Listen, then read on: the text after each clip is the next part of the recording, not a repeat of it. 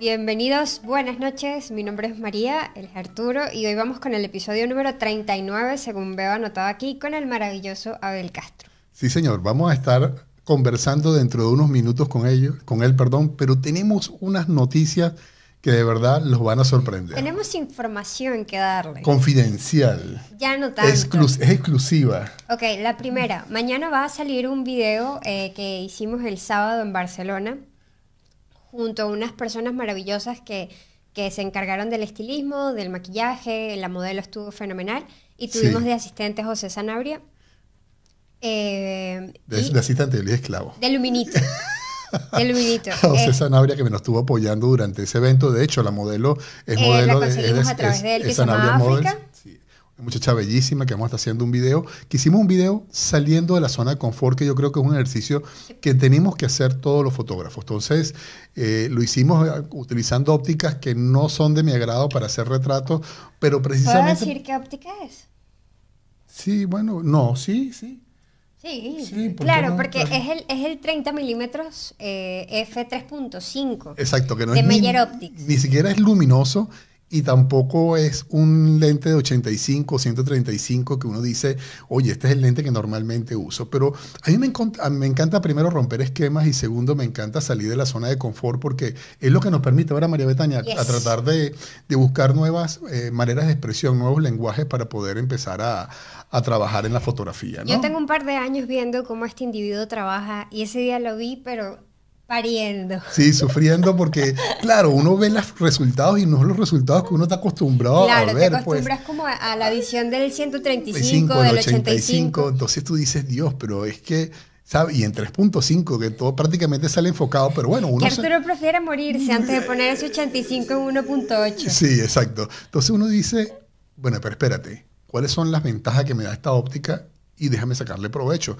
Y en base a eso construimos el video que a mí me parece que quedó espectacular. Fenomenal. Quedó espectacular porque en verdad creo que es algo que tenemos que hacer todos y definitivamente siempre hacer las cosas con, con las reglas eh, no escritas de la fotografía te asegura que vas a tener una estética o por lo menos va a estar cerca de la estética deseada, ¿no? Pero saliendo de eso te ayuda a hacer ejercicios que te permiten crecer. A moverte. A moverte. A moverte más que nada. Sí, y entender de que de que lo importante es lo que está detrás del visor y no lo que está delante del visor. Y que tenemos que buscar la alternativa y qué es lo que podemos expresar con esas herramientas que tengamos, ¿no? Por eso del 1855, porque esto viene siendo más o menos un 1855, no en precio, pero sí en, luminosidad y en ángulo de visión, que no es el más este, favorecedor para hacer retratos. Pero, yo no creo que la construcción de un 1855 no, sea igual que, la del 35 de Meyer No, 30, 30. Pero es una cosa, sí, sí, pero es una cosa espectacular, excelente. De verdad que la definición, todo es, otra cosa. Pero mañana vamos a estar haciendo retratos con eso. No sé cómo está la gente por ahí que ya no están saludando. Saludándonos, se conectó Michelle, nuestro amigo que está en México. Un abrazo, para, un abrazo para Michelle. Alejandro de Membresías del Canal. Qué bueno. Sergio, que me dijo que no era Max Sergi, sino Sergio. Sergio, ok. Eh, pero tenemos un notición que ustedes no se van a imaginar. Ok, yo hice una movida aquí. Eh, este. Yo fui la propia Yoko Ono de esta banda. y, decidí separarme. No, mentira. No, mentira, mentira. Se va a separar. No digas eso porque la gente va a creer que es verdad. No, no, mentira. Eh, había estado como dándole vueltas a algo. Oigan esto, oigan esto, ya va, espérate, espérate. Hermano, pero me vas a dejar. Espérate, ya va, ¿dónde está la musiquita? No, esta no es ya. No, esta tampoco, ya va. Ahora sí. Mañana publico mi primer video de YouTube yo sola en mi canal. Em, quería como enfocarme en ciertas cosas que a mí me gustan mucho, que quizás en el canal no se tocan tanto porque son públicos diferentes. Em, voy a publicar el video mañana jueves a las 6 de la tarde, creo. O sea, todas las personas que nos están escuchando tienen, déjate los dedos, es que ya te ah. pusiste nerviosa, este, tienen que suscribirse al canal de María Betania que va a estar haciendo contenido súper increíble. Eh, bueno, tiene un camarógrafo que es la hostia, como dicen aquí. Mira, los he visto mejores, de verdad. O sea, Pero Eh, sí, mañana voy a ahorita ahorita voy a publicar este ahorita voy a publicar ahorita les paso el enlace del canal el primer video está hecho con mucho amor, con mucho mimo, eh, con mucho nervio también, pero espero que, esto es un proyecto Que, esto es un proyecto que tenía ya cocinándolo varios meses, pero estaba que lo hacía el paso, que lo hacía el paso. ¿Cómo es mi canal? Es que yo no sé cómo se llama mi canal. Se llama María Betania, ¿no? María Betania, sí. María Betania normalito. Mira. Diego se acaba de suscribir, se acaba de ser miembro del canal. Qué bueno, Diego. Que, mientras ella busca eso, déjame dar la información sobre todo para la gente de los miembros y los Patreon del canal. ¿no? Estamos eh, haciendo fotografía de productos los fines de semana, los domingos. Este domingo pasado hicimos las primeras pruebas de fotografía de productos sobre fondo blanco, la típica fotografía para Amazon y todas estas cosas, tener el fondo blanco perfecto, hacerlo de una manera muy sencilla, enseñar todo el procedimiento. La semana que viene vamos a enseñar el revelado y todos los domingos tenemos un webinar en vivo, o sea, no, son, no estamos haciendo videos grabados para el para los suscriptores, perdón, para los miembros y para los Patreon del canal, sino que lo estamos haciendo en vivo porque tenemos el feedback inmediato. Cometemos errores, aprendemos, ustedes también aprovechan de hacer todas las preguntas que quieran. Entonces, los invitamos a que se, eh, que se unan a esa, a esa familia que tenemos nosotros tan hermosa que ya son más de 150 personas, creo que ya estamos por ahí. Y además que tenemos un grupo también de Telegram donde, bueno, eso nos nos caen a preguntas, nos reímos muchísimo y que vamos a tener un reto para este mes fotográfico que las personas, las tres personas que reciban más votaciones de ese grupo de Telegram, que es el mismo grupo de los miembros del canal y, obviamente el Patreon, eh, van a estar, la vamos a publicar eh, tanto en el canal como en las redes sociales para impulsar a la gente que también nos está apoyando a nosotros. Entonces, no dejen de pasar esa oportunidad, que ahí tienen más de 120 videos ya tutoriales de todo tipo, webinars, eh, detrás de escena, cosas que nos pasan y que la pasamos riquísimo interactuando día a día con todas las personas que nos apoyan a través de ese nuevo grupo de Telegram. ah, sí, le estás comentando lo del Telegram. Ahí puse, ahí puse un comentario, eh, es Mario Betania, todavía estoy pensando en el nombre, si tiene alguna sugerencia también sería bueno porque, no sé, el punto es que mañana a las 6 vamos a estar estrenando el video, yo voy a estar ahí respondiendo sus mensajitos. Eh, va, a estar... Y acepto sugerencias y comentarios y todo lo va a preestrenar. Ajá, O sea, va a ser un preestreno para que ella va a estar conectada en el momento que salga en el aire y ustedes puedan interactuar de manera directa con ella. Entonces, esa, uh, necesitamos que apoyen a todos, a, la apoyen. O sea, todo lo que hayan a ver este podcast, tienen que salir de aquí, después que terminen de, de, de que Abel nos dé la palabra clave y todas esas cosas, tienen que salir de aquí directo a suscribirse al canal de María Ok, aprovecho para saludar a Edu que se conectó y también se va a suscribir, gracias. Ah, a Antonio Garci que, que, acaba de dejar un comentario, un abrazo para ti.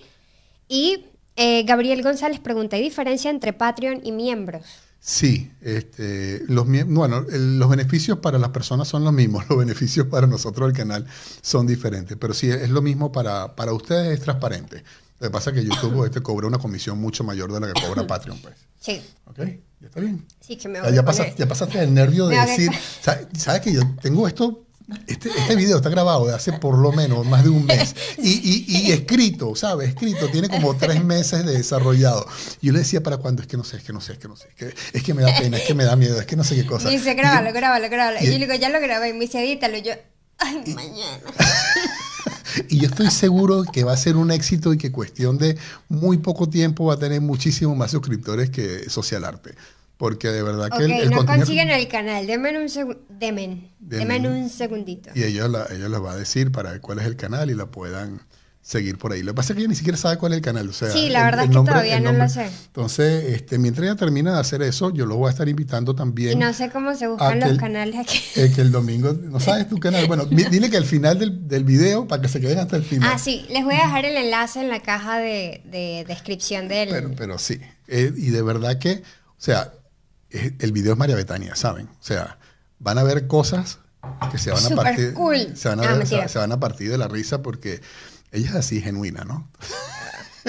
entonces eh, aprovechen y se, unen por ahí. Ok, entonces nada, vamos a llamar a Abel, ¿no? el invitado, porque pareciera que el invitado fueras tú y no Abel. Lo siento, Abel, lo siento. Ok, vamos a, que fue uno de los primeros fotógrafos con los que tuvimos contacto aquí nosotros en España. Sí, hicimos un video con él, nos asistió en un video que hicimos de Profoto. Nosotros hemos tenido luminitos bien interesantes, ¿no? Sí, súper luminito. Que, wow, ¿quién fue tu luminito? Abel Castro, nada más y nada menos. Sí, sí. Aquí lo estamos llamando. Ok, vamos a hablar con Abel.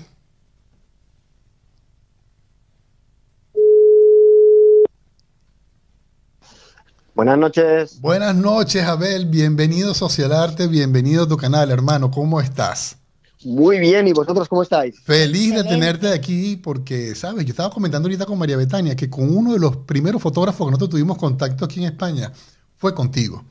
Es. Y, y, nos aprovechamos de ti, inclusive, porque te utilizamos como asistente de iluminación. me acuerdo yo en, una, en un parque donde estábamos pasando un poquito de calor, no me acuerdo, pero estaba algo. Se pasó mucho calor, sí. Se pasó, se pasó, mucho, calor. se pasó mucho calor ese día y de verdad que la pasamos increíble. Abel es una persona extraordinaria, un excelente comunicador, un amante de la luz y un amante también de romper reglas que es una de las cosas que más me atrae de, tu fotografía y de ser irreverente en las cosas que haces y cómo las haces, ¿no?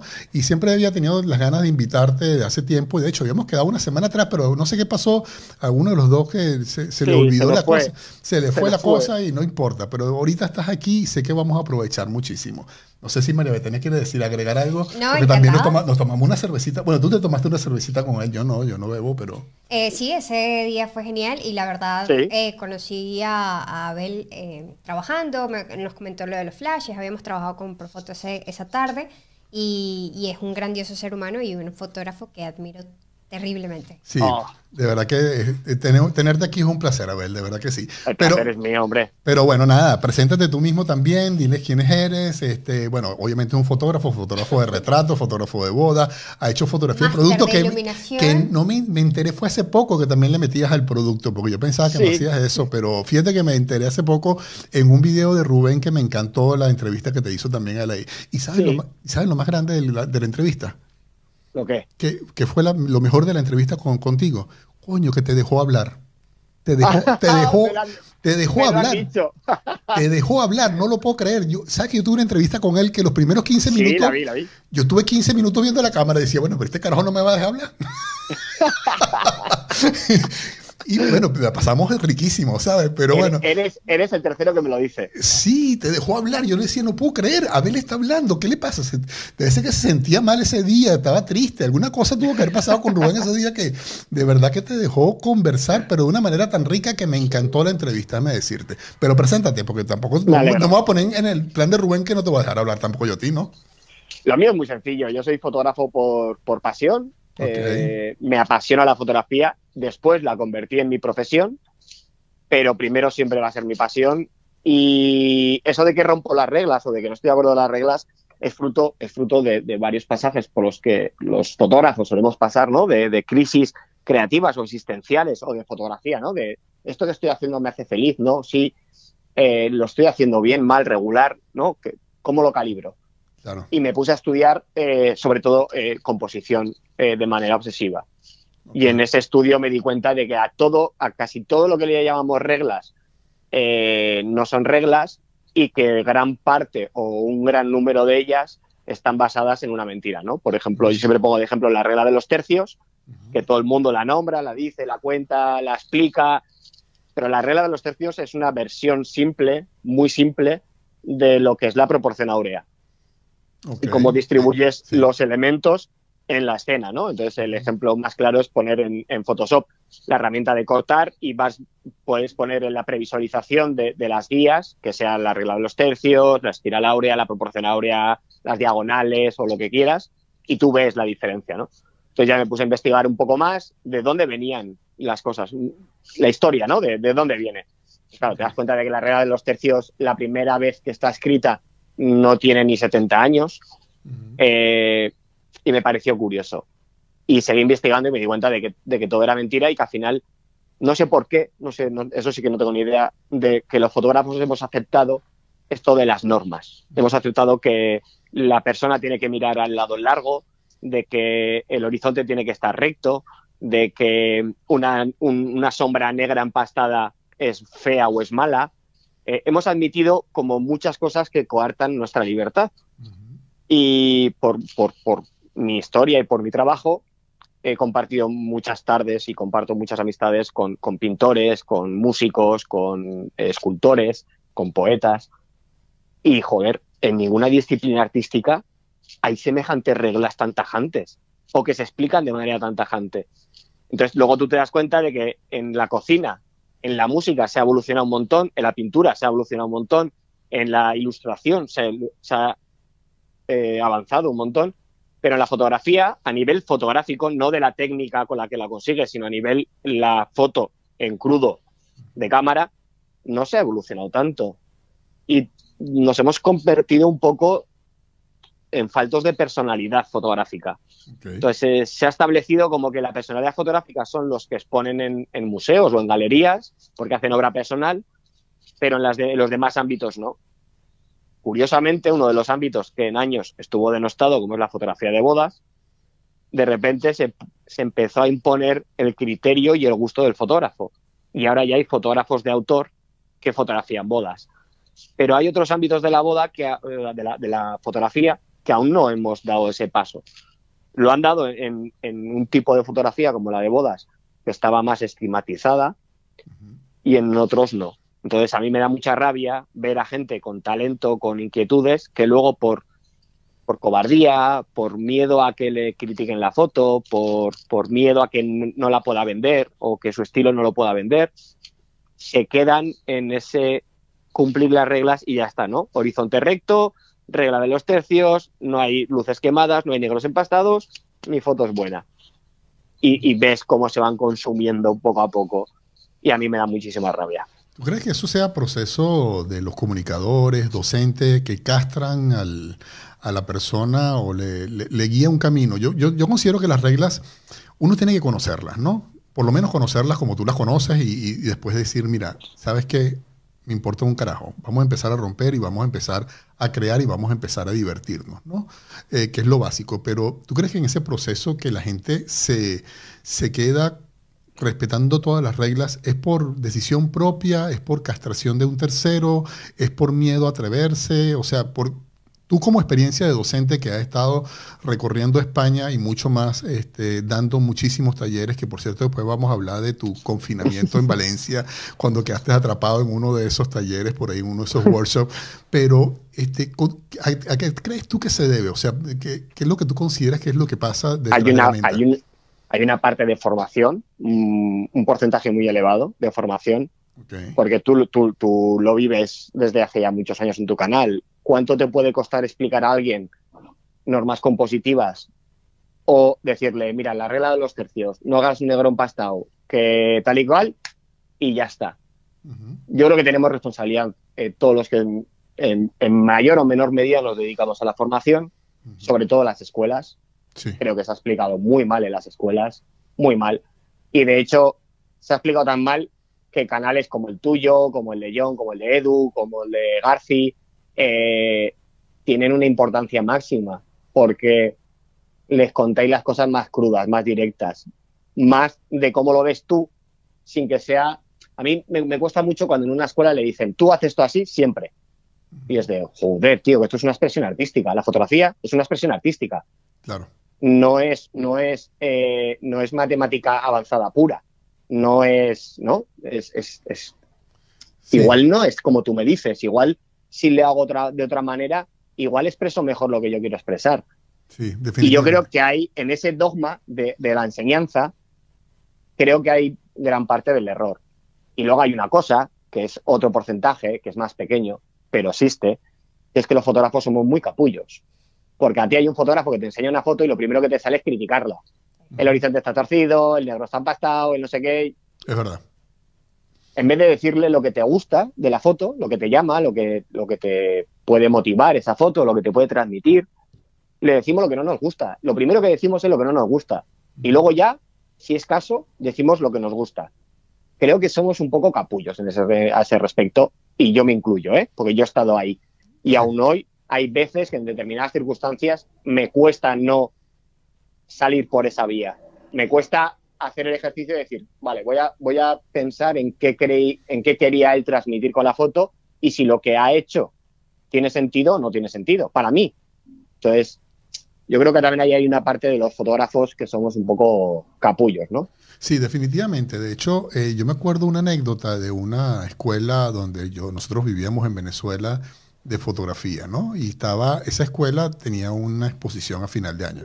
Obviamente no voy a decir el nombre de la escuela, ¿no? Entonces, este, Abel, yo invité a un fotógrafo, amigo mío, que era un tipo que había ganado premios internacionales y premios nacionales de fotografía, a la exposición. Y le dije, mira, quiero, vamos a ver esta exposición que es en Valencia y vamos a verla juntos. Y el tipo viene conmigo y obviamente era un esos tipos que tenía el horizonte siempre torcido, que si le gustaba mucho la foto la rompía. Era esa propia persona de que te rompe todos los esquemas todo el tiempo porque no se siente cómodo siguiendo las normas, ¿no? Eh, entonces, se me parece a ti en ese sentido. Entonces, la agarra y me, yo, yo lo invito, ¿no? Y él me dice, oye Arturo, pero este fotógrafo es bien prolífico, ¿no? ¿Sabe? Hay 40 fotos y 40 fotos del mismo fotógrafo, o sea, y no, no era el mismo fotógrafo, ¿vale? eran 40 alumnos que habían sido guiados todos hacia el mismo camino porque había una sola verdad absoluta, ¿no? Y ahí, donde, y ahí es donde yo veo la tristeza del hacia dónde va la fotografía en unos casos cuando es mal guiada y es mal enseñada, porque al final terminas teniendo clones tuyos o clones de lo que tú consideras que debe ser la fotografía y no la visión de cada uno de nosotros, que creo que es lo que importa, ¿no? Pero, pero creo que en ese caso específico eh, que Abel comenta, ¿no? De que él primero revisó toda la parte de composición, la estudió, eh, quizás la puso en práctica y ahí fue cuando se dio cuenta de que, mira, quizás esto no debe ser así, ¿no? Pero hay que recordar o mencionar que, estoy hablando donde no debo, perdón, eh, todos estos cánones estéticos y compositivos nosotros los heredamos de la pintura y en la pintura se han estado usando desde que tengo desde que tienen uso de razón, se han ido modificando las visiones estéticas, pero a nivel compositivo sigue siendo lo mismo. Tanto que veas una obra del Renacimiento o una obra expresionista. Siempre vamos mm. a ver la parte de ritmo, vamos a ver la parte de color, vamos a ver la parte de la proporción áurea y todo ese cuento. Y yo creo que eh, debería ser más una queja hacia las personas que tienen la labor de guiar, de, enseñar a los demás fotografía. Y claro que, sí, yo creo que es, necesario. yo creo que la palabra es guiar. Guiar. Este, sí. Exacto, tú le puedes mostrar eh, lo que sabes eh, de composición o de iluminación a una persona para que aprenda, pero también está en ti, como guía, valga la redundancia, que le digas que esa no es la verdad absoluta y que hay un camino de ahí en adelante. El problema es cuando tú te empeñas en que si mi trabajo a mí me gusta y es lo que creo que yo que está bueno, entonces eso es lo que tienen que hacer los demás. Y ahí es donde empieza el error. Estoy muy de acuerdo contigo. Es más, eh, a mí me sorprende, o sea, yo he vivido, sobre todo los dos últimos años, he tenido muchos miles de fotógrafos cara a cara. No, no a través de una web o tal, sino cara a cara.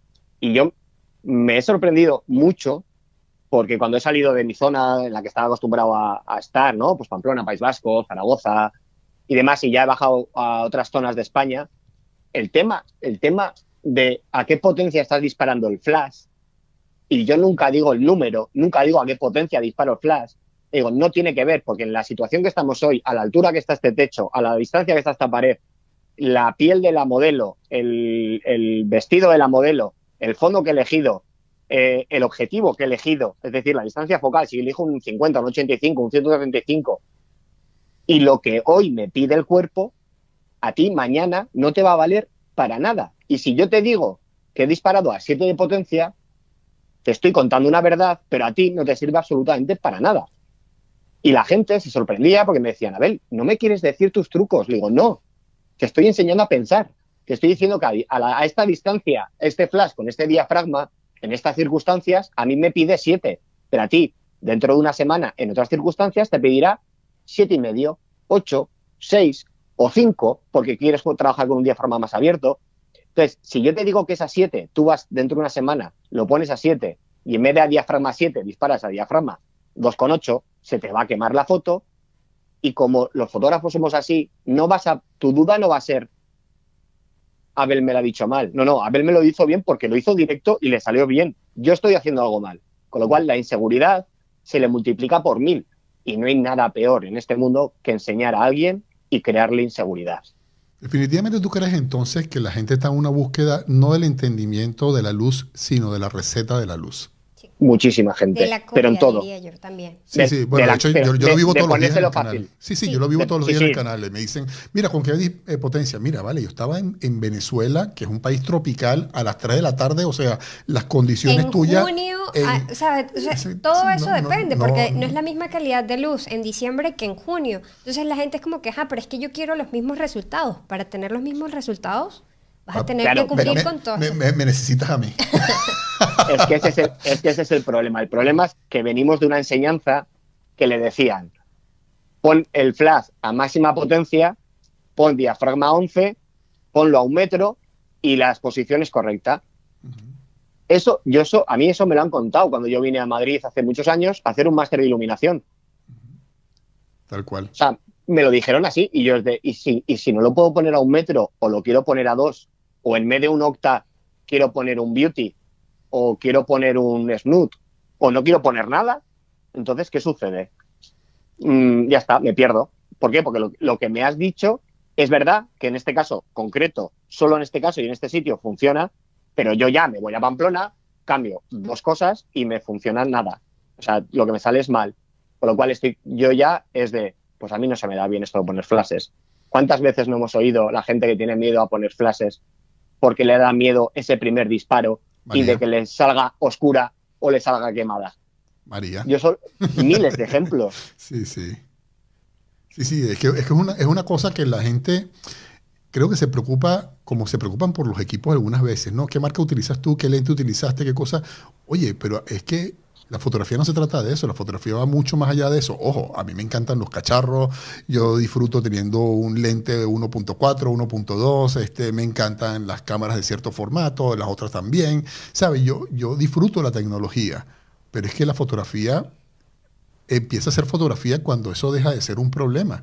Porque si no, sencillamente es un, es un proceso de aprendizaje donde estás o por ensayo y error que nunca lo llegaste a entender, o porque sencillamente este, te dieron una receta que te funcionó y siempre vas a tratar de, fotografiar bajo las mismas condiciones, lo cual es estúpido, pues. También yo creo que hay como una parte de, de que cuando la gente está empezando, obviamente no tiene criterio absoluto para eh, tomar ciertas decisiones, como qué flash compro o cómo logro que me quede un fondo blanco. Entonces siempre, siempre estamos como, y, me incluyo porque, claro, yo, yo también empecé muy chiquita y no tenía absolutamente nada y yo decía, mm, entonces si me compro esa cámara que tiene esa muchacha, a mí me van a salir las fotos igual de buenas. ¿Qué cámara es esa? ¿Qué lente estás usando? ¿Qué apertura usas? Entonces, claro, eh, para mí eh, resultaba que si quería tener buenas fotos tenía que comprarme lo mismo o tenía que hacer lo mismo que cierta persona. Es difícil dejar eso porque claramente no tienes idea de, qué camino tomar o con qué decisiones empezar. Es que la hacer una fotografía es la suma de un montón de decisiones pequeñas. Primero, ¿cuál es el objetivo con el que quiero disparar?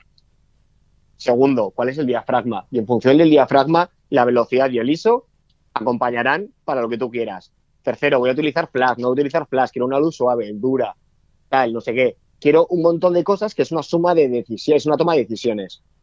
Si tú se lo pones fácil a alguien y le dices, mira, tú disparas siempre a F8 con un 50 milímetros, que vas a tener el foco clavado y demás, seguramente su capacidad de evolución y de expresión de su fotografía, de sentirse orgulloso de lo que hace, cuando tú miras tus fotos en, en tu casa a solas te tienes que sentir orgulloso de lo que has hecho, no lo va a conseguir, se va a frustrar y en, un corto espacio de tiempo o medio, en función de lo cabezón que sea, dejará la cámara de lado. Porque dirá, pues esto de la fotografía no es tan divertido, esto a mí no me llena tanto, porque estoy haciendo lo mismo y esto es una mierda. Y a mí eso es lo que me da rabia. Me da rabia la ausencia de responsabilidad cuando los que nos, dedicamos a formar no nos exponemos de esa manera y, joder, y te desnudas y les dices, pues mira, esto no es así, esto es así. Y habrá uno o dos que te entiendan a la primera, tres o cuatro que te entiendan pasado mañana o a la semana siguiente, pero eso va a ocurrir, porque lo van a probar, en algún momento lo van a probar y van a decir, pues es que a mí, a uno o cuatro y desenfocar mucho el fondo. Y es de, pues el F8 a mí no me gusta una mierda, yo prefiero el F1.4. Pues mi objetivo será comprarme un objetivo que tenga esa apertura o la luz de flash. Uy, qué miedo me da, uy, qué miedo me da. Hasta que de repente lo hacen, lo hacen y de repente dicen, las posibilidades creativas de mi vida se han multiplicado por un millón porque ahora yo creo el escenario con luz que no lo podía hacer antes. Y, de, y como eso, hay mil, pero lo mismo también ocurre con, con Photoshop o Capture One, ¿no? ¿Cómo has revelado esta foto? Y tú le explicas la filosofía del por qué has hecho lo que has hecho, no del cómo, no de la herramienta concreta de la selección la hago con la varita mágica o la hago con el lazo o la hago con el... No, no, le dices, la he hecho por esto y le cuentas tu filosofía, tu manera de ver, que es lo importante para mí, ¿no? Por eso yo admiro mucho a, os admiro mucho a vosotros, admiro mucho a la gente que os exponéis eh, delante de una cámara sin tener una cara que refleje si te entiende o no te entiende y os dedicáis a contar y a explicar de una manera honesta lo que hacéis. Yo os admiro un montón porque sé lo, sé lo, difícil que es, pero también sé lo, lo, bien que lo hacéis. A mí me encanta cuando terminamos un curso y demás y te quedas después charlando y tal y te dicen, oye, pues esto que has hecho también lo hizo tal, no sé qué, pues es verdad, joder, mira qué guay, qué tal, que no sé qué. Y dices, pues qué bien, qué bien que la gente coja cosas de varios sitios, los sume, los cree suyos y diga, esta es mi fotografía. Y a partir de ahí, ya la capacidad de evolución de cada uno. Claro. De eso, de hecho, el, podcast eh, no nace por esa razón, pero decanta en esa razón de decir, vamos a invitar a gente que tenga visiones diferentes, como John Hernández, como Edu, como, como tú, como todos, pues Rubén. Como Rubén que se acaba de conectar. Rubén que se acaba de conectar, este, Eric que tiene, ¿sabes? Porque yo nadie tiene la verdad absoluta. Yo creo que tenemos que exponer nuestras pequeñas verdades o nuestras maneras de ver la fotografía y que las personas que nos escuchen armen su historia, que agarren aquello que les convenga y desechen aquello que no les parezca de cada uno de nosotros, porque detrás de cada, detrás de todas esas personas que nosotros hemos entrevistado aquí, que hemos sido como veintipico personas ya, ¿no? porque si tenemos 39, nosotros creo que hicimos 10 solos y después los demás fueron con puras entrevistas. Tenemos casi 30 personas ya entrevistadas. Son 30 visiones que pueden ser semejantes en algunos puntos, pero diferentes en otros. Porque tú, claro. tú, tú estabas la semana pasada cuando yo entrevisté a John y tú estabas en desacuerdo con lo que estaba diciendo John, pero eso no significa que no haya, que, que, hay una verdad absoluta de un lado o de la otra. Sencillamente hay, hay maneras de ver la fotografía totalmente diferentes, así como yo también la veo diferente a él y la puedo ver diferente a ti en un, en un momento dado. Pero eso es la belleza de la fotografía también, el permitirnos ver las diferentes visiones de cada uno de nosotros y que podamos tener ese aprendizaje como tú estás diciendo. Es que eso lo, a mí lo maravilloso es encontrarme con gente que hace una fotografía y le entiende de una manera distinta que, que yo, porque me aportan y me suman muchísimo más que lo que me aporta alguien que tiene mi misma opinión. Alguien que tiene mi misma, opinión me dice, estoy de acuerdo, y se acabó la conversación. Ya está, tu evolución se ha acabado ahí. Cuando te dice, pues sí, pero mira, si lo haces así, joder, a mí me mola por esto, por esto y por esto. Con John, ¿no? Que es muy de utilizar luz suave. Eh, yo soy más de luz dura. Pero a mí lo que hace John es fantástico, fantástico. Y cómo lo utilizas, fantástico. Y cómo controla la direccionalidad de la luz con luz suave, es fantástica. Y, yo, hay veces que le veo cómo coloca las cosas y, yo para mí desde adentro digo, ay, qué cabrón, ah, mira qué bien. Tal, con Garci, estuve el otro día en, su estudio, fue, creo que fue el viernes pasado, y, solemos quedar y demás, cada uno tiene su visión, pero suman, las dos suman, ninguna resta, ninguna visión resta, pero no resta ni, ni siquiera la visión de, de alguien que se ha comprado una cámara ayer y empieza a hacer fotos hoy. La de él también suma, porque es la visión de alguien que está empezando con la ilusión, con los ojos, eh, digamos, más vírgenes para, para ver o para sentir o para dejar que una fotografía le influya o tal. A mí me parece, a mí, el, tener a gente así en una charla o, charlar con ellos y demás, para mí es lo más maravilloso de, que, que pueda haber, porque sales y sales con 10 cosas nuevas en la cabeza, con una visión nueva, sales más evolucionado, sales más completo. Es maravilloso. No, definitivamente. De hecho, yo, una de las personas que yo siempre digo cuando doy un taller o hablo de fotografía en una escuela o algo, le digo que más me enseñó de fotografía fue mi hija y tenía cinco años. Yo le, yo le había prestado ya mi cámara, que era una Sony A900, ¿sabes? Con un 2470 que pesaba como si, pesaba más que ella, pues casi. la cámara con el lente, ¿no? Y ella, este, todo el mundo le estaba tomando fotos con celular a ella porque decían que no podían creer que esa bebé, porque ella me decía, papi, tú no apareces en ninguna foto, yo te quiero tomar fotos a ti, ¿no? Y entonces, bueno, claro, ve una niñita en chiquita cargando esa camarota, todo el mundo le llamaba la atención. Yo le compré una cámara de inmediato, pues dije, coño, me va a escoñetar la mía, pues me la va a volver ñoña, pues se le va a caer un momento porque no puede con este peso. Y le compré una. y empecé a ver cómo esa niña se divertía, cómo cambiaba los ángulos, cosas que yo no estaba haciendo, porque es lo que tú dices, siempre tenemos posibilidad de crecer y de aprender, no importa la experiencia que tenga la persona que estemos al lado, porque siempre si nos abrimos a que hay un aprendizaje en todo lo que está alrededor de nosotros, vamos a crecer. Y en eso estoy totalmente de acuerdo contigo, Ben. Y creo que también es importante recalcar que la manera más idónea para mejorar en la fotografía es practicando. Si ustedes no practican lo que consumen de Antonio Garci, lo que consumen de Rubén Gabelli, lo que consumen de Social Arte, ahí ustedes no van a progresar en lo absoluto. No le tengan miedo a equivocarse, aprovechen que el formato digital les da como demasiada banda para, para mm. ustedes cometer errores y listo. Porque si se quedan ahí nada más viendo canales de YouTube o yendo a workshops y se quedan en su casa tranquilos, no va a mejorar. No sirve para nada. Exactamente. Estoy muy de acuerdo contigo. Yo, cuando, cuando, doy las, cuando doy las charlas, yo muchas, o sea, muchas veces les digo, la única diferencia entre vosotros que empezáis y yo es 500.000 fotografías de en medio. ¿Cuánto tardes en tomarlas? Eh, dependerá de ti. Si haces fotos todos los días, por la mañana y por la tarde, por la mañana y por la tarde, tu mejora va a ser muy rápida. Si haces fotos una vez al mes, pues evidentemente no esperes eh, crecer muchísimo haciendo eso.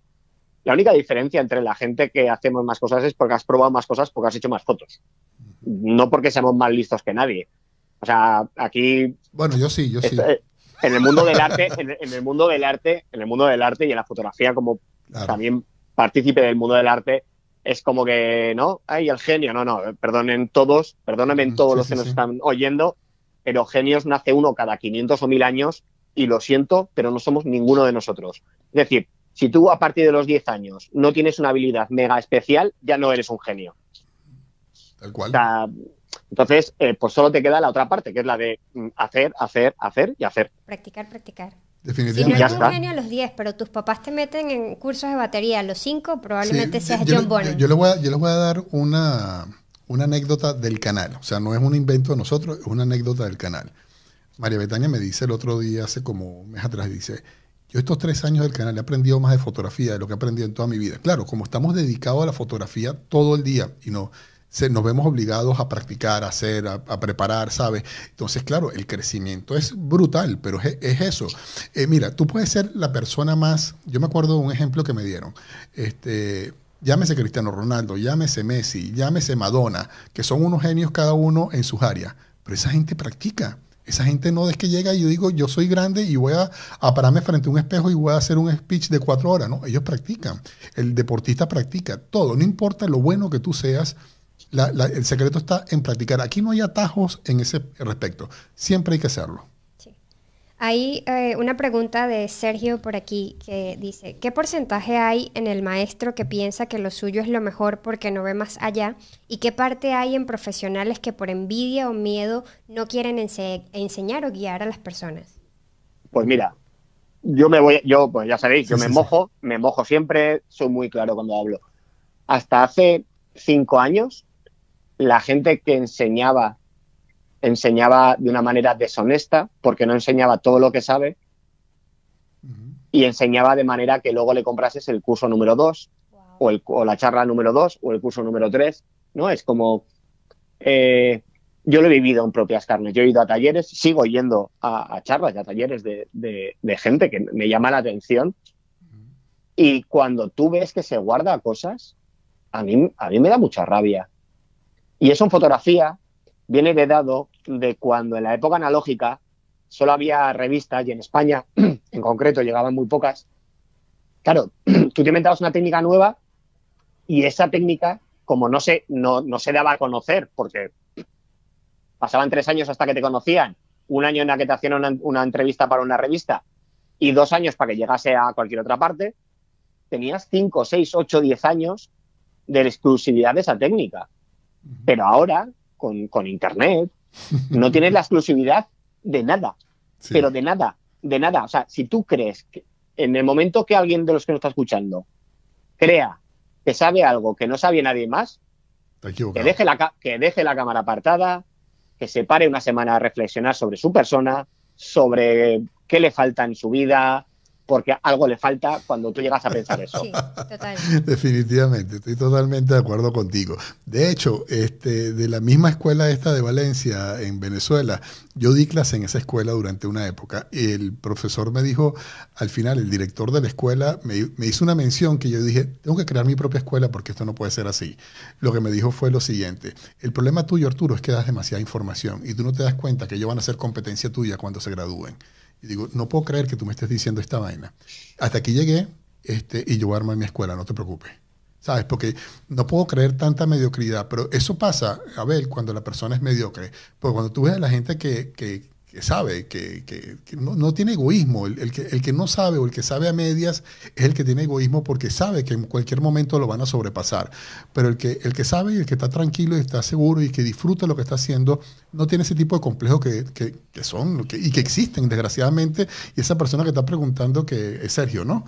Este, desgraciadamente son mayoría todavía. yo también creo que eso es como faltarle dedos de frente, porque si tú te pones a ver, eh, yo te puedo enseñar a ti todo lo que yo sé de fotografía pero nos ponen a los dos en el mismo lugar, con el mismo encuadre, a la misma persona y vamos a hacer dos fotos totalmente distintas. O sea, pero mira, esto de la fotografía es universal, como dice María, es que es universal. Es un idioma, yo me voy a Estados Unidos y necesito hablar inglés para hablar inglés. Yo enseño mi foto a un estadounidense, a un polaco, a un ruso y la va a leer como él es, ya está. Ese es el idioma.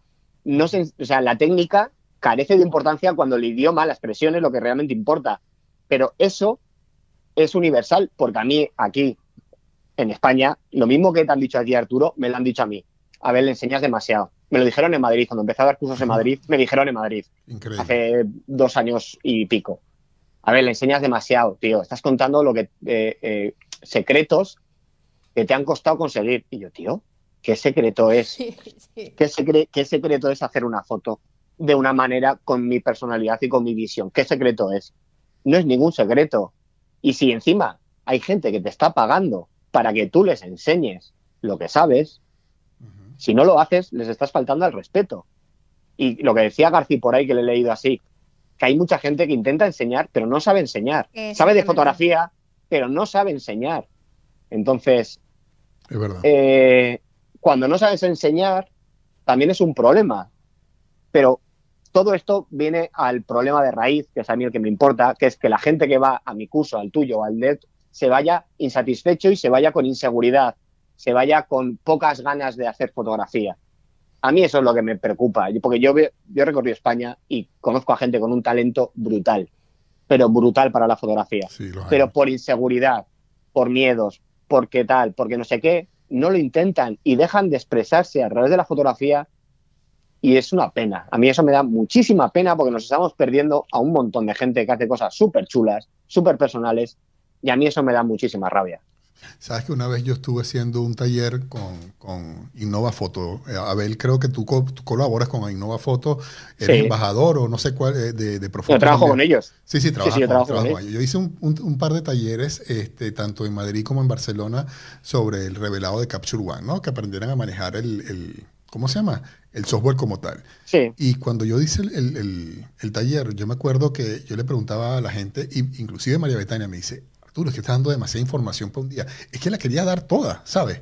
Yo, no, yo no, me imagino llegando a un lugar que la gente esté pagando una cierta cantidad de dinero y yo diga, bueno, este, para que sea cómodo para ti o para mí, este, y ellos salieron con dolor de cabeza. Me el problema fue es que, Es que el problema fue que todos quedamos con el cerebro como achicharrado porque era... era eh, ¿Cuántas horas fueron? Ocho. Ocho horas completas, sí, seguidas. Con una hora de almuerzo y, y, luego otra vez así en la computadora metiéndote todo. Y digo, no, sí, entonces era como mucha información, pero yo no me imaginaba entrar ahí que esa gente estuviera pagando y yo decirle, te voy a echar la, mitad del cuento, ¿sabes? Porque, o, sea, ya después tú ves si la persona entiende todo eso, inclusive les dimos todos los videos de nosotros para que pudieran repasar, porque yo entendía que meter ese programa en un día completo era, en un solo día, era, era, era, era complicado, pues, pero lo intentamos igual, ¿no? ¿Hay preguntas que estás mirando para allá? No, no, que están preguntándole aquí a, Antonio que si, que si iba a sacar un libro. Sí, Antonio, está trabajando un libro, que yo sepa, ¿no? Sí, sí, sí. Sí, sí, Yo, yo, yo, he visto, yo he visto cositas del libro, he visto cositas. Si queréis, le jodemos la exclusiva y se, la, y se las contamos aquí. está bien, está bien. Vamos a aprovechar porque estamos en una plataforma libre donde podemos expresar lo que queramos. Claro, claro, claro. Eh, por aquí Se me perdió la pregunta. Ok, José Charca pregunta, ¿por qué todos los fotógrafos te dicen que no importa la cámara, lo importante eres tú? Sin embargo, ellos tienen la última cámara y objetivo 1.2. No es verdad, no es verdad. Eh, y, y lo voy a explicar además de manera muy rápida.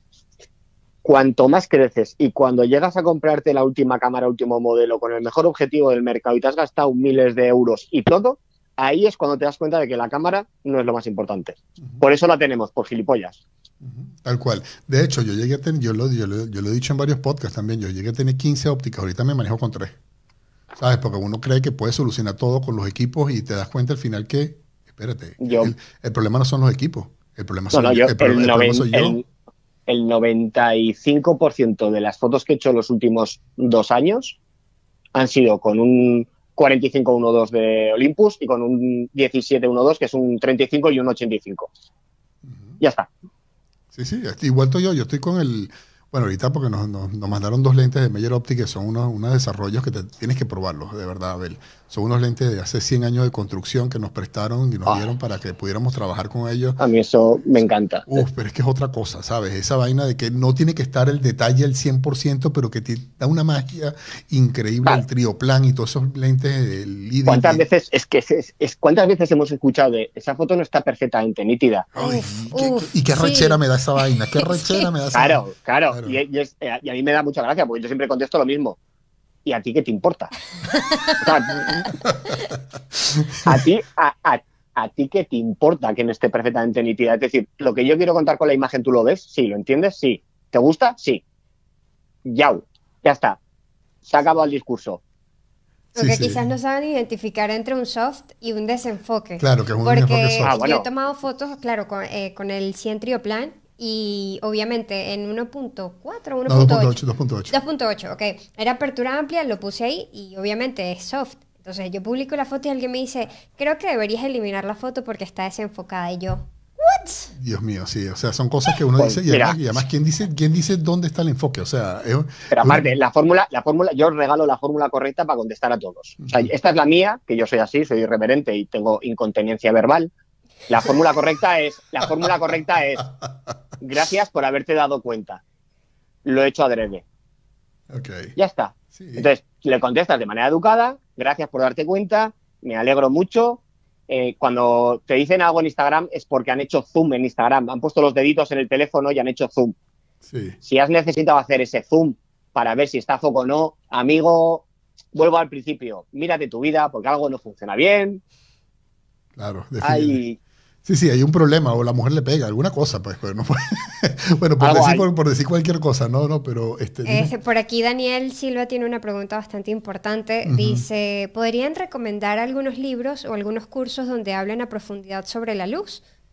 o mira, en el libro de que va a sacar García en octubre mm, vas a tener muchísima información de luz, muchísima. sí, Y además muy bien escrito, con ejemplos muy claros y con un lenguaje que a mí, claro, García es amigo mío, no, pero a mí me, me mola mucho y hay dos, tres frases en ese libro que yo cuando me lo compre las voy a subrayar y me las voy a guardar para mí para siempre porque son épicas. Pero hay mucha gente. claro. En libros, en libros tienes, yo de iluminación, si quieres aprender de iluminación, cógete cualquier libro que sea de retrato, si quieres hacer retrato, que sean libros de, de o sea, que sea fotolibro, y analiza cada una de las imágenes impresas en el libro. Excelente. Y ponte un, cuaderno aparte y di, pues yo creo que ha iluminado de izquierda a derecha con una ventana, con un octa, lo ha hecho grave, te lo ha hecho tal, ha hecho esto, ha hecho lo otro. Y tú haces eso dos tardes y has aprendido más de luz que, que haciendo cualquier otra cosa. Sabes que yo cuando di las clases de iluminación en la escuela que tenía yo en Venezuela, el primer trimestre que lo di eh, arranqué mal y lo hice mal y yo se lo dije a los muchachos, hicimos este, este curso de iluminación mal. Era un trimestre de iluminación y yo empecé por toda la parte técnica, ¿sabes? Este, Mm. Cómo se sincroniza, este, las zapatas calientes, cuando en aquel momento se utilizaba zapatas calientes, todo eso, ¿no? Este, el, el disparador, cómo se puede hacer, eh, todas las cosas técnicas de la, de- de la iluminación. Y cuando terminé de dar eso, que fue como un mes para que yo, ¿sabes? Mientras las prácticas y entendieran, hicieran los ejercicios y todo esto, y le dije, bueno, vamos a empezar a, sa- a sacar fotos, es que los tipos no tenían ni idea qué tenían que hacer. Sí. Y no era, pues, y no era, y no era, y, y- y, a ver, no era un problema de que no supieran conectar los flashes. Es que no sabían qué hacer con la luz. Que es, que, es, el problema. de siempre. Es el problema de siempre. Es el problema de siempre. Claro. ¿Qué luz pongo? Es como, vale, pues ¿qué quieres? ¿Carne, pescado para comer?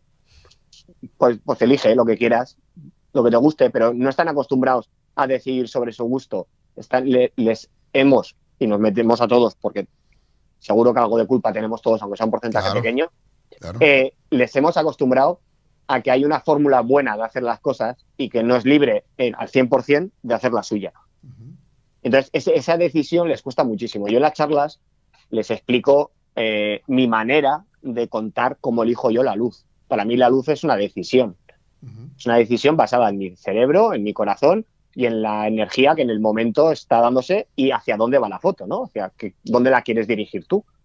Y es de, en vez, de, en vez del objetivo, cuando tú coges la cámara, eliges el objetivo, eliges diafragma, ISO y velocidad. Lo tenemos automatizado porque esa técnica de cámara la tenemos muy interiorizada porque la utilizas el 100% de las veces que coges una cámara. Pues en vez del objetivo, eliges el modificador. Si quieres una ventana, un octa, un snoot, un luz suave, luz dura. Y después, en vez de ISO, diafragma y velocidad, decides dirección primero, a ver, en qué dirección quieres que vaya la luz, la distancia por la línea inversa al cuadrado y la potencia, que es más o menos de lo que tú quieras si quieres que tenga más luz o menos luz. Si tú ese, ese esquema de pensamiento lo aplicas siempre que vas a, a poner luz, no vas a fallar nunca porque siempre vas a contestarte a esas decisiones, con lo cual vas a hacer lo que tú quieres hacer. Sí, y por eso que yo considero que lo que tú le acabas de decir a la gente es importante. De hecho, yo la segunda vez que hago el, curso y doy el taller de, iluminación, dije, llegaron todos los muchachos con sus flashes y le dije, ¿qué hacen ustedes aquí con flashes? Vamos a ver, es pintura. Y tuvimos un mes revisando pintura o, o revisando retratos, que es lo que tú dices. Porque entender la luz y lo que puedas expresar, porque la gente cuando me dice, ¿qué flash utilizo y dónde lo pongo? Esa no es la pregunta. La pregunta es, ¿qué es lo que tú quieres expresar? Y en base a eso, tú defines dónde va a ir tu iluminación. Y no una iluminación donde tú vas a matar las sombras, porque eso era un concepto también que, que era estúpido antes, ¿sabes? Vamos a matar todas las sombras porque tenemos que iluminar completamente todo, cuando las sombras son tan importantes como la luz. Son, claro. Para mí, para mí es lo más importante de una foto. Claro. Y tú que te has manejado tan ampliamente en el mundo de la iluminación, hay una pregunta que acabo de leer en Instagram que decía, ¿cuál crees que es el error eh, eh, cuando uno empieza en iluminación? El error es pensar que tienes que hacer una iluminación para que le guste a alguien que no eres tú. Y me explico. Cuando tú vas a cocinar en tu casa para ti, cocinar lo que a ti te gusta de la manera que a ti te gusta. Lo que no es lógico es que si tú te vas a hacer la cena para ti, cocines eh, a mi gusto, o al gusto de Arturo, o al gusto de María, o al gusto de Pepe. No es lógico. Y en fotografía cometemos muchas veces ese error. Es decir, voy a cocinar para el gusto, para que luego suba la foto a Instagram y tenga me gustas. O sea, en pocas palabras, este, porque lo hemos hecho todos, y yo también me incluyo, nos prostituimos. Evidentemente. Nos prostituimos en busca de un like, en busca, de, la aceptación, de la aprobación, de lo que tú, como, como lo quieras llamar, como te dé la gana llamarlo. Pero nos prostituimos. Cuando, nos damos cuenta de eso? Cuando te conviertes en profesional y de, ahí de verdad tu gusto está en un segundo plano y en el primer plano es el de tu cliente. Y si el de tu cliente te dice que quiere salud porque él quiere salud y porque lo quiere, pues lo tienes que hacer le podrás intentar convencer o hacerlo y luego hacer una variante para, bueno, pero al final es tu cliente el que paga. Pero es que un like, con un like, no te pagan la comida. Exacto. Solo alimentan, solo alimentan tu ego. Y ahí está el, el, problema de muchos fotógrafos que se alimentan el ego de likes en Instagram que no sirven de verdad para nada. Creo que también eso es lo que ha llevado el mercado que todas las imágenes sean tan similares hoy día, porque siempre me ha pasado y lo he comentado varias veces que me pongo a hacer scroll por el explorador de Instagram y digo, ¿por qué estas fotos son todas de la misma persona? Y no, o sea, son fotógrafos diferentes, pero quizás manejan la misma iluminación, las mismas poses o lo que más veo es que manejan la misma edición. Y es eso, o sea, ya sabes que esta fórmula te funciona porque a fulanito le dio ciento y pico de likes, entonces yo la voy a hacer porque también quiero esos ciento y pico. Y nos estamos dando cuenta de que estamos copiando unos a los otros y no hay ningún tipo de variedad hoy día. Yo no sé tú, Abel, pero ¿tú conoces algún fotógrafo que sea famoso que se haya hecho famoso copiando a otro o haciendo lo mismo que hacen los nunca, demás? Nunca, nunca, nadie, jamás. Jamás, ¿verdad? Nunca. Yo por lo menos no lo conozco, por lo menos. Nunca. famoso y, y, fotógrafo de referencia inspiracional y demás, jamás. Todos, todos los que son inspiracionales, todos los que tienen relevancia, son porque han puesto su personalidad por encima de cualquier otra cosa. Y, y para mí coincide que son los más los que más aman la fotografía, porque quieren hacer su fotografía y se quieren amar a ellos mismos haciendo las fotos que ellos aman. Y, son, y son los que están más dispuestos a transmitir y a dejar esa herencia para los demás. Claro que sí, yo, yo lo, he contado muchas veces, pero eh, Eugenio Recuenco, eh, antes de conocerle en persona, yo fui a ver su exposición de 365 y la segunda vez que fui a ver la expo, le vi a él hablando con unos chicos, explicándoles las fotos, el concepto, de cómo las había hecho, de todo, y cuando me lo presenta le digo, ay, ¿esos que son amigos tuyos? Me dice, no, que va, estaban ahí y me he puesto a hablar con ellos porque sí. Y les estaba contando todo, todos los secretos, todo, les estaba contando todo. Y es Eugenio Recuenco. O sea, que será, para, para mí será uno de los 10 mejores para mí a nivel mundial. Total. Eh, nosotros vimos una exposición de él el año pasado en Madrid y realmente es una de las exposiciones de fotografía más increíbles que, he visto en la vida. Sí, de verdad que, es genial, genial, genial. Por aquí... Pues eso, eso coincide, pero luego los que se guardan cosas, los que tal, los que siempre coincide que luego detrás, o sea, tú no puedes evitar que tu fotografía hable de ti. O sea, cuando tú le enseñas a alguien 50 fotos tuyas seguidas, se puede determinar quién, quién eres. Claro, claro, hay un estilo. Eh, cuando, claro, entonces cuando te hacen la pregunta, que a ti también te la habrán hecho miles de veces, ¿cómo se tiene eh, personalidad fotográfica? ¿Cómo se adquiere un estilo propio en fotografía? Y yo, la gente me mira raro cuando le digo, solo tienes que ser tú mismo. Y se, quedan, se me quedan mirando como diciendo, joder, yo pensaba que me ibas a decir algo así como, no, no, no, sé tú mismo. Ya verás, ya verás como tu personalidad se transforma en tu fotografía y tu fotografía se transformará en tu personalidad. Tal cual. Eh, yo no me acuerdo ahorita, la, si, si, te acuerdas de la fotógrafa que decía que su mejor foto es la que iba a tomar mañana. Imogen Kujigan. Claro. Imogen Kujigan. Exacto. Esa señora estuvo dando clases de fotografía porque amaba la fotografía hasta los 91 años, ¿sabes?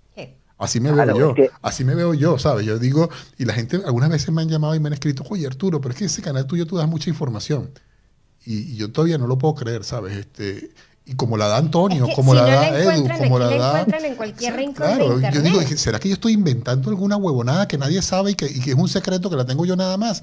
No, compadre, existe el Internet ya y esa información la tiene todo el mundo. Yo lo que lo estoy dando es desde mi, desde mi punto de vista, así como la da Rubén, así como la da eh, todos, todos, ¿sabes? Antonio, Edu, tú, o sea, todos, todos, Eric. Eh. Es que eso es así pero cuando la gente cree que tú estás dando más información de la que das, también se están declarando quiénes son ellos. Claro, claro, definitivamente. Y a mí eso es, es, para mí, a mí cuando me, cuando me dicen eso, yo digo, ya está, yo contigo no me voy a tomar una cerveza nunca más. ¿Sabes? No me mereces la pena, tío. no se puede desperdiciar una cerveza contigo. Claro, es que tengo, tengo muy poco tiempo y mucha gente con la que tomarme cervezas y, y salir y terminar el día con, con la satisfacción o con el orgullo de haber estado con compañeros de pasión, que has tenido una charla honesta, que cada uno dado su opinión, que todos han sumado, que todo está. A mí eso es lo que me vale. O sea, es que lo demás es enredar, enredar y darle vueltas a algo para no querer contar algo. A mí me parece absurdo. O sea, mm, es que me parece absurdo, de verdad. Y, más, o sea, me, me parece absurdo de siempre y me parece mucho más absurdo hoy. Claro, mucho más absurdo. Claro, porque al final, ¿sabes? Lo que tú no me digas, igual yo lo puedo aprender desde cualquier punto de vista, ¿sabes? Hay tantas plataformas ahorita para la enseñanza. YouTube es una universidad abierta prácticamente, o sea, no hay nada ahí que, que tú tengas escondido que no esté en YouTube ya, ¿sabes? Y tampoco tú vas a sacar ninguna fotografía que nadie jamás en su vida haya sacado. O sea, tienes tantas oportunidades de expresarte de diferentes maneras, ¿por qué empeñarte en no transmitir? O sea, si ¿Sabes? Puedes aprender a esa persona que, que tú, le, tú le estás enseñando. Posiblemente esa persona tenga un punto de vista o empiece a sacar un tipo de fotografía que te haga crecer a ti como persona también. Entonces estás perdiendo una oportunidad de crecimiento. Eh, por aquí se acaba de conectar John Hernández. Un saludo. un abrazo, John. Un abrazo, John. Vaya, voy a hacer un, un, entre comillas, vaya trabajazo se pegó el sábado de Oye, horas sí, de vale, lo vi, qué bueno estuvo eso. Qué maravilla, o sea, qué bueno estuvo. que si sigues ahí, que sepas que yo luego me tuve que ir, pero yo aplaudí en mi casa yo solo, aplaudí, te aplaudí, aplaudí a la pantalla. Sí, sí, estuvo muy bueno. Independiente, Independientemente de que haya usado Profoto, no mentira. pero, pero, pero, que es que con, con, con, con eso, o sea, la gente, claro, yo soy de Profoto. Claro, yo sé. Eh, mm, eh, pero la gente es como. Y, y con gente que tenga otras marcas, digo, tío, tengo amigos personales míos, muy amigos, muy amigos míos, que tienen otras marcas y quedamos a comer, quedamos a tomar una cerveza, charlamos, me, me, piden ayuda, es decir, que es que, esto no es una guerra. O sea, no convirtáis la fotografía, no convirtáis la fotografía en fútbol. Que si eres del Madrid no puede ser del Barça y si eres del Barça no puede ser del Madrid. No la convirtáis en fútbol. Y cualquiera que lo vaya a querer convertir en fútbol me va a tener enfrente claro. porque no se lo voy a permitir. Porque la fotografía está muy por encima de todo eso. Sí, señor. De verdad que tremendo trabajo. Se tiró un directo que este, yo lo vi. Eh, ocho horas. Ocho horas. No, fue solamente eso, sino toda la. ¿Cómo se llama? La logística que tuvo que haber tenido eso, de verdad que valió muchísimo la pena. y Los diferentes esquemas de iluminación. Te fueron a buscar, te fueron a buscar, ¿oíste? sí, es que. ¿Estás cerca de la estación de bomberos? Eh, no, estoy cerca de un hospital. Ah, ok, ok, ok. Estoy cerca de un hospital. Entonces, eh, sí, suele pasar esto. Suele pasar que pasan eh, ambulancias por aquí. Pero había, había uno por aquí, que, es que es una pregunta que a mí de verdad que me, me, encanta, que es la de eh, cómo ser creativo. Okay. Vale. Eh, cómo ser creativo. Eh, si tú pones cómo ser creativo en YouTube, o sea, en YouTube o en, o en Google, y te pones a leer, vas a tener como 100.000 resultados en los que todos hablan de una sensación, pero nadie lo termina de definir. Ni yo sé siquiera cómo definirlo.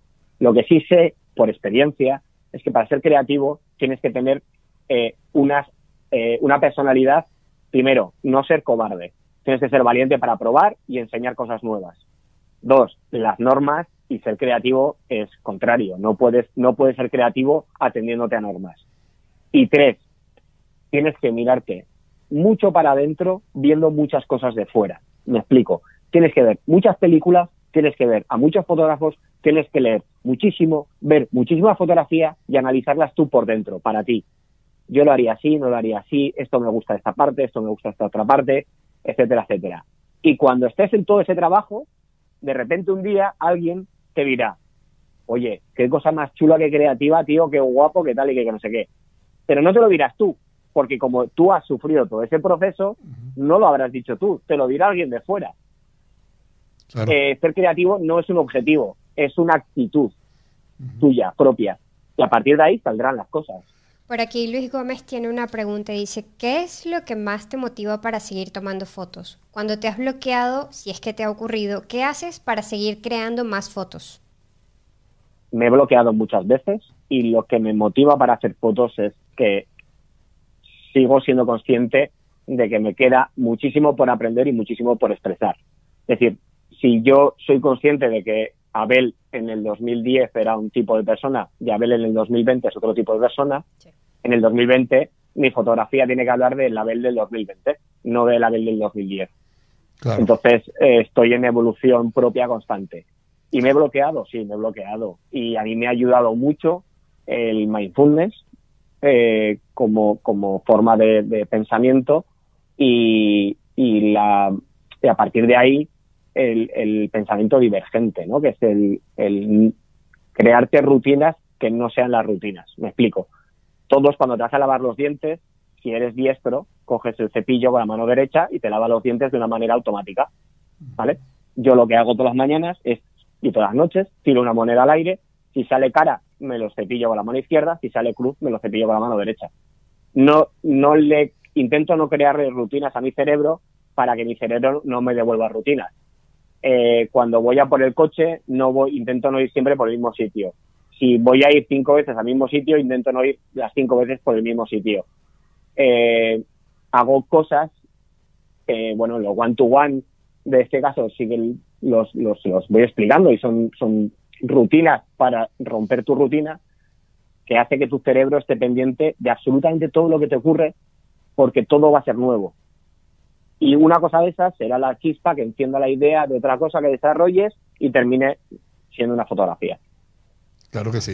Eh, definitivamente esa parte creativa que tú mencionas también, yo veo que hay dos, dos elementos que son indispensables. Primero, atreverse, practicar y, ¿sabes? Y equivocarse, está dispuesto a eso. Y segundo, divertirse, porque en esa misma medida la creatividad sale tarde o temprano. Si uno sabe, hace, hace las cosas por divertirse, por pasarla bien, por pasarla rico, y donde la experimentación tenga cabida dentro de esas, dentro de esas tomas fotográficas, porque estamos hablando de fotografía, definitivamente en esos errores que podamos cometer en el camino van a salir cosas maravillosas. De donde no van a salir cosas maravillosas es poner siempre el softbox a 45 grados y hacer el mismo Rembrandt que hace todo el mundo, ¿sabes?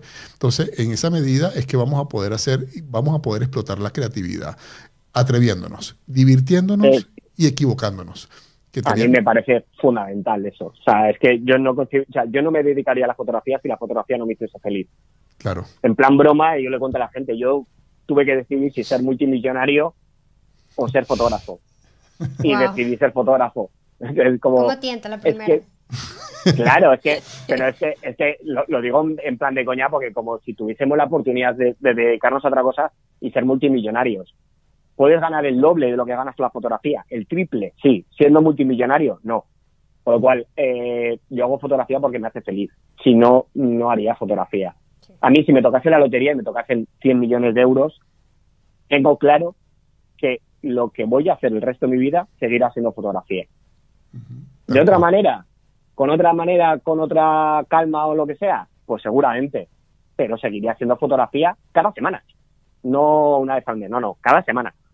Definitivamente. Porque la fotografía es pasión, es, amor, es, expresión, es, es comunicar, es relacionarte con otras personas. A mí lo más maravilloso de la fotografía es la gente que ha puesto en mi camino y que he conocido y, me siento orgullosísimo de eso.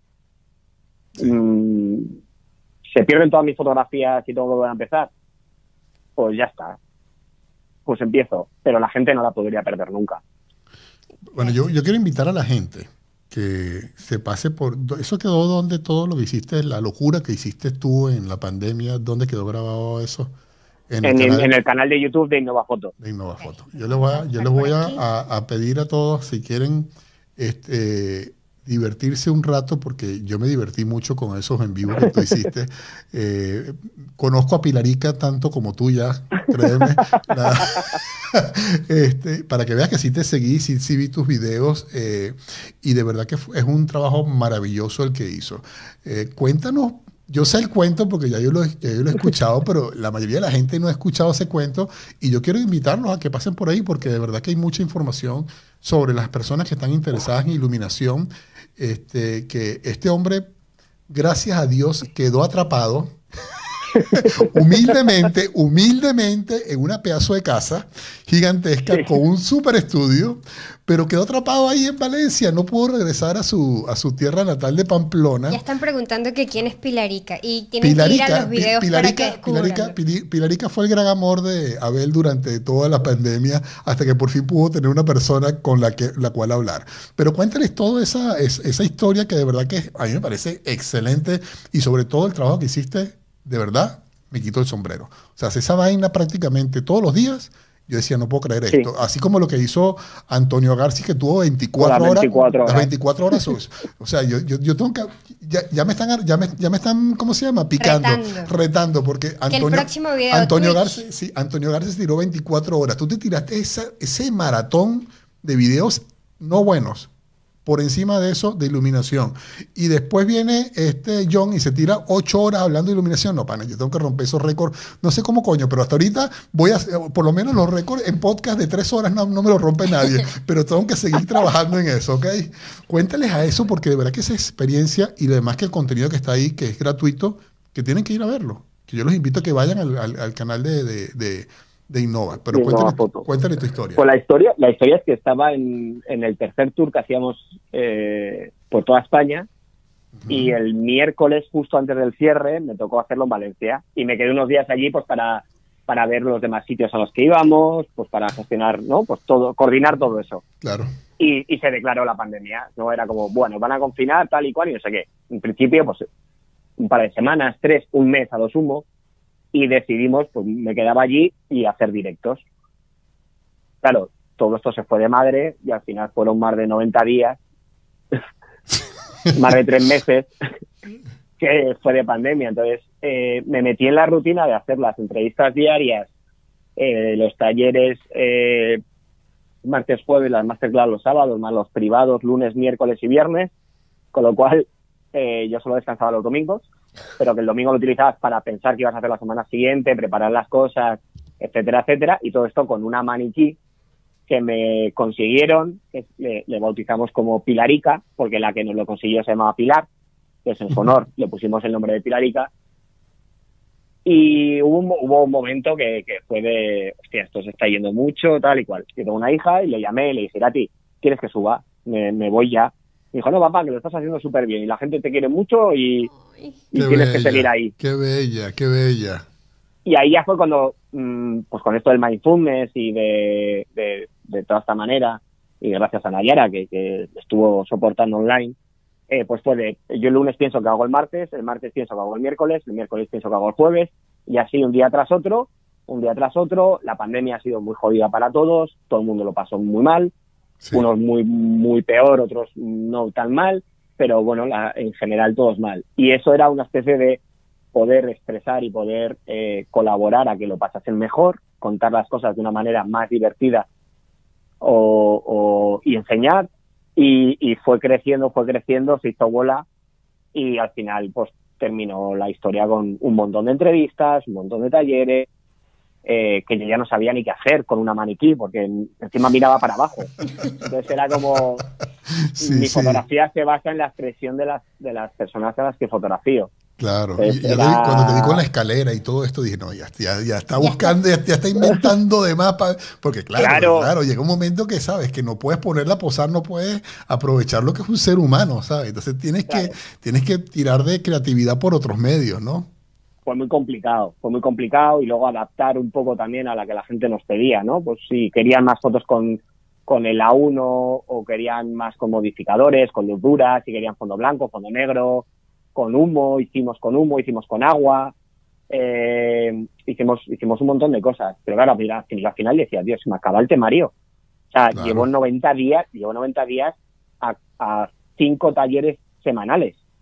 O sea, no, no, soy creativo y bueno, pero ya se me acaba.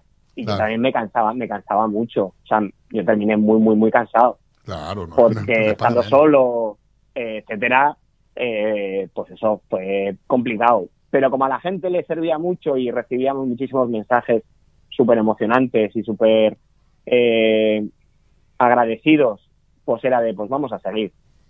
Y la suerte es que, pues, en la marca para la que trabajo, Profoto y Nova Foto, eh, apostó por eso y, y lo soportó ello, porque claro, todo eso cuesta un dinero. Claro, claro, claro. Y, Bueno. y pues la suerte de que hubo una marca que dijo, pues venga, vamos a hacer esto para todos. Que te dé tanta libertad creativa para crear un montón de contenido y que la gente lo aproveche en el canal de YouTube que ya se los compartí por ahí. De todas maneras, si quieren saberlo, es el canal de YouTube de Innova Foto. Buscan ahí a Abel Castro y les van a salir todas las transmisiones. Y queremos darle las gracias también a Bruce, que acaba de hacer una donación para el canal, que es la gente que se conecta de vez en cuando hace donaciones. Bueno, muchísimas he, gracias. visto, he, visto pocas donaciones y hay 172 personas. ¿eh? No quiero decir nada, Por pero favor, señores, por favor. eh, Vamos a presionar. No quiero, no quiero presionar, pero si, Como no- si no, la- Antonio. si- si no lo hacéis hoy, si no lo hacéis hoy, eh, esta noche vais a tener pesadilla. No vais a Sí, dormir bien. Piensen en eso, como Antonio que dijo, hay 25 likes y hay 170 personas conectadas. ¿Cómo va a ser eso posible? Sí, Sí, denle sí. like a la transmisión. Y, y sobre todo, y sobre todo que se suscriban al canal. Faltan como 90 personas Eh, ¿tú para llegar a los creer? 200 mil personas. Tenemos como un mes tratando de llegar a 200 mil y no siempre nos faltan ser. 200, 100, Pues mira, 190, 180. esto- Digo, señor. Claro, esto, es, esto es muy fácil. Ahora mismo hay 173. Todos hacer una captura del vídeo con vuestro móvil y compartirlo en los stories de vuestro Por Instagram. favor. Claro, ya está. Y no, Eh, llegamos a y los ya 200 está, mil. o sea, No que no os cuesta ser. nada, no os cuesta nada, no os cuesta, porque no os cuesta nada. Y, y estáis haciendo mucho bien. Y ayuda Y el deber, el deber de las personas, el deber máximo de las personas es no quedarse las sonrisas para uno mismo, sino compartirlas y provocarlas en los demás. Ay, qué maravilloso eso que acabas de decir. Sí, te, lo voy a, te lo voy a robar, ¿oíste? Esa, esa, esa frase, porque esa frase está hermosa. Hermosísima. Pero sabes que hay, hay amigos inclusive de nosotros que nos han dicho en la cara, es que ustedes dan tanta información que yo no los comparto. Ustedes son, pues, mi, pues, ustedes, son, mi mejor secreto. Así me dicen, así me dicen los desgraciados. Digo, no, tú no eres amigo mío, ya, ya tú no eres amigo mío. No puede ser que seas así cuando nosotros somos O sea, yo sí te doy todo y tú no me das nada de lo que yo te pido. Así no son las cosas. Pues a, a, todos eso les decís, mira, conozco a un tío que se llama Abel, que es pequeñito, y es flaco, pero es de Pamplona y ha corrido delante de los toros. Es decir, loco, está para, loco está para hacer cualquier cosa, así que ten cuidado. Chiquito pero matón, diría el comentarista de Dazón. Sí, chiquito pero matón. Este, así que ten cuidado. Yo quería hacerte una pregunta, aprovechando que estamos hablando de iluminación hoy. Y creo que esta es una de las preguntas que más nos repetimos todos cuando empezamos en la fotografía y es, ¿un fotógrafo realmente necesita un flash? Eh, ¿quieres la versión corta o la larga? La versión que tú gustes más en dar. Vale, la versión larga. Sí, por supuesto que sí. Cualquier persona que se dedique espérate, espérate, espérate, espérate, espérate, espérate, ¿no dijiste, ah, dijiste quién era Pilarica. Sí lo, sí lo definió. ¿Quién era Pilarica? Sí, Porque claro preguntó. Sí, ah, no, no, sí, sí, sí. Eh, verdad, verdad, verdad. Disculpa, sigue, sigue con tu cuento. Yo pensé que no habías dicho lo que era Pilarica. Cualquier persona, cualquier persona que se dedique a fotografiar personas tiene que tener un flash, aunque no lo utilice siempre que fotografíe. ¿Por qué? Porque no siempre las condiciones en las que fotografías son las idóneas con lo que tú quieres expresar. Y cuando esas condiciones no son idóneas, tienes que hacer que lo sean idóneas. ¿Cómo se hace? Con luz. Eh, y en este caso es, flash. Claro. Ya está. Esa es la versión larga. Es decir, es un tema de recursos. Tú, si tú tienes un 14 milímetros y quieres hacer retratos, pues solo tienes una posibilidad de hacer retratos, que es con deformidad. O separándote y haciendo recorte, pero ya está. Si solo trabajas con luz natural, estás dependiendo de la luz natural que esté en ese momento. Que si tienes suerte y es buena, fantástico, fantástico, porque es lo mejor del mundo, pero la mayoría de las veces no lo es. Con lo cual necesitas flash.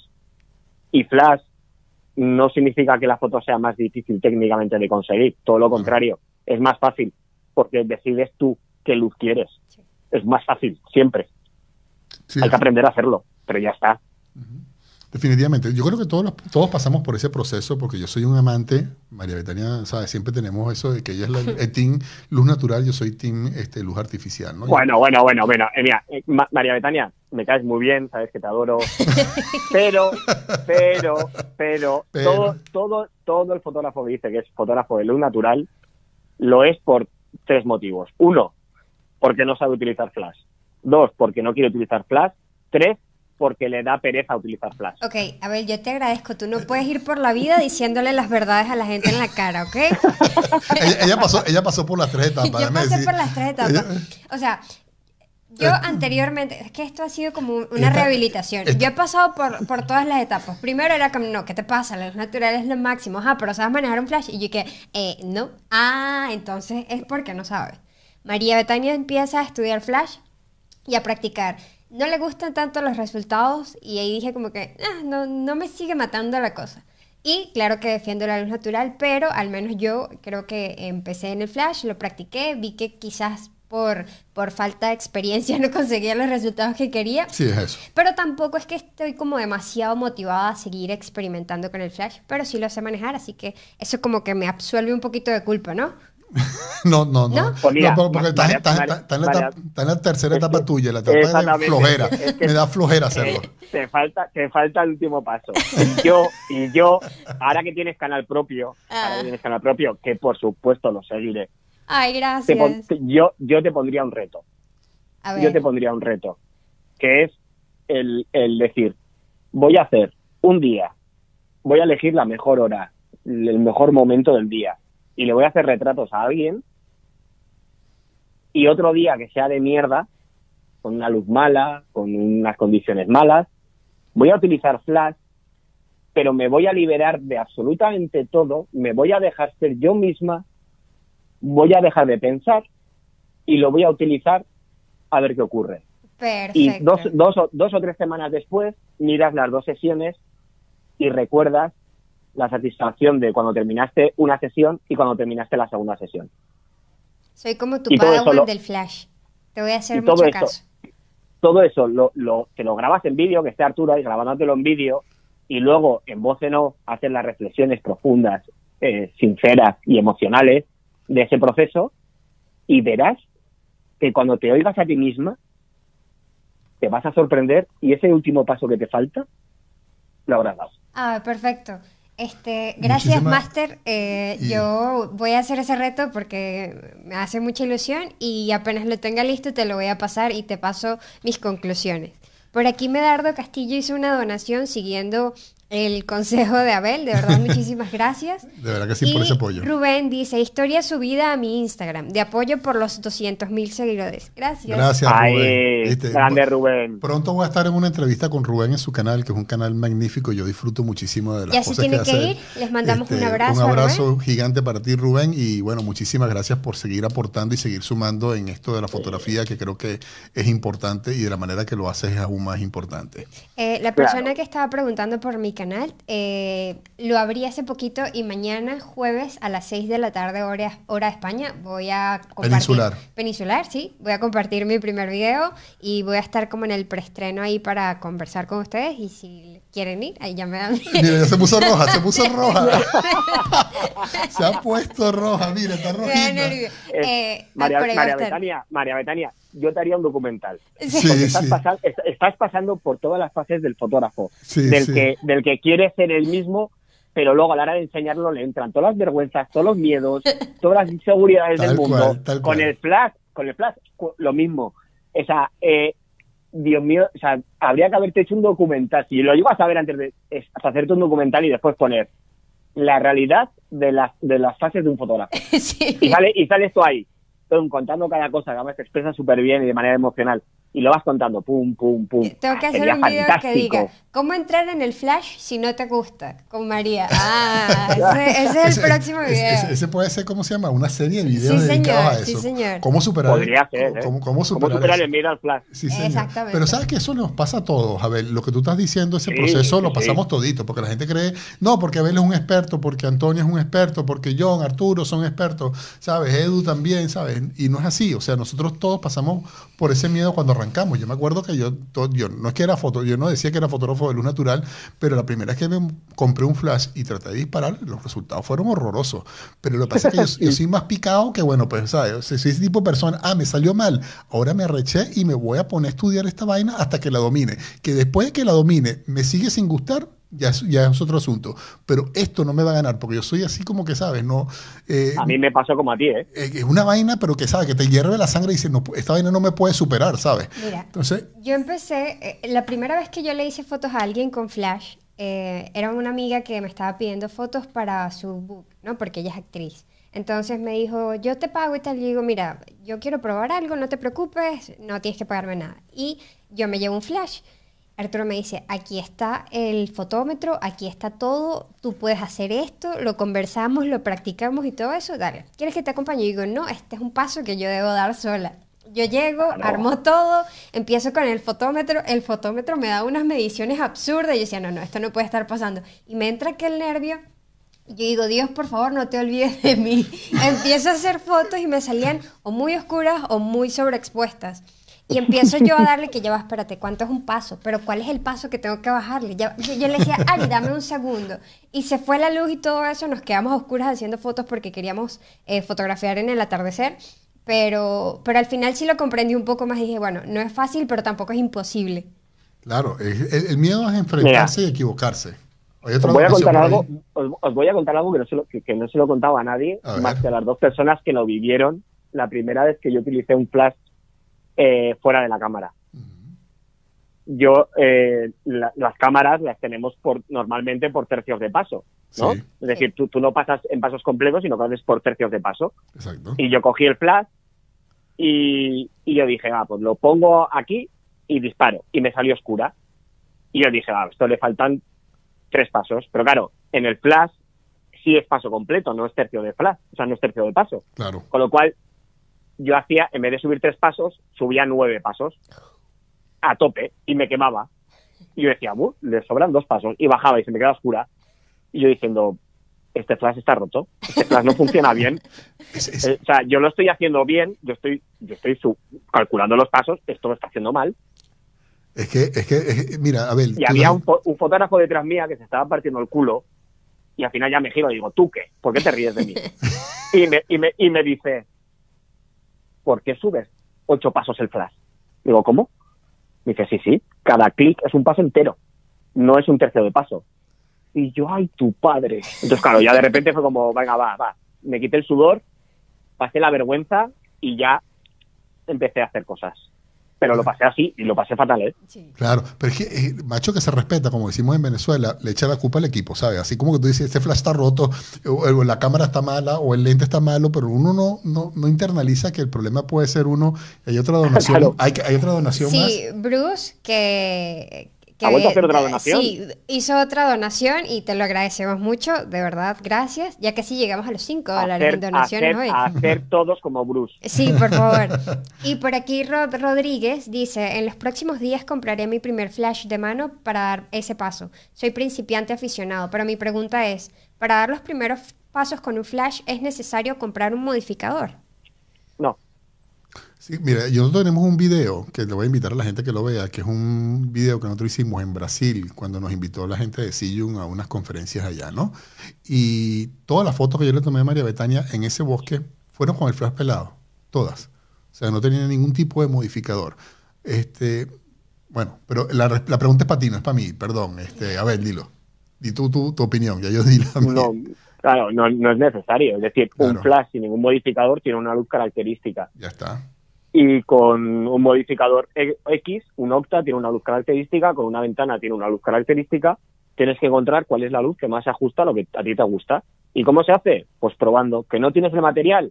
Llama a amigos fotógrafos que lo tengan, queda con ellos y probarlo en conjunto y averígualo. Y luego un ejercicio que yo recomiendo, que yo lo sigo haciendo, es qué soy capaz de hacer con un solo punto de luz, sin ningún tipo de modificador, rebotándolo en paredes o no, o, ladeándolo por encima, cenital o lo que sea. Y yo me pongo a prueba otra vez a mí mismo para refrescarme, para decir qué soy capaz de hacer con un punto de luz y ya, y ya está. Yo lo suelo hacer. Cada X tiempo lo suelo hacer para mí. Ok, y por aquí José Castillo pregunta, ¿es indispensable un flash TTL? No, tampoco. Okay. A ver, es que vamos a empezar por el concepto flash, que igual así resumimos y contestamos varias preguntas. Un flash es un aparato que es un conjunto de condensadores, cables y una lamparita que destella luz. El, el, TTL te ayuda a que el flash decida cuánta cantidad de luz saca. Ya está. No es necesario. Tú lo pones a máximo, te pasas, bajas un paso, te pasas, bajas un paso, te pasas. Ay, mira, aquí ya se acerca lo que me gusta y como mucho, de verdad, como mucho, en cinco fotos ya tienes una exposición correcta. Y a partir de ahí tienes que jugar para adivinar qué es lo que te gusta no te gusta, un poquito más, un poquito menos. No, no, ya está. O sea, toda la, toda la posibilidad del flash, del flash como cabeza se ha acabado ahí. Luego están los modificadores de luz, que son herramientas que utilizamos para que la luz haga otra cosa. Una ventana, un octa, eh, por tamaño, un paraguas, la va a hacer más suave porque el tamaño relativo de la fuente de luz es más grande y un snoot hace lo contrario, una luz más dura.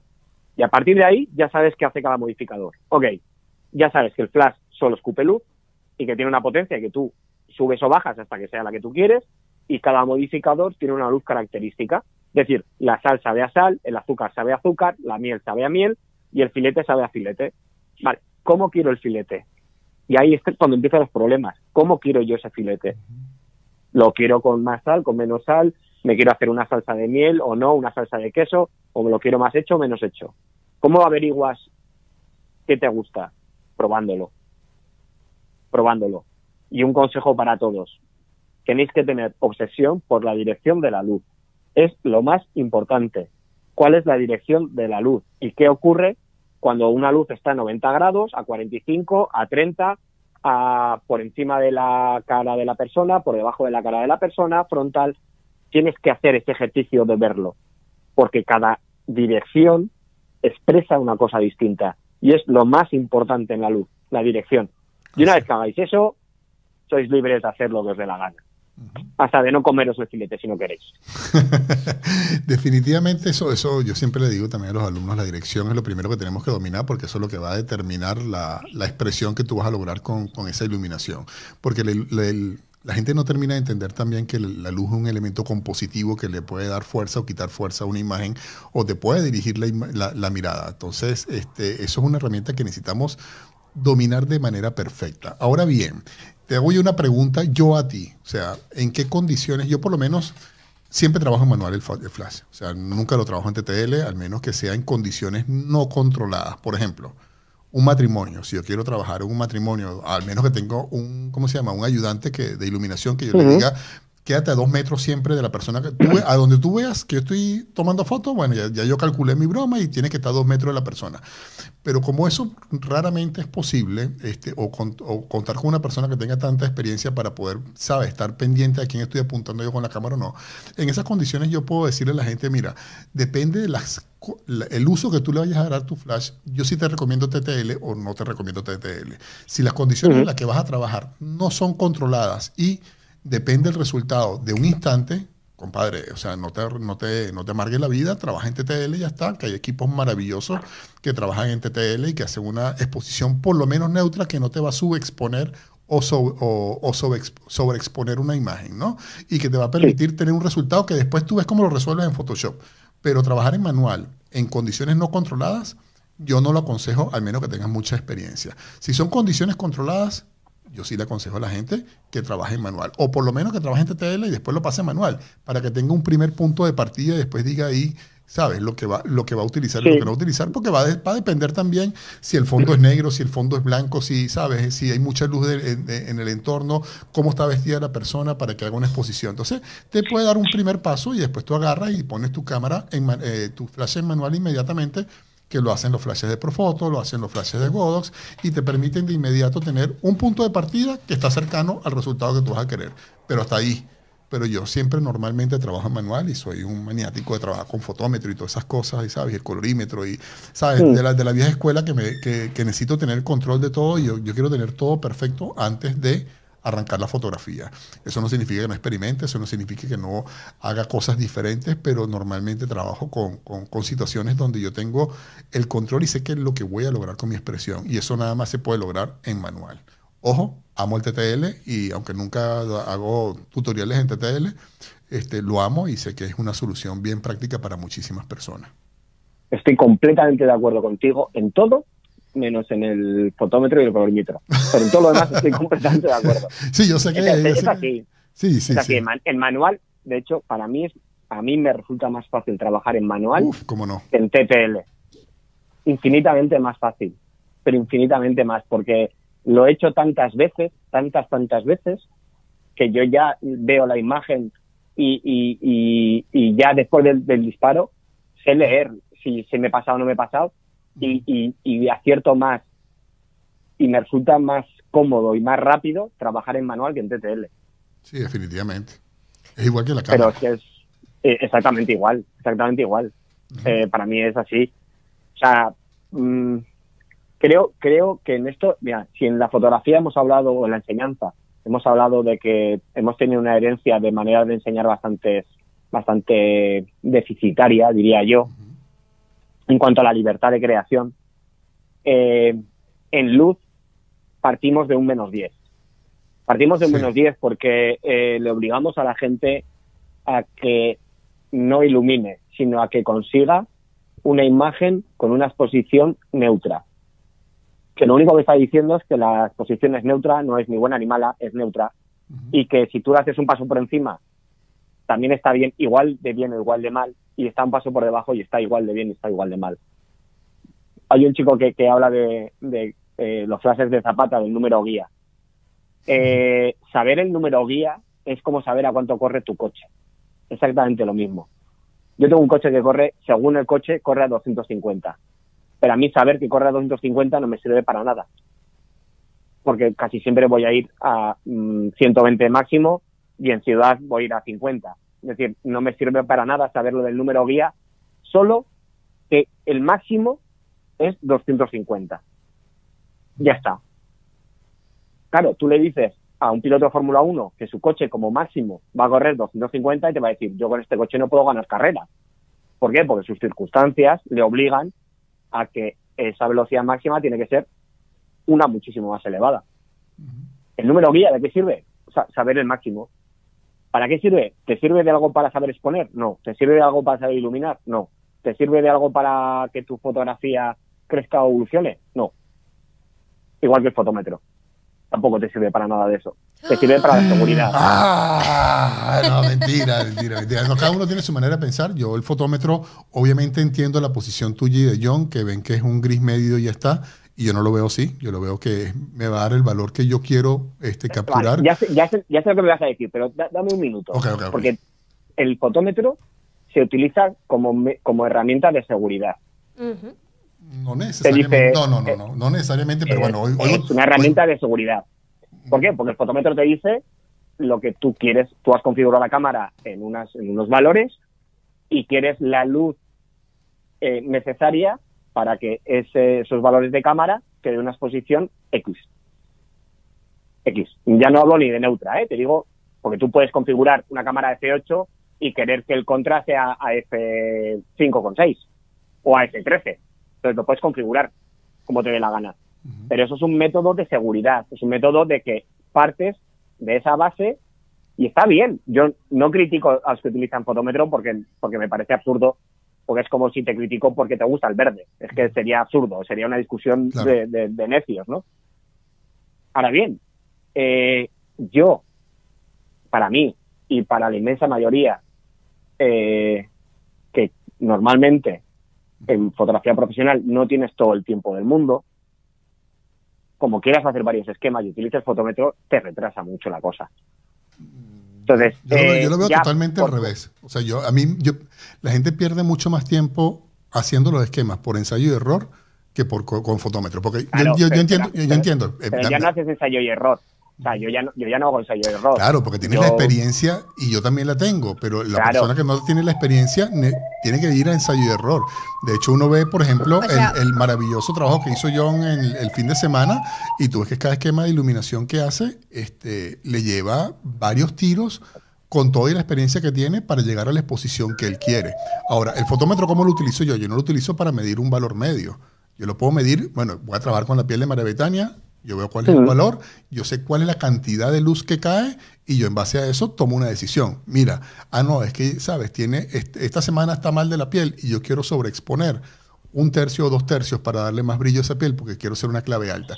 Y ahí viene mi, mi, parte creativa, pero parto de una base ya real, que ya no tengo que estar haciendo ensayo y error y por eso es que me parece una herramienta necesaria. No es que por eso con esa herramienta yo vaya a tomar todos los valores y que yo vaya a definir todos los valores en base a ella, no, sino que me va a decir cuál es el valor neutro y ahí yo tomo mi decisión. Ah, no, yo lo quiero subexpuesto, quiero esto sobreexpuesto. Los mismos, pero cuando tú utilizas el fotómetro, hacer disparos con los flashes para que te dé la, la, iluminación en el fotómetro. Todos esos disparos son los mismos disparos que tú puedes hacer en cámara para hacer esa prueba y error que dices. No, no, más o menos es, una sola, es una sola foto nada más y después tú dices, ya tú sabes cuántos pasos tienes que subir, cuántos pasos tienes que subir no.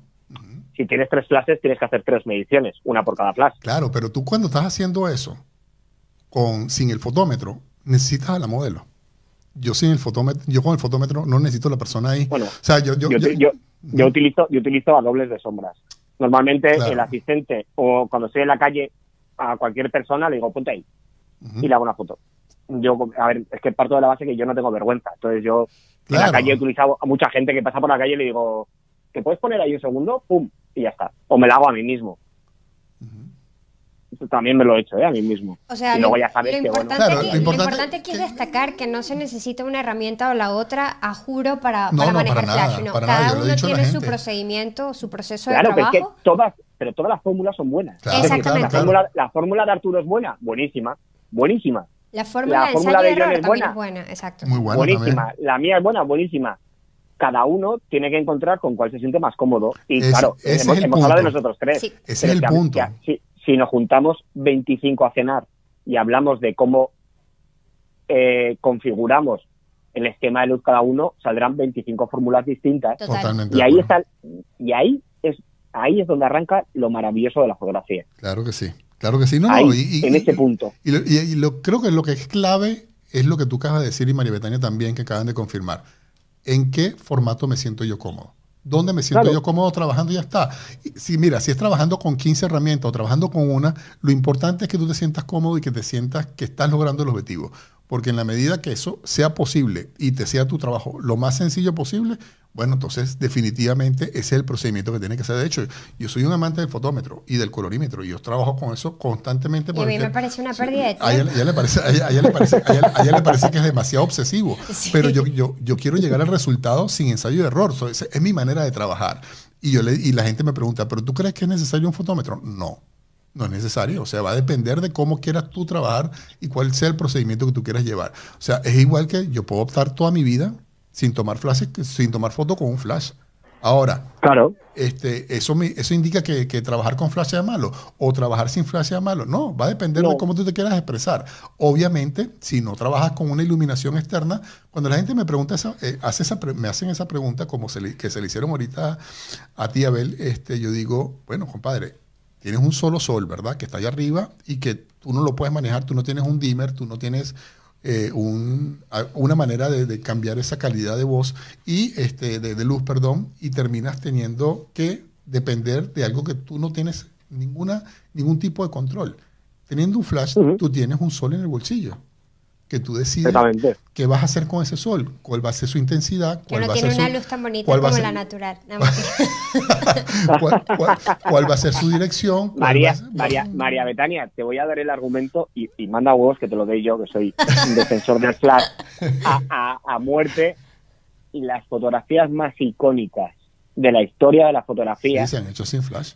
Ninguna se ha hecho con flash. Exacto.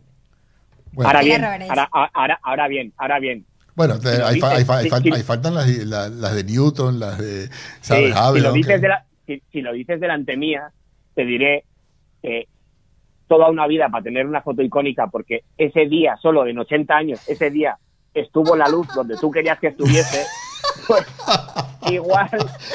¡Qué vida tan buena! Tuviste la suerte, pues. Claro, igual ser profesional para vender una foto en toda tu vida, pues no sabes a qué precio la tienes que vender para que te compense. Sí. Claro, claro, claro, definitivamente. Bueno, y depende también del tipo de fotografía. Tú no haces, ah, bueno, hay fotógrafos de naturaleza que también utilizan flash, pero obviamente esa herramienta se adapta mucho mejor a ciertos eh, modos de expresión fotográfica que a otros, pues. Si eres fotógrafo de paisaje, obviamente, sabes, al menos que hayas a hacer pintar con luz y cosas así, sabes cosas muy elaboradas no tienen ningún sentido. Va a depender también del, uso que tú le vayas a dar y cómo lo... Yo para un fotógrafo de retrato, para un fotógrafo de retrato, para mí eso es, es como tener una cámara o un lente. desde mi punto de vista, ir y, aplaudo a la gente que no piensa igual que yo y, sabes, y respeto completamente a la gente que diga, bueno, es que la luz natural yo saco mejores fotos, lo respeto completamente. Que los respetas. bueno, no, los irrespeto. pero, pero acepto, acepto que pueden estar equivocados y que yo no lo sepan. Y que, y, que yo, y, que yo, no, yo, puedo aceptar que ellos estén equivocados y que no, lo hayan entendido todavía. Es, hasta ahí llega mi respeto, pues. hay otro tema que es bastante común entre los fotógrafos que quieren empezar a, a manejar flash o luz externa, ¿no? Y es si usan o no, o cuáles son las ventajas de, de usar el flash lejos de la cámara y no sobre la cámara. Bueno, yo ahí, yo ahí, mira, yo lo siento, lo siento y pido perdón ya, ¿eh? O sea, para que te hagas ya, yo pido perdón a todos, a todos. Eh, utilizar el flash encima de la cámara solo es en circunstancias muy especiales. Es decir, el baile de unos, de unos novios que se van a mover por todo el salón y tienes que ir persiguiéndolos y no tienes a gente. Pues lo pones encima de la cámara y lo solventas. Ahora bien, en situaciones de relax y demás, el flash encima de la cámara mmm, es alumbrar, no es iluminar. Muy bien. Es como, es como que si le dijeran a la gente, para un ejemplo que tenga que ver con fotografía, es como que te compres, qué sé yo, el 85 1.2 de Canon que cuesta 3.000 euros y tú digas y, lo, y lo, lo vayas a trabajar en F8 el resto de tu vida que, te, limites a, tomar a F8 todas las fotos de lo en adelante porque esa es la manera que tú quieres tomar fotos. O sea, compadre, o sea, sabes todas las oportunidades que tú tienes donde la dirección es la cosa más importante, al menos que estés rebotando todo el tiempo, sabes, de algún lugar la luz y que siempre vas a tener un resultado más o menos similar.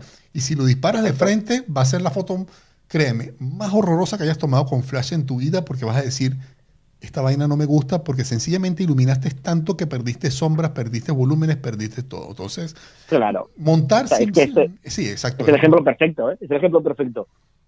Es, es, como comer todos los días tortilla de patatas. ¿Está buena la tortilla de patatas? Sí. ¿Todos los días? Pues al día 10 me voy a cansar de comer tortilla de patatas. Claro, claro, claro, claro. Y que, Pero estás encima de la cámara, pues yo, a ver, es un recurso y hace años, hace años eh, con analógico y tal, pues joder, era necesario. Hoy en día, yo lo siento, pero con los, con los equipos técnicos que tenemos hoy en día, yo no lo veo. No, no, no. Es como otro ejemplo así, loco. Pinta un cuadro con un solo color, pues. Uy. Claro. Lo hay. Sí, bueno, pero no, en diferentes tonalidades de color, ¿sabes? Azul, azul claro, grises, o sea, pero hay, hay, una, hay una gama del azul, pero con un solo color, con una sola, una sola saturación y una sola. ¿Sí? Sí, bueno, no lo he visto, pues, o sea, me parece increíble. ¿Sabes? La del punto blanco y el punto blanco negro. sobre blanco. Puede haber un cuadro, pero Claro. imagínate pintar siempre el mismo cuadro. Claro, y, que, y, que, y el genio que tiene que ser tipo para poder haber hecho algo bueno, ¿sabes? Ok, ¿Sabes? aquí, Claro. hay otra, aquí hay otra pregunta de José Luis Pérez. Dice, ¿cuál es la técnica para tomar fotos en vertical con el flash en la cámara y que no salga la foto con la sombra? No usar el flash sobre la cámara. Sí hay, o sea, tú puedes Hay, agarrar, hay- tú hay hacia unas arriba. Hay- unas herramientas que te giran el flash, Sí. Pero es un coñazo como un pan. Lo utilizan mucho los fotoperiodistas, sí. Sí, sí. eh, esa herramienta. Ahora bien, si tú quieres hacer fotos en vertical con el flash, pues amigo, o lo rebotas o estás muerto. Sí, sí, definitivamente. Ahí, bueno, el, el cabezal de Sony, del flash de Sony, sí permite girarlo para que tome fotos en vertical, ¿no? Pero este, igual, o sea, lo vas a disparar de frente cuando, ¿sabes? Lo peor que puedes hacer es eso. ¿Sabes? Eh, No, no, no tiene ningún sentido. Eh, es como, es, es perder, es perder la inversión. Antes de hacer eso, o sea, al menos que sea tu última alternativa, es preferible que esperes un tiempo y te compres un disparador que sabes que ahorita, dependiendo de la marca, te va a costar diferente el precio uno y otro, que lo puedas poner lejos de la, de la cámara. Cuando tú descubras, Exacto. cuando la gente descubra, y yo no sé si tú estás de acuerdo, yo estoy seguro que tú estás de acuerdo, Bel, y si no estás de acuerdo, te callas, no mentira. Pero cuando la gente descubre la emoción de disparar el flash fuera de la cámara y poderle dar una dirección, es como que, es como que vuelves a, a- a, ¿sabes?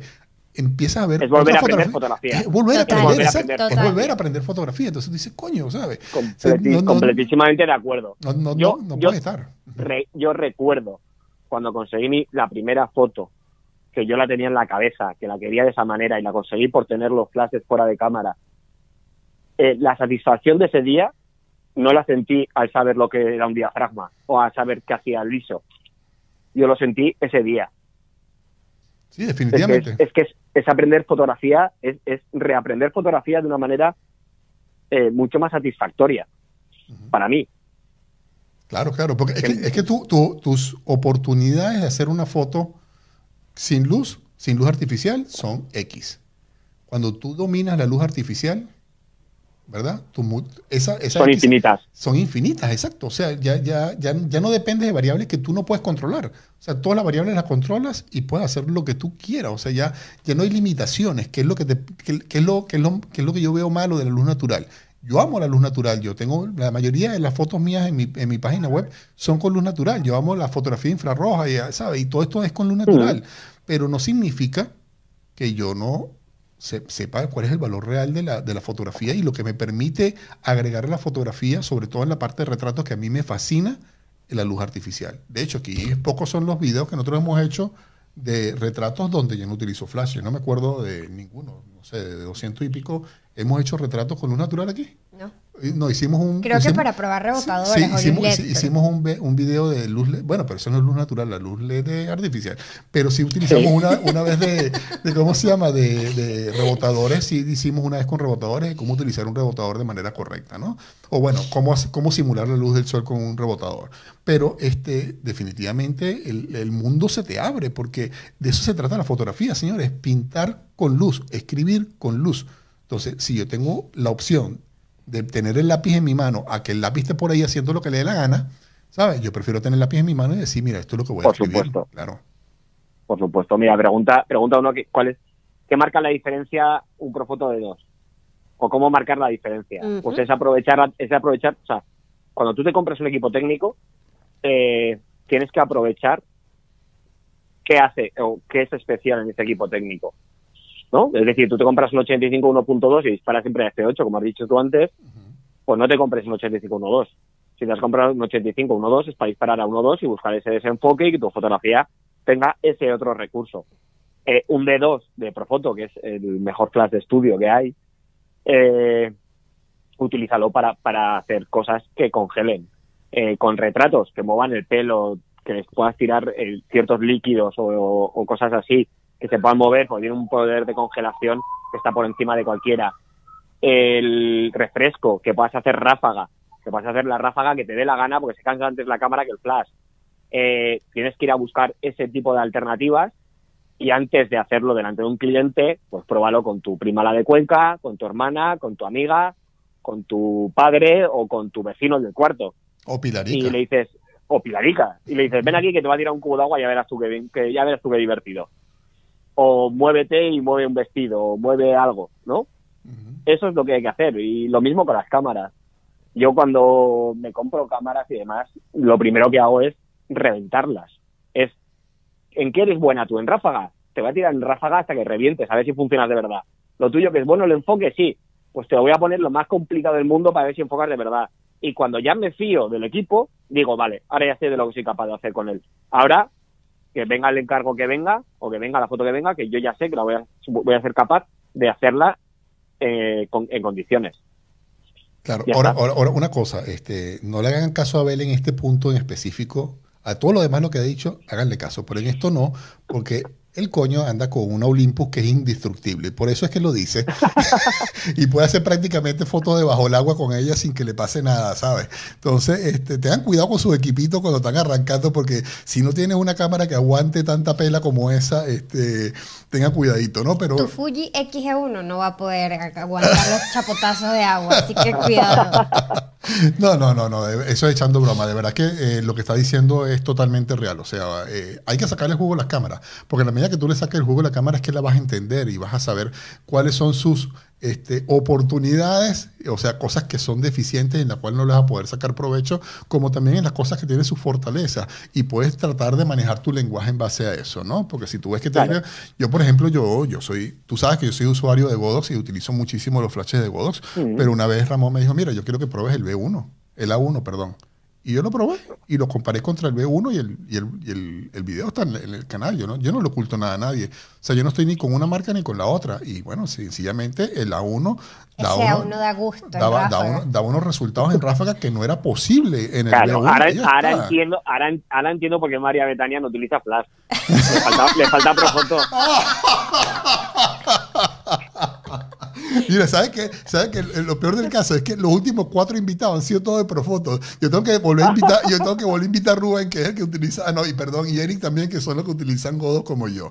Qué bueno, voy a probar el flash con Edu, un Profoto tú y yo, o sea, esto, está inundado de pura gente de Profoto, pero buenísimo. Somos, somos, somos mala gente, ¿eh? No, no, no, no, no, mentira, mentira, mentira. Aprovechando que estamos hablando de Profoto, hubo una pregunta que hizo Noelia y te pregunté, eh, y, ah, ¿qué estoy diciendo? La pregunta era, ¿cuál es la diferencia entre un A1 y el A1X? Ahora hay, bueno, ahora hay, ahora hay tres. Ahora está el A1, A1X y el A10. El A1, eh, respecto del A1X, el cabezal es más, eh, se mueve con más facilidad y la batería dura un poco menos. El A1X, pues tiene el cabezal ya rígido y la batería dura, mm, yo qué sé, mil disparos o mil y pico. Eh, y el A10 es como una 1X, exactamente igual en todas las características, solo que tiene Bluetooth que te permite disparar con el móvil. Sí, yo vi un video hace poco de... Que hizo Casanova Foto, ¿no? No, no, y también eh, hizo José ah. esta semana, sí. Y de verdad que estaba bastante bueno y vi los resultados con el celular y increíble cómo, la, cómo las empresas tienen que ir hacia la, hacia la fotografía con, con móviles porque es el 85%. Nosotros tuvimos la semana pasada aquí de invitado al gerente de producto, al gerente de pro, de fotógrafos pro de Sony en España, ¿no? Ah, Javi, Javi. A Javi, Javi, exacto. Y el tipo me dice, mira Arturo, el 85% de la gente que sube contenido en internet lo sube con el celular. ¿Sabes? sea foto, sea video, sea todo, ¿sabes? O ya, ya, pero yo ahí, yo ahí, yo, yo a, Javier García lo conozco hace muchos años, somos buenos amigos. Eh, y todas esas, pero mira, el 85% de las fotos que se suben, pero son las fotos que se subían o se hacían antes con una compacta, las compactas baratitas que salían antes, hace muchos años, son esas. Es decir, a nivel profesional o a nivel avanzado pro profesional, eh, no, no son tantas, no son tantas, ¿eh? Pero sí es verdad que en los móviles han aumentado muchísimo sus prestaciones de foto, que se pueden hacer cosas increíbles, o sea, ya se pueden hacer cosas increíbles, y ahora encima que donde carecían, que es en, condiciones de baja luminosidad, ahora encima puedes, por fotos hago la tecnología para destellar luz de flash, y puedes hacer cosas tan bestias que yo me reí con el B10, que también lo puedes hacer, puedes disparar con el móvil a un 25 milavo de velocidad y sincronizarlo con el flash. Que con, con las cámaras no se puede. Sí. Es como cosas muy locas. ¿Y dónde irá el futuro? Pues, pues, pues va, a ir por ahí. Pero tú no, sientes, tú no sientes que, por ejemplo, hace 40 años atrás o 50 años atrás, ¿sabes? Este, el, que no estaba en formato medio no era fotógrafo. ¿Sabes? Sencillamente ah, no, era fotógrafo. Era, o eres de formato medio o no eres fotógrafo. Después de eso, bajamos a full frame. ¿Sabes? Ya prácticamente, claro, sigue habiendo una diferencia de calidad entre full frame y, formato medio. Claro que va a existir y siempre va a existir por la diferencia del tamaño del sensor. Pero esa diferencia o ese gap que existe cada vez es menor. Y yo siento que la fotografía celular obviamente no está ni cerca todavía a la fotografía, este, ¿cómo se llama? A la fotografía con, con, con, ah, con, reflex o con mirrorless, como tú le quieras llamar. Todavía está años luz, pero tú te pones a ver hace 10 años atrás, no hace 10 años atrás, estoy exagerando, hace 5 años atrás, la diferencia era cuatro veces mayor. Yo veo que esa, esa diferencia o esas prestaciones cada vez se van acercando más y más y más y más. Y me parece que es un paso positivo, a pesar de que yo no sea usuario de, de Profoto, me parece un paso positivo que estén este, gastando en investigación y desarrollo para ese tipo de fotografía, porque algo están viendo que nosotros no estamos viendo. Porque si no, ¿para qué carajo? Pero, eso pasa. Eso pasa. A Profoto, tú sabes, cuando sacó Profoto los primeros clases de estudio con HSS y TTL, las, las, las críticas que le llovieron desde el mundo profesional. O sea, no te puedes hacer una idea, ¿eh? Claro. Las críticas. Le criticaron un montón. ¿Qué hacéis sacando esto? ¿Qué os pensáis que esto lo va a comprar cualquiera? Ta, ta, ta, ta, ta, ta. Y de esto hace seis años, siete años. Ocho, creo. Claro, hoy, ¿tú te imaginas un flash de estudio o un flash de estudio con batería que lo pueda sacar al exterior que no tenga HSS o TTL? Mm. Es impensable. Sí, total.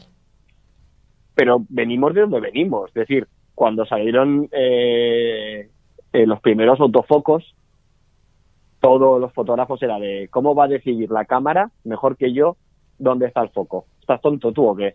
Tú hoy ves a alguien, ves a alguien disparando hoy en, en foco manual pues, pues casi nadie. Eh, pasó con la, transición del, analógico al digital, ¿no? Después del digital eh, al mirrorless también, ¿no? Salieron las primeras mirrorless, así el espejo, y era como, ¿a dónde vais con esto? Tal y cual. Y fíjate dónde estamos hoy. Es decir, ¿dónde estaremos dentro de 10 años? Pues yo no tengo ni idea. Pero va a ser apasionante. Total. Sí, sí, yo creo que es una, es una evolución. Hay gente que lo ve como la muerte de la fotografía y yo lo veo sencillamente como una evolución. Es como, ¿sabes? Yo tengo una, yo tengo una hija, este, tiene ahorita 15 años y me dice, es como que si yo diga, bueno, cuando ella nació, ella medía 52 centímetros y pesaba 2 kilos y medio. Ahora tiene 15 años, mide un metro sesenta y pico, este, tiene cuerpo de mujer, no es la misma niña, no es mi hija, sí, lo que pasa es que ha evolucionado, se ha desarrollado. Y la fotografía también evoluciona y se desarrolla. Y tenemos que estar aceptando, porque yo me acuerdo ese debate que hubo tan arrecho durante tantos años de que la fotografía analógica era infinitamente superior a la digital, que sí fue así cuando arrancó la digital. Pero hoy en día ya, ya la superó, pero, pero de largo. Igualito pasaron con las mirrorless y ahorita pasó con todo. Entonces, estamos en un proceso evolutivo donde tenemos que adaptarnos. ¿Hasta qué punto? Hasta el punto que tú te sientas cómodo. Yo, tengo una cámara, yo tengo una cámara que tiene cinco años y no la pienso vender. Y la de María Betania tiene siete, ¿sabes? Y, y ella se siente satisfecha y logra los resultados que ella quiere con ese tipo de equipo, ¿sabes? Y ya está. O sea, cada uno va a estar avanzando o ¿cómo se llama? Actualizándose en función de sus necesidades. Lo que no podemos permitir es que nos estemos actualizando en función de un mercadeo de las empresas, que eso sí no estoy de acuerdo, pues y que te también unirte eh, al debate de una manera como respetuosa y abierta a todos los cambios tecnológicos que están pasando, porque recuerdo que entre el paso en, de de analógico a digital siempre eran muchos fotógrafos, por ejemplo en Venezuela hubo un par que era así como que no, la fotografía está muerta, la fotografía real es la que se toca, la fotografía analógica es la verdadera fotografía, la foto y era ese debate que llevaban todo el tiempo a todas las escuelas como tratando de inculcarle eso a la gente y yo decía como que ok, si no te sientes cómodo con el formato digital está bien. Una discusión estéril. Pero eh, disfruta los cambios, aprovecha toda esta tecnología en la que estamos inmersos y, disfruta, disfruta todo lo que está por venir. Claro que sí. Claro, pero es que eh, son debates que se, se basan en el miedo a no querer evolucionar muchas veces. Sí. La tecnología nos lo está poniendo a huevo, a huevo, las marcas de cámara, las marcas de flashes, eh, los, las marcas de los software, eh, de monitores, de, de, ordenadores que nos permiten unos rendimientos extraordinarios. A que seamos más creativos, que seamos más valientes a la hora de hacer cosas, que seamos más nosotros a la hora de hacer. Y, y, cada vez más, aunque veamos en Instagram lo que vemos, cada vez más en el ámbito profesional, sobre todo, se va a valorar la personalidad del fotógrafo. Porque si tú tienes ahora cualquier cámara que te enfoca al ojo, un TTL que te da la luz y un software que le pones un filtro y te la deja como resultonica, ¿no? Te la deja así como ya aparente, eh, eso lo va a hacer un mono, eso lo va a poder hacer un mono. Le enseñas al mono a darle al botón y lo va a hacer. ¿Qué es lo que no va a poder hacer nada de eso? Tu visión, tu decisión de si quieres más o menos luz, el encuadre, la composición, la elección del objetivo, eh, tu personalidad ah, eh, puesta en esa fotografía. Y cada vez más va a tomar valor eso. Por eso es tan importante el que los que nos dedicamos a la formación en mayor o menor medida, les demos y les enseñemos a ser libres a todos. Porque si no, se van a chocar contra un muro. Claro. Ahora bien, este, eh, para volver al tema de iluminación. Este, hay varias preguntas. ¿Hay varias preguntas? bueno, vamos, vamos, a darle la. Vamos Por ejemplo, Guillermo Salvatierra pregunta: ¿es recomendable usar flash para fotografía documental? Cuando sea necesario, por supuesto. Sí, sí, sí, sabes, si no tienes la luz suficiente para hacerla, sí, pero, por supuesto. pero este, yo por lo menos que hago, me encantaba la fotografía documental, buscaba la manera de no utilizarlo porque me parece un poquito invasivo, ¿no? Pero este, sí es un, eh, puede ser un recurso totalmente válido. De hecho, hay fotógrafos de Magnum que trabajan con flashes este, directos a la cara de las personas y hacen fotografía documental o, ¿sabes? Street maravillosa. maravillosa. O sea, no, eso, las herramientas están en función de cómo uno se quiere expresar más nada. No hay herramienta buena, no hay herramienta mala, señores. Eh, por aquí hay otra que dice, un teléfono tiene el mismo tamaño de sensor que una Olympus. No, no, no, no, no, no, Ahorita, ahorita los celulares están llegando a, los sensores de casi una pulgada, pero... Esto, este esto es, claro, este, este, es el cachondeo, este es el cachondeo que yo me río mucho, porque yo lo digo muchas veces, que estos, todos le critican a las Olympus por el sensor, que es pequeño, ¿no? Pues un, un 4 tercios, sin embargo, la fotografía, hacia donde va es a la foto con el móvil, el sensor es más pequeño aún. Sí. Sí, sí. Entonces, es de, y si dejamos de discutir del tamaño del sensor, y empezamos a hacer y nos dedicamos a hablar, exactamente, y nos dedicamos a la fotografía. Ok, por aquí Rafael pregunta si con un disparador inalámbrico se pueden disparar distintos flashes de varias marcas en forma por simpatía. Sí, eh, si el flash tiene la célula de simpatía, sí. Lo que pasa es que te olvidarás de disparar en alta velocidad o en TTL. Será todo manual. Y ojo, y dependiendo de las condiciones de luz externas, porque muchas veces... Ah, claro, en la calle cuidado. Sí, ni siquiera... En la calle cuidado con el sol. Ni siquiera te va a disparar porque el sol no te lo va a permitir, ¿sabes? Este, es, por simpatía es muy bueno si estás en situaciones controladas y donde tengan este, estén en la línea de visión todos, ¿no? Pero si quieres hacer, vas a estar limitado. Y por aquí Jorge pregunta, le pregunta a Abel que cuántos flashes como mínimo usa para lograr su imagen. Buah, pues depende de la imagen. Eh, uno y la que más he utilizado, que fue una composición en San Sebastián, fueron 16. ¿What? Pero porque, porque iluminamos un edificio ah, eso sí. Eh, iluminamos un edificio de noche para que pareciese de día, para hacer una altísima velocidad con un, un tío que anda en bici. Imagínate tú. 16 fotos. Perfecto. 16. Y por aquí, 16, perdón, 16 flashes. y por aquí Aníbal eh, pregunta que cuál consideran que es el modificador de luz imprescindible para retratos y eventos. Pues mira, para retratos y eventos no hay ninguno que sirva para los dos. O sí, según lo que quieras. Eh, depende, depende. Por ejemplo, yo soy igual el raro, pero el beauty, que está diseñado y fabricado para hacer fotos de retrato, eh, yo lo utilizo siempre de contra. Me gusta muchísimo más como luz de contra que como luz de retrato principal. Depende.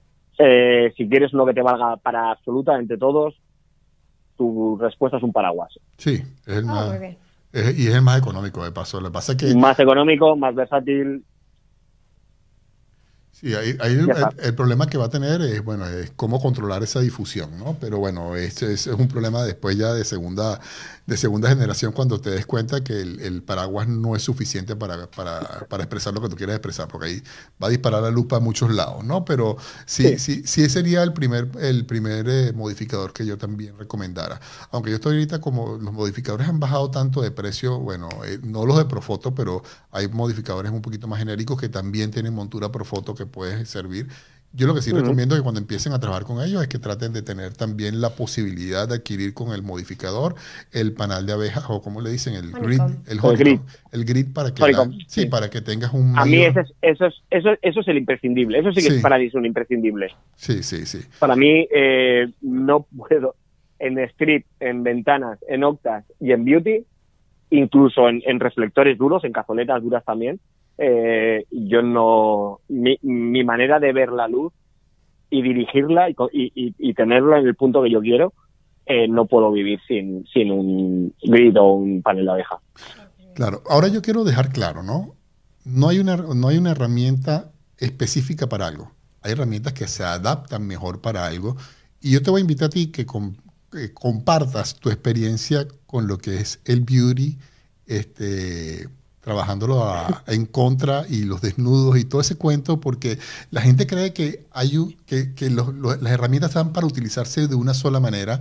Y esa experiencia que tú tuviste creo que es importante que la gente la oiga para que se den cuenta de que no hay una sola utilización o una manera correcta de hacer las cosas. Hay una manera que te pueda dar un resultado que tú quieras, porque normalmente la gente cuando utiliza un beauty dice es para hacer un clamshell o hacer una fotografía, ¿sabes? Tipo Paramount o, o no inventa Sí. más allá de eso. Y tú te la vas de loco y te empiezas a hacer vainas que son súper increíbles. Entonces cuéntales tu experiencia y por qué lo hace. Yo, eh, si te acordarás que hace varios años se puso muy de moda el movimiento Only Raw, que es un Ajá. movimiento en el que la foto se empieza y se termina en la cámara, ¿no? Exacto. No hay edición posterior. Y había un fotógrafo americano que hacía desnudos que estaba en ese movimiento.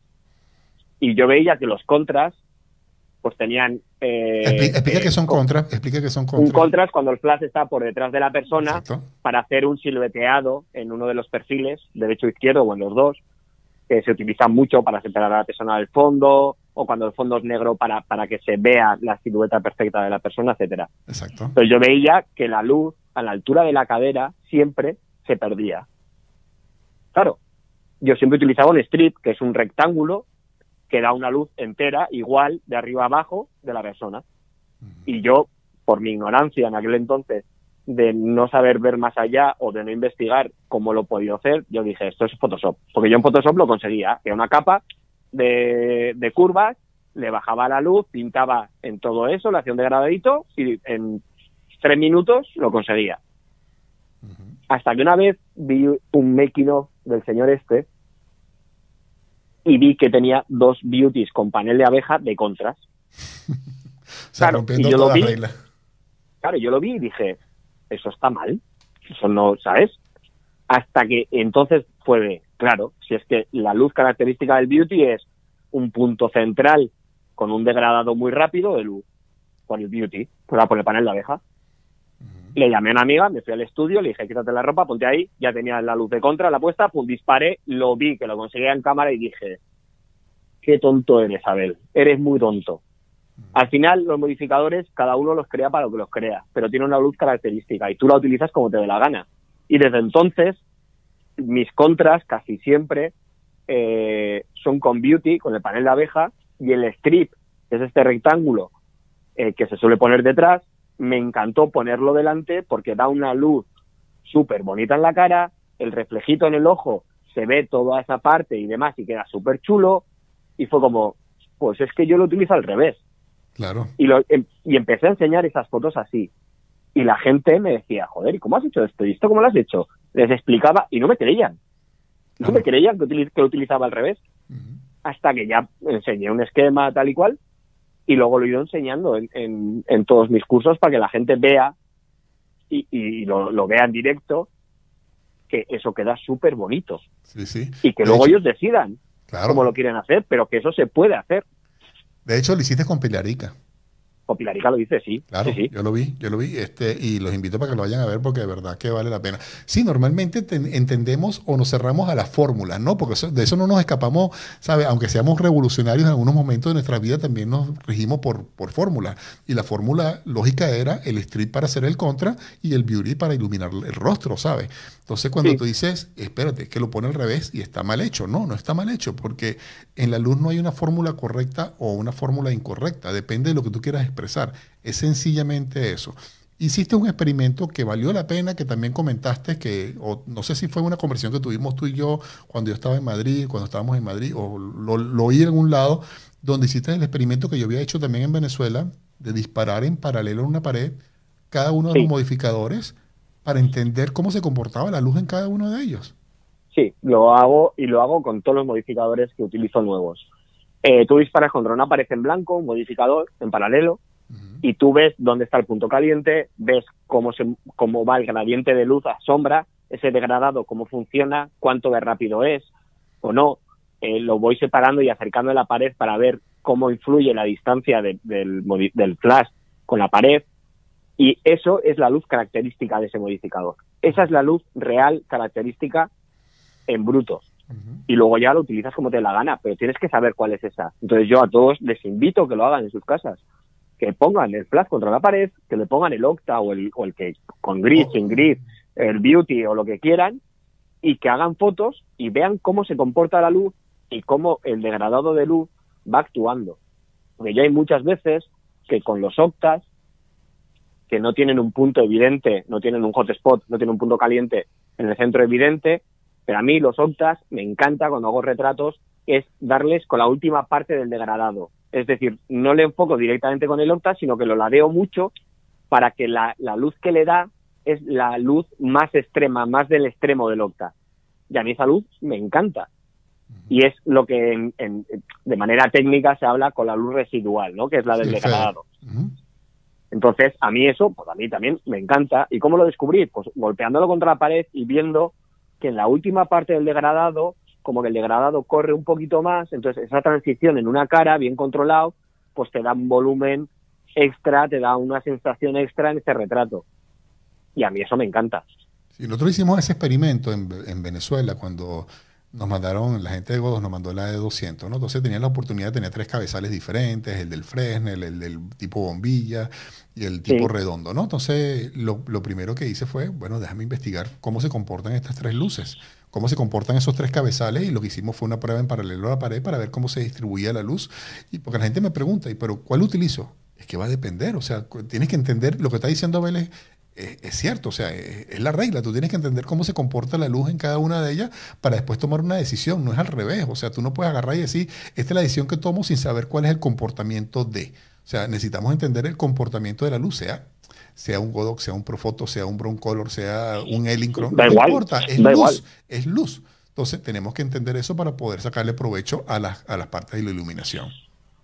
Claro, es que al final es- ahí aprendes un montón, porque dejas de entender la luz como bonita o fea, sino que entiendes que hay una luz característica, que en algunos casos te servirá para expresar lo que quieres expresar y en otros casos no, pero tendrás otros modificadores que sí lo expresen, o colocados de una manera o de otra. Claro. Ya está, no va más allá, es de tomar decisiones y de, y de hacer las pruebas para tener tú tus propias pruebas hechas para saber cómo quieres que funcione la luz o no. Claro, yo, yo iría hasta un paso más atrás, eh, antes de la decisión de, bueno, sí, la decisión de saber qué es lo que quieres transmitir. O sea, ¿qué es lo que quiero hacer? Y en base a eso tomo las decisiones y tomo el esquema de luz que haya trabajado. Te das pues. cuenta de que la, respuesta eterna de la fotografía o de las preguntas fotográficas es depende. Depende del tipo de luz que quieras, del tipo de fotografía que quieras hacer. parecemos economistas. Sí, es algo así como que depende, sí, Y parecerá una respuesta fastidiosa, pero es que no hay, no hay ciencia cierta eh, en este arte, no hay verdad absoluta. Y, y eso que, que ustedes están comentando me parece genial, porque claro, yo, yo puedo entender que un beauty es solo para hacer fotografía eh, de retratos y listo. Pero, ajá, ¿y qué pasa si lo uso diferente como lo hizo Abel? No hubiese sacado los resultados tan buenos que hace. Solo por quedarse con, esa, eh, con, esa, con esa opinión de que, mira, esto es amén para esto y nada más. Y el simple hecho de hacerlo diferente te indica que, sabes, que tú vas a tener la oportunidad de mostrar algo que poca gente ha mostrado. Y ya de eso te da una, una ventaja competitiva en con tu foto. ¿Ves? Coño, espérate, ya Hay algo aquí que no me cuadra, ¿sabes? Aunque sea que tú no lo entiendas porque no, no, no sabes, pero hay algo que tú cuando ves la foto dices, esto no me cuadra, como no te cuadró a ti. Entonces, ya eso es un punto de ventaja, porque hoy en día todas las fotos se parecen. Entonces, cuando rompemos reglas, este, logramos romper también esos esquemas donde normalmente todo el mundo se siente cómodo. Es que yo me río mucho con esto porque yo soy muy amante de la luz dura. A mí me gusta. Yo te iba a preguntar eso ahorita. Yo te iba a preguntar eso ahorita. ¿Tú eres tipo, eh, eh, ¿cómo se llama? ¿Team John o Team luz suave para todo o si le metes a la luz dura? Yo para mí, para, o sea, para mis fotografías, para mis proyectos personales, siempre mm, o siempre o casi siempre utilizo luz dura porque me parece mucho más expresiva, me parece más potente. A mí me gusta mucho más, es más difícil manejarla y utilizarla bien pero eh, me da más satisfacciones, ¿no? Eh, en estos tours, eh, sobre todo en el primero, estuvimos estuve delante como 1.600 personas, una cosa así, ¿vale? En todo el tour. Yo empezaba las charlas dándoles a elegir, ¿qué queréis que utilice? ¿Un luz, o sea, un modificador de luz suave o un modificador de luz dura? Los 1.600 votaron luz dura, porque es a la que no se atreven. Es a la que les da rollo porque provoca sombras, porque provoca sombras duras, etcétera, etcétera, ¿no? ¿Qué ocurre? Que una vez me llegó un encargo de una fotógrafa que quería renovar su imagen en la web porque le iba a cambiar y demás. Me dijo, a ver, quiero que me hagas las fotos tú, quiero que vengas, pero mm, yo me dedico a fotografía infantil, a newborn, eh, fotografía de premamá, embarazadas, etcétera. Claro, yo no quiero esa luz dura, digo, no, es que yo, yo sé utilizar luz suave, ¿eh? O sea, que no, o sea, que no me la veas usar no significa que no se pueda usarla. Claro. Entonces, yo me río un montón porque fui con ella, no sé qué, y empezamos a hacer las fotos y todo el rato era de, ay, pero qué luz más bonita, ay, pero qué luz más suave, ay, pero qué mira qué bien, ay, pero mira qué tal. Y cuando terminamos, le digo, ¿me dejas hacerte dos pruebitas? Dos pruebitas, solo dos. Y, y tal. Y, utilicé luz suave.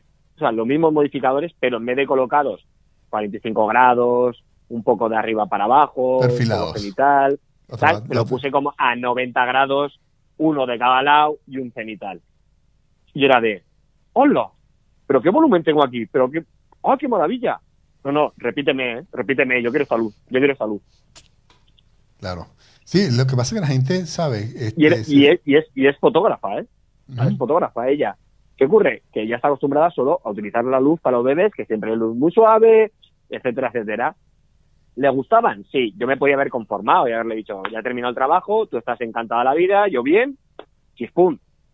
Pero claro, mi parte formativa y mi parte rebelde pues sale, ¿no? Y dices, pues ahora te voy a enseñar un poquito más y ya verás tú cómo chulo. El profeta de la luz dura. Claro que sí. John, si nos estás escuchando, te queremos mucho, ¿sabes? Nosotros también amamos la luz suave. sí, a mí, también me gusta y lo utilizo mucho. Y en el confinamiento utilicé muchísima luz suave porque la, quería, que la gente lo viese y demás.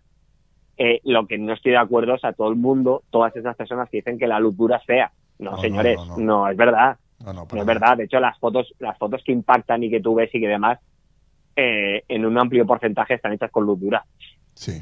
Fíjate toda la fotografía de los años 50, ¿sabes? La, la, época de Hollywood, ¿sabes? Una fotografía espectacular con esos contrastes tan duros, eran todos con luz dura, con Fresnel, pues, o sea, con luz con los Fresnel, claro. Cuando se pusieron los Fresnel de moda en aquella época, que hasta en el cine utilizaban esos Fresnel que era como un punto de luz que daba un focazo terrible y luego utilizaban los reflectores para levantar un poco las sombras y controlar el, ratio de contraste, ¿no? Claro. Pero era luz, luz, luz potente. Sí, señor. Abel, háblame de tus referentes. Buah, has tocado, has tocado palo ahí, has tocado palo. Has tocado hueso, que se dice aquí. Has tocado hueso. Además, además de Arturo Maceda, pues, o sea, eso lo excluimos ahorita, ¿ok? Vamos a hablar. Eso es, el primero. Exacto, eh, por, humildad. Eh, por convencimiento, eh, a mí lo voy a decir a lo bruto y luego lo explico. Odio a todos los fotógrafos. Ok. ¿Por qué? Porque lo que me gusta de la fotografía son las obras fotográficas, no las personas que están detrás de la obra fotográfica. Eh, entonces, eh, referentes fotógrafos no tengo. Referentes fotográficas tengo cientos. Cientos. Sobre todo, y en mi caso, sobre todo tengo el cine, que es donde creo que están los mayores maestros del manejo de la luz. Cuando un fotógrafo se cree que sabe de luz, yo le invito a que vea películas y que le dé al pause y analice la imagen. Y se da cuenta de que eso es otro juego. Porque nuestros, nosotros hacemos fotografía que la, persona se queda quieta y puedes calcular en un centímetro cuadrado qué luz quieres. En el cine se mueven. y ahí se complica todo como por, por mil. Y para, para mí es el, cine. E igual que en la música, y tengo muchísimos amigos músicos y muchos de ellos mm, muy tops y tal, el músico me da igual, me, me, da exactamente igual. A mí lo que me importa es la canción. Eh, en fotografía los fotógrafos me dan igual, es que me dan igual, me importa la obra fotográfica. Ah, ah, fíjate, fíjate, si a mí me dicen como, como referencia qué película me llamó a mí la atención la parte de iluminación, este, una de las que más me impresionó a mí en la parte de iluminación, sobre todo por la época en que fue grabada y los diferentes esquemas que manejaban en segundos para cambiar totalmente la expresión, fue Ciudadano Kane. O sea, eso es una cosa que a mí me, quedó, me quedó grabada, ¿sabes? O sea, esa, esa, película, esa, película, tiene que verla todo el mundo que quiera hablar de iluminación. pero eh, verla varias veces, es decir, se tiene que poner un sábado y luego el domingo volver a verla para poder pausarla. Y pausarla, exacto, ese es el punto. Y analizar, analizar cómo la, la luz va acorde a la historia y a los estados emocionales de los actores. me parece eso brutal. A mí eso me parece un, trabajo de locos. Y sobre todo para la época que fue filmada, ¿sabes? O sea, me pareció tan revolucionario esa, esa película en el, en el sentido de iluminación, que a mí me pues sorprendió, pero completamente. ¿Cuál, es, cuál sería como el top 3 de películas que, que más te inspiran a, nivel a nivel luz. Sí, claro, total. pues mira, a nivel luz, eh, cualquiera de las de Kill Bill os recomiendo que os olvidéis de la historia, os olvidéis de la sangre, os olvidéis de Quentin Tarantino y le deis al pause y cómo la, la, Kill Bill narra la historia de cómo va el proceso de ella haciendo la venganza y de cómo al principio es mucho más agresiva y luego va como siendo un poco menos agresiva. En, en Quentin Tarantino un poco menos agresiva significa muy sobrado, pero es un poco menos agresiva. Sí, menos y cómo la luz y cómo la luz va cambiando. Eh, las habré visto como, no sé, 15 veces cada una o más. Hay otra que me fascinó a mí, que en la parte de iluminación, el laberinto del fauno me, parece una cosa, me parece que una cosa, pero... Es que es, que es una locura. Es, que es una locura. Exquisita, sí, definitivamente. Es y, que es una locura. Y desde el punto de vista conceptual también, ¿sabes? Cómo, cómo lo último que muere es la esperanza. O sea, de verdad que es una película que la gente también les recomiendo que, que vean, porque eso es, eso es, es, otro nivel. Otro nivel. Y luego ya si, si se quieren volver locos, ya todos los que piensan o no han vivido la época en la que eh, colocabas un disparador en un flash y funcionaba una de cada cuatro veces. O, o sí. Lo de fósforo, lo, de fósforo. Eso es. O lo, o, lo del, o lo de que tu objetivo enfoque siempre perfecto y no desenfoque una de cada cuatro fotos, etcétera, etcétera. Yo les aseguro, o sea, cualquier película de los años 70 que la vean con la, con la intención de adivinar que se grababa en analógico y se iluminaba de manera real, con una postproducción muy comedida, muy, muy, muy comedida. La locura, y que imaginen la locura de iluminar eso como está iluminado. Es decir, eh, los montajes que hacían, el, e intentar adivinar cómo, cómo lo han hecho. Y si algo tiene el cine, que a mí me ha enseñado, es sobre todo darle la importancia a las luces de contra. Claro. Eh, si tú ves cualquier película, vas a ver que las luces de contra están presentes en el 100% de las veces, unas más evidentes, otras menos evidentes. Incluso en muchas películas, la luz de contra es la luz principal. Claro. Y las demás son las que compensan esa luz de contra. Pero la luz principal, la que manda por, por intensidad, por dirección, es la luz que va por detrás del personaje. y a mí eso mm, eh, me parece una barbaridad. Y después, lo que es capaz de aprender. Claro, y después que consigues la película, seguramente si sigues a ese director, sea Tarantino, Guillermo del Toro, cualquiera de ellos, este, vas a conseguir muchas más películas que estén bajo el mismo concepto de, estética, de iluminación, porque siempre trabajan en equipo con su misma gente, ¿no? Pero este, hay cosas que son maravillosas, pues. Y si quieres ver algo más dark, bueno, te vas para la parte de Batman, esta trilogía que la... Eh, ¿Cómo se llama el director de Batman? Pues, Christopher, Nolan. Nolan sale. Christopher cualquiera Que, cualquiera que quiera ver Sin City desde el punto de vista lumínico, le, va, le va a explotar el cerebro. Sí, sí. O sea, yo Sin City la habré visto otras 15 o 20 veces. Sí. Porque estás iluminando, claro, Sin City es, maravilloso por, por la luz, pero es que es más maravilloso cuando tú caes en la cuenta de que están iluminando a unos personajes que sabes que luego va a haber un tratamiento de imagen en el que van a eliminar la información de color, con lo cual la luz gana un protagonismo muchísimo mayor. Sí. Entonces tienes que iluminar sabiendo cómo lo van a postproducir. Eso ya es como la locura máxima, ¿no? porque no lo decides tú, tú no decides cómo se va a producir, te van a dar unos tips, te van a dar unas referencias y tú en base a eso tienes que crear la iluminación. Y si tú ves Sin City desde ese punto de vista, te va el cerebro, o sea, tú vas a terminar la película y vas a, vas a decir, no tengo ni puta idea de iluminar. Sí, sí, definitivamente. Este señor sí sabía, yo no y, lo que dices tú, porque uno como fotógrafo, bueno, yo lo he estado viviendo como videógrafo, ¿sabes? En, los esquemas de iluminación, aunque los somos muy estáticos, pero una vez cuando salimos exteriores y, iluminar en movimiento es una cosa totalmente diferente, ¿sabes? Pero es una cosa muy, diferente. Y la complejidad, si uno cree que eh, trabajar la iluminación de manera estática es complicado, eh, que intente hacerlo con movimiento para que veas, ¿no? Porque ahí las cosas se, pone, se ponen mucho más difíciles. diciendo alguien que, que, usa, no sé, una o dos luces cuando sale a grabar y, es complicado. Imagínate tú tener que estar en constante movimiento con hasta 30 luces, porque si te pones como a analizar cada fotograma de ciertas películas, que obviamente su fotografía es de otro nivel, eh, te das cuenta de que hay un montón de luces. Es como la fotografía de Gregory Crewdson que usa hasta 18 luces en una sola toma, en una sola fotografía, eso sí es solo fotografía. Y el trabajo que hace él lo estudian hasta cineastas y todo porque el, manejo de la luz que tiene es brutal. Yo no me acuerdo de la fecha exacta, quizás usted, alguno de ustedes se acuerde, pero Watchmen original de qué fecha es, ¿no es de los 70, 80 por ahí? ¿O un poquito por ahí andará. no, no, no, Watchmen, es, del, la original, del 2009. Sí, 2009. Sí, lo que pasa es que está ambientada en los años 40 y, luego salta a, otra década. Okay. Pero Watchmen es del 2009. Bueno, pero eso es una otra, otra película maravillosa. Abel. Hay muchas películas maravillosas que deberíamos analizar desde el punto de vista fotográfico y lumínico, ya no solo a nivel de composición, ¿no? De la, parte de la fotografía de la composición, de cómo ordena las, escenas, ¿no? A nivel de, peso visual, etcétera, sino a nivel de cómo la luz va acompañando a la película dándole la expresión, ¿no? Para mí la luz, en, eh, para mí la luz es como si tú escribes hola, ¿qué tal?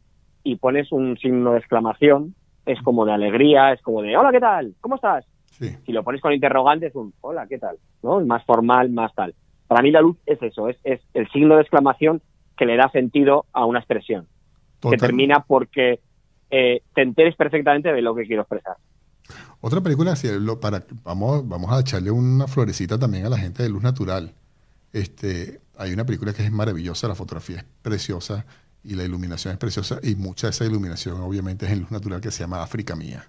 Es una película espectacular que ganó un Oscar, por cierto, de fotografía y, de, y, de, la parte de iluminación. Hay, hay, una película de un director griego que es uno de mis favoritos, se llama Yorgos Lántimos, que la película se llama The Lobster y esa también se grabó toda con, con luz natural, así que se las recomiendo ampliamente. ¿Y la de formato cuadrado que siempre se me olvida el nombre? Eh, se llama El Faro o The Lighthouse. El director es un director eh, creo que es inglés o norteamericano, se está dedicando al terror y las dos películas que tienen son una tremenda joya. Ya les voy a buscar el nombre porque no la recuerdo. Es, es, en blanco y negro y es en formato cuadrado, creo que salió el año eso pasado. Es una, eso es una, una masterclass de composición e iluminación. Sí, sí es que al final, cuando, hablamos de la formación y demás, es que, joder, cuando tú hablas de que la fotografía es hermana, hermana de la pintura, es hermana del cine, y que en el cine no estén las normas que nos han impuesto, entre comillas, impuesto a los fotógrafos y en pintura no estén las normas que nos han impuesto a los fotógrafos, es como de coña, ¿no? Es como decir que somos los pobres de aquí de, la expresión del arte o qué. el, es como... el, hermanito complejado. Lo que pasa es que yo creo que el, problema fue que heredamos toda la pintura y cuando ya la pintura se desligó de todo lo que sabía, nosotros quedamos como en el limbo. Pero ¿sabe quién, ¿sabe quién desligó la pintura de, todo de, de todos sus compromisos? la fotografía. Exacto, pero lo que te digo es que eh, la, fotografía, desde mi punto de vista, em, absorbe todo lo que venía haciendo de la pintura, porque quizás nacía con ese, con ese fin, y cuando ya la pintura se desligó de todo lo que sabía, de repente la fotografía se quedó así como en el limbo, ¿no? De que, ajá, ¿y ahora para dónde agarro? ¿Qué hago? Eh, ¿De dónde agarro las cosas? Pero en la pintura, fijaros cuántos movimientos eh, pictóricos ha habido, ¿no? O sea, yo me imagino, imaginaros a un Dalí con su surrealismo hoy en día, innovando en fotografía, le caerían hostias y le caerían críticas por todos lados. A un Picasso, a un Picasso le caerían todas las críticas del mundo. Sorolla, que sus obras más famosas y las que más se han pagado dinero eh, son, son eh, obras marinas, en el que el horizonte no está recto en casi ninguna, en el que eh, en muchos de ellos a las personas les corta el encuadre por, por medio del antebrazo o les deja la mano sin dedos y les corta por ahí porque le da por ahí, o tienes a Degas en su serie de bailarinas, que, que, las, que las perspectivas se las pasa por el arco del triunfo, solo para que la bailarina tenga la potencia visual que quiere que tenga, pero el entorno, la, la, perspectiva se, la, se la fusila, eh, y tienes un montón de pintores que son hoy reconocidísimos a nivel mundial y que por sus obras valen millones de euros que han hecho cosas que, que, con las reglas fotográficas de hoy estarían mal, serían malos, muy malos. Serían para darle, en vez de like, dislike. Pero yo creo que la mayoría de esos, quitando quizás a Picasso, a, ¿sabes? a Dalí, obviamente, el genio de Dalí y todo esto, pero la mayoría son gente que son reconocidas después, mucho tiempo después que la gente entiende su obra, ¿no? Sí. Que desgraciadamente, Normalmente, normalmente esa obra no se entiende cuando son tan visionarios y tan revolucionarios, la, gente no los entiende sino el paso del tiempo y por desgracia la mayoría de ellos, quitando casos específicos como lo que acabo de nombrar, son inclusive después de la, de la muerte o de 100 años más adelante, ¿no? Que, puede pasar en unos casos. A ver, tengo aquí como 25 preguntas que no te he hecho ninguna, ¿sabes? Y cuando, empecemos las primeras de las tres despedidas, de las 15 despedidas que vamos. A ver, planificación o creatividad pura planificación o siempre. pura. No, es que es planificación siempre y una vez que has planificado, libertad para crear. No, la creatividad no nace de la nada. Es decir, mm, mm, si no planificas, la improvisación o la creatividad eh, nace de, algo áureo, algo eh, no abstracto. Si tú planificas, ya has hecho una planificación y luego te dejas la libertad de crear, de improvisar, vas a crear e improvisar para mejorar algo que ya habías planificado, con lo cual va a ser realmente bueno. No, no es una cosa u otra. Definitivamente, tú me habías hablado de una planificación que tenías que ojalá la hayas realizado, estés a punto de realizarla, la de la bailarina, este, y, y, yo creo que estoy totalmente de acuerdo con, no creo, estoy totalmente de acuerdo contigo en ese punto porque definitivamente tú creas y planificas las cosas. Eso no significa que cuando estés en escena la creatividad pueda ir para otro lado. Pero si tú partes de la no, la no preparación, vas a llegar improvisando y posiblemente tu creatividad se tranque precisamente porque no sabes por dónde arrancar. porque no planificaste. Entonces, Exactamente. sí, sí, se te termina convirtiendo en un cuello botella, vas más angustiado. Yo me acuerdo una vez que fuimos a una boda, eh, María Betania y yo íbamos a hacer una boda, y ella me dice, Arturo, yo nunca he hecho una boda. Yo estoy asustada, no sé cómo va a salir el resultado de eso, ¿no? Este, y yo le dije, vámonos por una boda. ¿Cómo que vámonos por una boda? Sí, vámonos para la iglesia. Vamos a probar por lo menos en la iglesia. Si no hay boda, no importa. Tú empiezas a tomar fotos y vamos a practicar para, para que te sientas a gusto y entiendas cuál es el proceso. Llegamos y había una boda. Y me dice, ay, pero hay una boda, pues ¿cómo vamos a hacer? Bueno, toma fotos. Y digo, y si me regañan, ¿quién te va a regañar? Nadie va a saber si tú eres la fotógrafa o no de la que, que contrataron.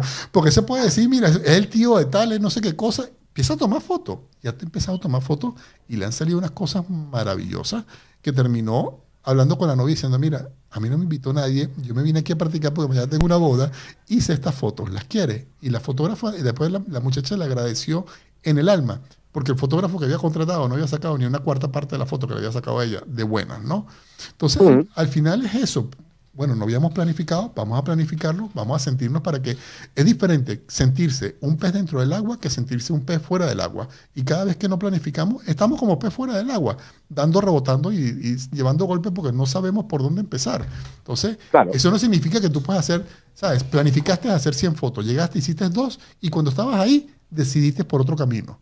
No importa, pero ya tienes la seguridad de que lo que planificaste lo puedes resolver. Claro. Pero es que es así, o sea, para mí no existe la creatividad y no existe la improvisación positiva sin que detrás no haya un soporte, una base de, planificación y de saber, ¿no? Mm, yo no me voy nunca con todo mi material a todos los sitios. Elijo lo que voy a utilizar porque sé por dónde voy a ir. Y luego me, me, meto cosas por si acaso. Pues bueno, si me surge la idea, la energía de la sesión, tal, no sé qué, te da un, ¿no? Un gesto de la persona o, un paisaje que no has controlado o un árbol o una pared o algo y te da una pista, dices, lo hago, pero lo haces ya con un, soporte y una base de planificación. Claro. ¿Cómo Abel planifica su foto? Lo primero, saber eh, cuando es mi cliente, es saber qué espera, qué hemos hablado, qué quiere de la sesión. Y a partir de ahí, eh, yo creo conceptos en mi cabeza, ¿no? belleza, dulzura. A mí me resulta muy sencillo resumirlo en, en, adjetivos, ¿no? Y a partir de esos adjetivos creo la composición. Cuando son proyectos personales, que son más profundos, eh, me lleva más tiempo porque yo escribo lo que yo quiero, lo dejo en un stand-by, lo recupero a la semana o a las dos semanas lo analizo, veo si va conmigo, no va conmigo, si tal, si cual, y lo voy reescribiendo. Entonces me lleva más tiempo. Eh, y al final todo eso se determina en decir, quiero hacer esto, ¿no? Entonces se le llama de muchas maneras, ¿no? Es un briefing ideario, es un, muestrario de ideas, ¿no? Pues de aquí quiero, me gusta el color, de esto me gusta la composición, de esto me gusta eh, la expresión, de esto me gusta el tal yo eh, tengo todas las referencias y luego termino por hacer la mía, ¿no? Entonces la mía la termino dibujando, dibujo horriblemente mal, pero termino dibujando, sobre todo, para mí es muy importante dibujar que la composición vaya acorde a la expresión. Y a partir de ahí ya es la sesión, y la sesión, que para mí es la parte más divertida quizás, eh, trabajo mucho con la energía y con que la persona que está delante de la cámara viva una experiencia. No solo le hagas fotos, sino que lo viva y que se sienta protagonista del resultado final. A mí no me sirve de nada hacer una foto de la leche, súper bonita, y que la persona tenga la sensación de que si le quito a ella y le pongo a su prima la de Barcelona, la foto sigue siendo igual de bonita. Yo quiero o intento que la persona sienta que es la protagonista de la foto, porque para mí el protagonista de la foto siempre es la persona. La foto no es mía, la foto es... No, nunca sé qué porcentaje es mía o de la persona o del espectador que la ve y la analiza y la interpreta y la siente, eh, pero tengo claro que yo no estoy en el primer lugar. Siempre el primer lugar es la persona que sale en la foto. por, aquí, por aquí Noelia pregunta en qué momento del proceso fotográfico decides mojar a la gente. a ver, yo planifico mucho las cosas, las pienso mucho, Entonces, el agua es un, o el agua, cuando empezamos a mojar con agua, es un elemento volátil que no sabes qué va a hacer, porque en función de cómo lo tires, a veces hace unas cosas y a veces hace otras. Y la persona a veces hace una cosa y hace otra. Y esa improvisación, esa, eh, esa frescura de que no sabes qué va a ocurrir, me encanta porque siento que ya no soy yo de verdad el que hace la foto, sino que es un conjunto de personas y un conjunto de energías que hacen que eso pase. Y me encanta esa parte. Pero sientes, sientes que tienes la necesidad de no tener el control completo, pues cuando tú estás trabajando con agua no tienes el control completo, pues y, obviamente eso es un reto que sube la adrenalina, no no sé, o sea, no sé, de repente estoy hablando de más y eso no es, la, motivación. Es, muy excitante esa parte. Claro, porque tú no y me viene y me viene muy bien. Claro, me viene a mí, a mí me viene muy bien y me divierte mucho y me gusta muchísimo. Pero justo por eso, porque dejo de tener el control. Es como es como cuando subes a una a una atracción, ¿no? Eh, de estas eh, atracciones que te suben hasta arriba y luego te lanzan. Sabes que te van a lanzar, no sabes cuándo. Y cuando te lanzan, te da un subidón de adrenalina de, de la pera, ¿no? Claro. O haces puenting. Entonces, eh, esa, esa adrenalina en el momento de hacer ese tipo de fotos a mí me gusta un montón. Claro. Tu mayor acierto y tu peor error, fotográfico, obviamente. Mi mayor error fue cuando pensé que sabía hacer fotos.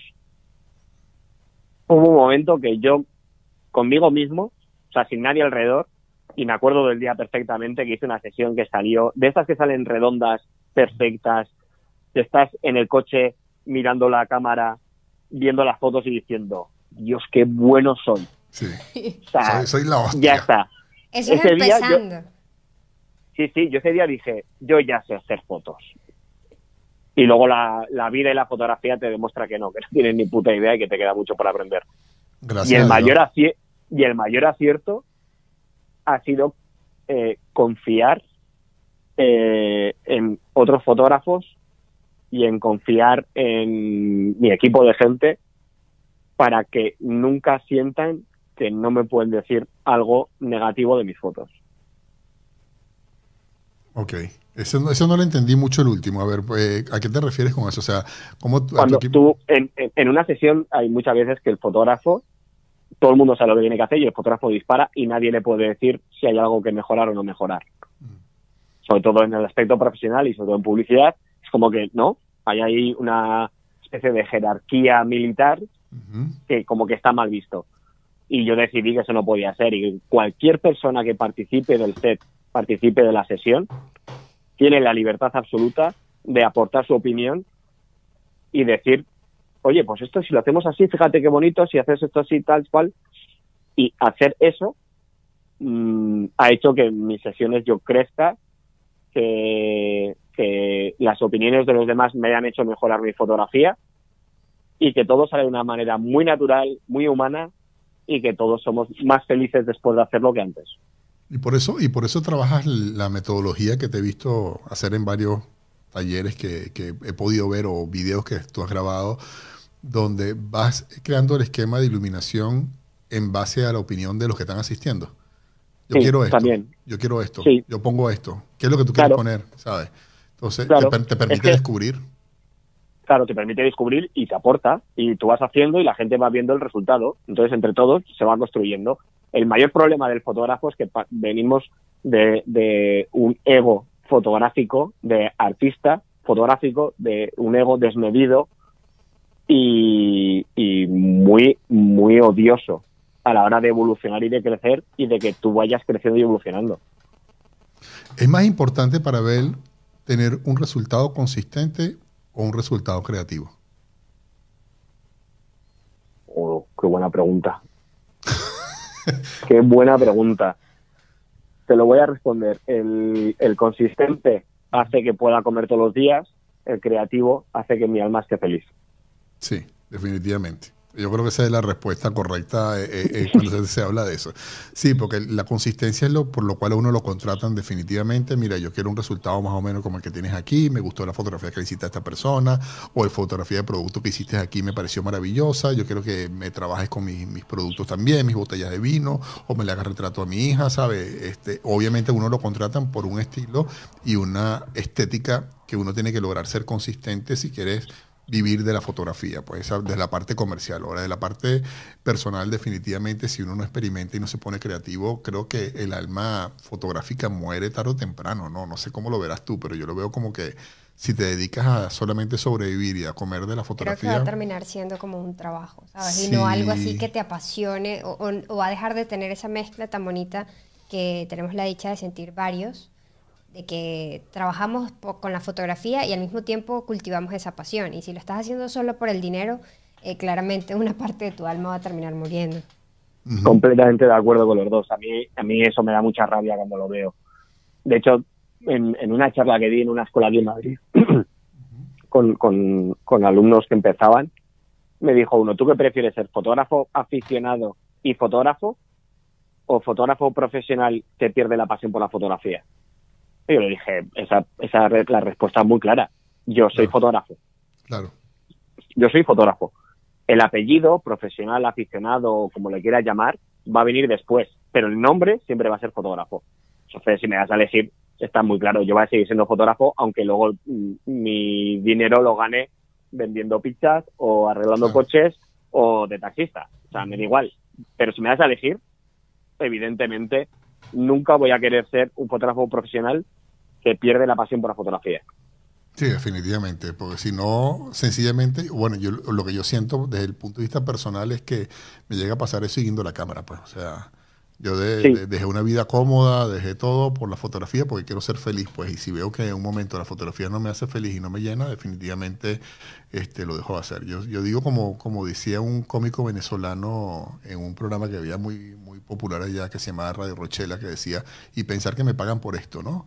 Porque hago, lo que, hago lo que soy feliz y, y vivo de lo que soy feliz. Entonces, soy una persona extremadamente afortunada por poder este, vivir y vivir tranquilamente de lo que amo y de lo que, lo que es mi pasión, pues, porque poca gente, entiendo que eso no es la norma en la mayoría, ojalá que fuera así, porque eso es el sentido de la vida es eso, la felicidad, ¿no? Sí. Redes sociales, ángeles o demonios. Pues teniendo en cuenta que en mi Instagram la última foto que subí fue en marzo del 2018, Coño, la subiste, la subiste, la, subiste, la subiste con, ¿cómo se llama? Después que yo. La última, no sé, yo creo que es el 2015, cuando nació Instagram prácticamente. Las redes sociales son maravillosas y las utilizamos de manera horrible. Sí. Yo creo que... Y es la gran mentira que ha convertido por crear una realidad paralela en la que mucha gente quiere vivir en esa realidad paralela y no en la otra. Sí, la gente deja de vivir la vida por, por vivir la vida a través de las redes sociales, pero también tiene su parte positiva que es el hecho de que, como tú decías, antes para que un fotógrafo se conociera pasaba años, ¿sabes? Entre que entendían el proceso, pasaba esto, tenía alguien que la que una, ¿cómo se llama? Alguna una técnica, galería decidía enseñar tu trabajo o alguna revista decidía entrevistarte. Hoy en día tenemos acceso a todo eso yo tengo un canal de televisión. O sea, aquí donde yo me digo, yo digo, o sea, cuando yo, estaba chamo, o sea, hace cinco años atrás, este, no era posible que yo fuera una televisora y dijera, ¿sabes? Yo ah. quiero tener un programa de televisión. Hoy ya tengo un programa de televisión que ni siquiera es regional, ni siquiera es nacional, ¿sabes? Sino que es mundial. Internacional, claro. Es mundial. O sea, antes, antes, uno podía tener un, ¿sabes? Uno podía decir, bueno, yo voy a hacer este, algo y me voy a hacer famoso en la televisora regional. Después pasaba a la, televisora nacional y hasta ahí llegaba. Hoy en día tenemos acceso y gratuito. Y también tener en cuenta de que el mercado se está moviendo es en ese círculo. Porque, claro, entiendo el punto de Abel, porque ya es un fotógrafo reconocido, eh, trabaja con una compañía que también mercadea muy bien a los fotógrafos que forman parte de ella. Tú también haces tu, tu labor por tu cuenta, pero hay muchos fotógrafos que andan por sí solos. Y claro, eh, eh, y claro, todavía esa es una de las ventajas que ofrecen las redes sociales ahorita, que es que mira, te puedes mercadear aplicando con tu trabajo y todo eso y te puede salir bien también. Sí, pero definitivamente. Pero sí, yo las uso horribles. Pero, la, gente... pero las redes sociales son maravillosas porque nos aportan miles de cosas. Es decir, yo a vosotros os he conocido y doy gracias a Dios porque os he conocido gracias a las redes sociales. Pero, sin embargo, hay otros muchos fotógrafos que se piensan que por tener 200 likes en una foto pueden dar el salto profesional, lo hacen y se pegan un cacharrozo de miedo. Y a mí eso me frustra muchísimo. Entonces, ¿son maravillosas? Sí, las utilizamos mal Totalmente de acuerdo. O, hay, hay un porcentaje que lo utilizamos mal. Sí, pero que son maravillosas, por supuesto. Este, este confinamiento sin redes sociales, ¿cómo lo hubiésemos vivido? Bueno, ¿sabes no, me lo quiero ni imaginar. Sí. ¿Sabes que tú dices? Bueno, tú, tú, hiciste una gran labor, igual que prácticamente todo lo que estábamos en YouTube para, para el proceso de confinamiento. Nosotros normalmente hacíamos un video a la semana antes del confinamiento. O sea, yo no, yo no, yo no sacaba sino un video a la semana. Y cuando arrancó el confinamiento, lo primero que hicimos fue subir el número de videos, a pesar de que trabajamos de la misma manera, pero dijimos, espérate, ¿qué es lo que estamos aportando nosotros y en qué podemos ayudar nosotros para que este proceso sea más llevadero? Abel en la cuarentena, en el estudio, encerrado sin hacer nada. Con Pilarica. O sea, no, no, no. No, no, a mí me da, o sea, a mí me da, me da los mil males yo en el piso que tengo en Madrid. son, ¿sabes? Sí, claro. sí, tal cual, tal cual. pero al final las redes sociales son maravillosas. Lo son, lo son. Ah, eh, Instagram es, es, buenísimo. Pues sí, porque he conocido a fotógrafos por Instagram buenísimos que tienen 200 seguidores y que de vez, una vez me apareció ahí y de repente lo chequeas, lo miras y dices, tío, pues tienes un trabajo fantástico, tío, si eres inspiracional incluso, ¿no? Eh, pero claro, luego está la otra parte. Entonces, como todo en esta vida tiene cara A y cara B, puestos a decidir y como nosotros decidimos con qué cara nos quedamos, pues yo me quedo con la A, que me parece maravilloso, y ya está. Definitivamente. Y esto lo respondiste porque lo dijiste por ahí escondido, pero igualito te lo voy a preguntar para que la gente, pues seguramente la gente lo, quiere saber. Eh, ¿Lente fijo o zoom? Ya tú lo dijiste, pero... Lente fija siempre. Siempre. Que me lo pueda permitir, siempre siempre. O sea, no, los Zoom los entiendo porque te dan un rendimiento brutal y, por ejemplo, el 70-200 a mí me parece el mejor Zoom por, por los rangos focales que llevan, ¿no? Entonces tú en una sesión le puedes hacer un plano completo y un primer plano solo girando una rueda, que eso es maravilloso. Ahora bien, un fijo te obliga a moverte, te obliga a mirar, la calidad de la imagen es mejor, etcétera, etcétera. Sí, todo, tiene, todo tiene un precio. Claro, pero yo fijo. Si puedo, fijo, siempre. Definitivamente. Este, ¿Eres la persona tal cual como sale de la cámara o si te parece que el revelado es una parte importante dentro del proceso? Ah, yo en casi todo mi trabajo, digamos un 70% del trabajo, eh, lo saco en cámara. En el trabajo personal un 80 o 90, pero en la parte del revelado, revelado o edición o manipulación de la imagen, me parece maravilloso porque es la herramienta que tienes para que tu foto termine de expresar lo que tú quieres que exprese. Claro. No me parece nada mal. Me parece mal cuando la gente le ha hecho una manipulación a una imagen y vende que la ha conseguido en cámara. Eso sí me parece mal. Claro. Pero que le hagan Photoshop, que le metan Photoshop a las imágenes y hagan manipulación y que corrijan y cambien y hagan cosas, a mí me parece fantástico. Yo creo que no hay que coartar la libertad ni la creatividad de nadie en ninguno de los ámbitos. Sí, yo, yo, me río de la gente que, ¿cómo se llama? Que, que son muy, no, digamos que muy tradicionales, sino que dicen, bueno, yo quiero la foto tal cual como sale y está bien, yo, yo, yo respeto eso y dicen que antes con la fotografía analógica eso no se podía y bueno, hay tantos referentes bueno, de 1800, bueno, claro, 1850, claro, que Gustav Langer y todo esto, el holandés y hay tanta gente que hacía manipulaciones ya con... Lo que pasa es que estaba como que menos difundido y había mucha menos gente experta de lo que hay hoy en día que un chamo con 10 años ya te maneja Photoshop arriba y para abajo, ¿no? Entonces, claro. era como un secreto que lo manejaban muy poco y lo veían como arte, pero ahorita yo lo veo así, lo sigo viendo igual hubo un foto, había un fotógrafo en Pamplona, que ya es muy mayor, y, él me contaba que él, eh, su, proyecto personal, se iba a Francia porque había un tío que revelaba en Francia que era un puto artista, que hacía con las fotos, le hacía manipulación, le hacía de todo, y terminaba por ver la foto como él que la quería. Pero se iba a Francia y se iba una semana o dos semanas a Francia hasta que el otro terminaba el trabajo. Entonces trabajaba para él dos semanas, ese señor.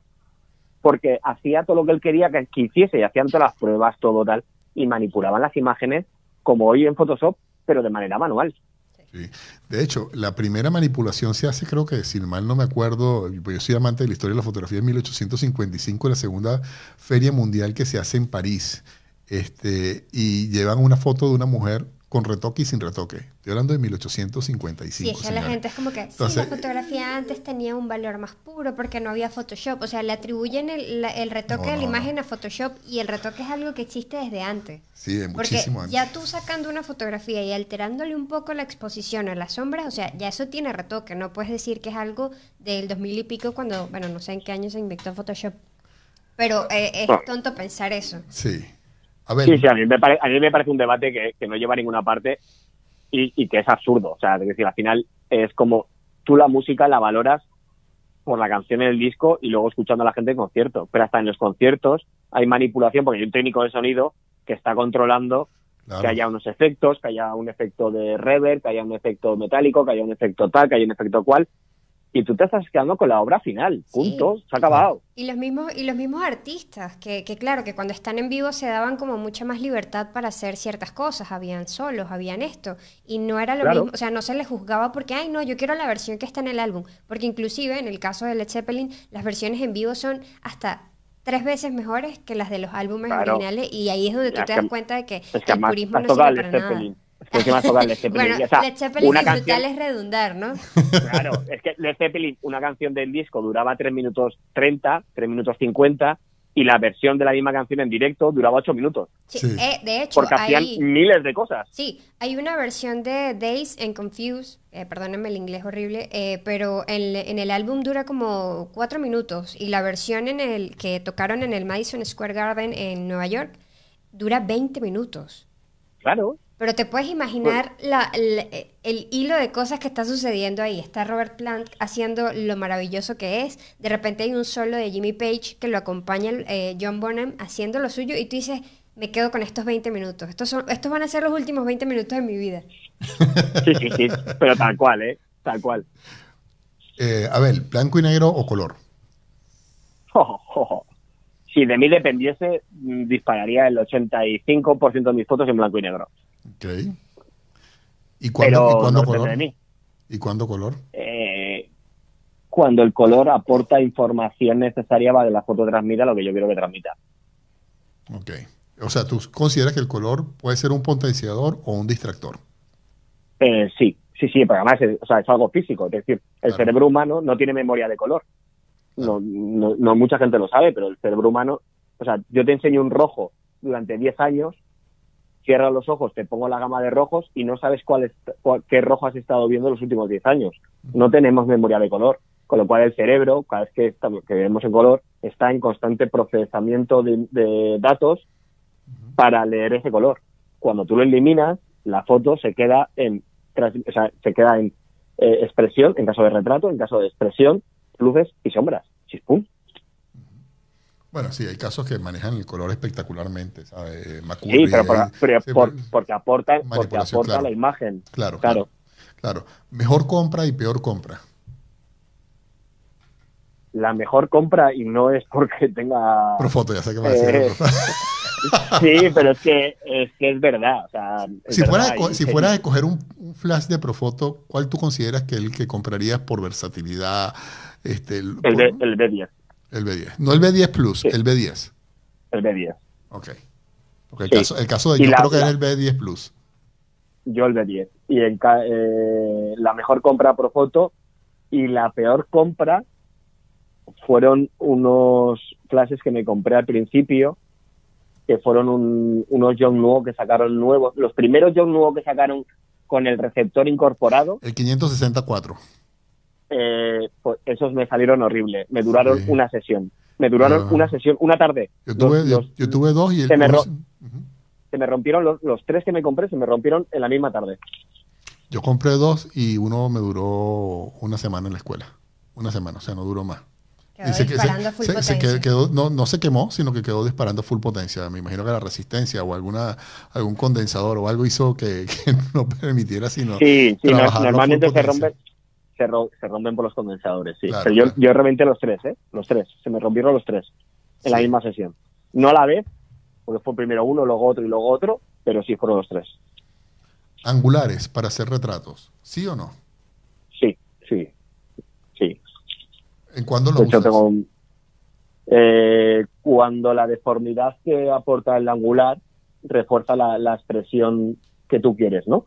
El angular tiene un, es como las luces, ¿no? Es como los modificadores, tiene una luz característica, pues un angular tiene una, deforma, una, una deformidad característica y si tú lo empleas potenciando típicas imágenes que hemos visto, ¿no? De, de, que tú ves el pie en primer plano y la persona súper alejada por la deformidad, uh -huh. eh, pues cuando es en ese caso a mí me gusta muchísimo. Eh, para los cenitales, para hacer cosas cenitales con personas, también me gusta muchísimo, porque separas el suelo muchísimo y das esa sensación de, de, de largo, ¿no? De profundo. Uh -huh. eh, de hecho, el 14 es un angular que me gusta especialmente. Ok, ok. Sí, no, no te cierras a eso, ¿no? No, no, no, no, no. Al revés. Ok, aquí espérate para ver otras preguntas que tengo. Bueno, este, no, ya va, espérate. No, yo creo que ya hemos cubierto prácticamente todo. Este, ah, bueno, sí te puedo hacer una preguntita que está por aquí porque tú te has dedicado también a eso. Por lo menos he visto varias fotos tuyas con referente a eso. No sé si te las has hecho tú misma o, se, o te lo ha hecho otra persona. Practicas el autorretrato y qué consejo darías tú para el autorretrato a una persona que quiera trabajar en autorretrato y con iluminación? Porque la mayoría de la gente que trabaja autorretrato no lo trabaja con iluminación, sino que con luz natural.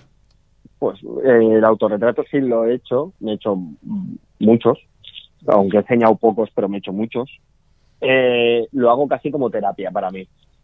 Okay. Lo hago una especie de, de terapia, ¿no? De autoanálisis y de dedicarme una tarde a mí mismo, ¿no? Al final, eh, una de mis filosofías de vida es que si yo a ti te aprecio, te lo demuestro dándote un abrazo, un beso, un, ¿no? Uh -huh. Pero tú a ti mismo, ¿cómo te lo demuestras, no? Entonces, si yo hay gente que quiero y le hago fotos porque es como una, una demostración, pues yo a mí mismo también lo tengo que hacer y me lo hago a mí mismo. Y con iluminación, pues aprovecho, aprovecho y juego con luces. Aprovecho y juego con luces mucho. Y es muy satisfactorio. Y no solamente con luces, te... con agua también con agua también, sí, también, también, también, también me he hecho. Eh, yo creo que, yo creo que debería de ser un obligatorio en todos los fotógrafos. Uno, hacer autorretratos. Dos, ponerse en la mano de otro fotógrafo y vivirlo desde el lado de enfrente. Debería ser obligatorio, ¿eh? Mínimo una vez al año, mínimo, mínimo, mínimo, mínimo, una vez al año. ¿Fotografías lo que eres? Sí. Sí. Totalmente. Sí. Definitivamente. Sí. Ahora bien, una aquí más, eh, una preguntita que quería hacerte. ¿Hay, ¿Existe algo en la fotografía que te gustaría cambiar?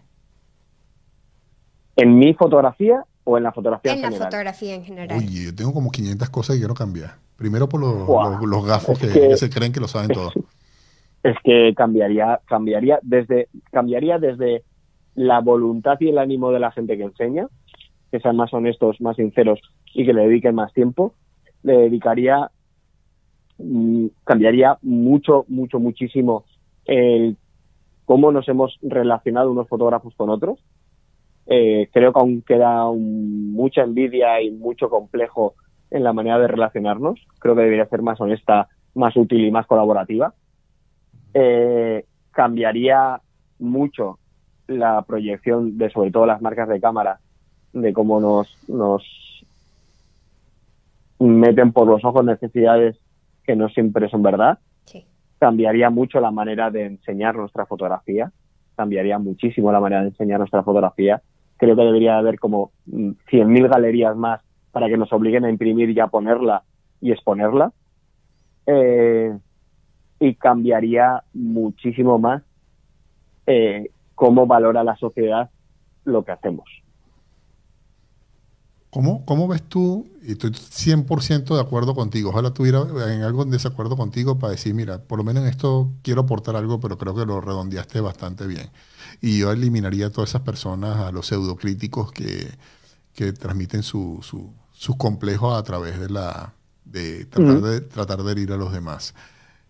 ¿Para ti una fotografía no está terminada hasta que no está impresa? ¿O qué fue lo que tú sentiste no. cuando viste la primera fotografía impresa? ¿Para ti es necesario? Yo no soy, claro, no creo que sea necesario, pero sí creo que eh, lo tenemos que hacer. Sí creo, que, porque se ve de otra manera.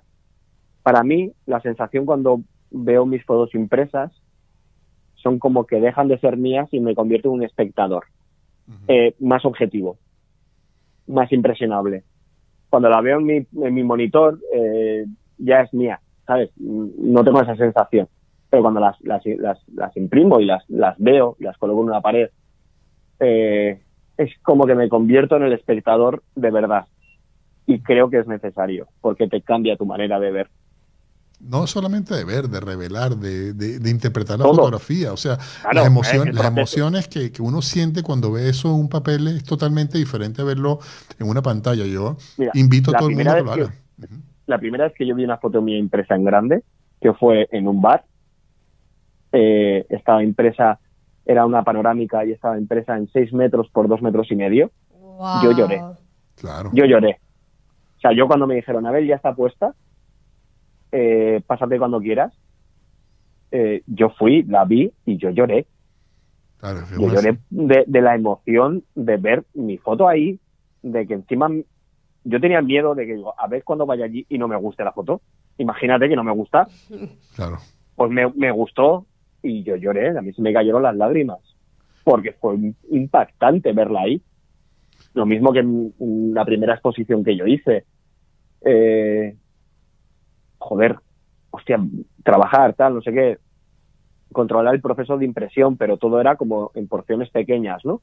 Y cuando me dicen, ya, ya está todo impreso, todo está bien, vente, joder, y en el sitio donde imprimí me las pusieron todos en una pared que tienen allí y yo las vi, yo dije, madre del amor hermoso. Sí, es que esto es otra cosa, sí.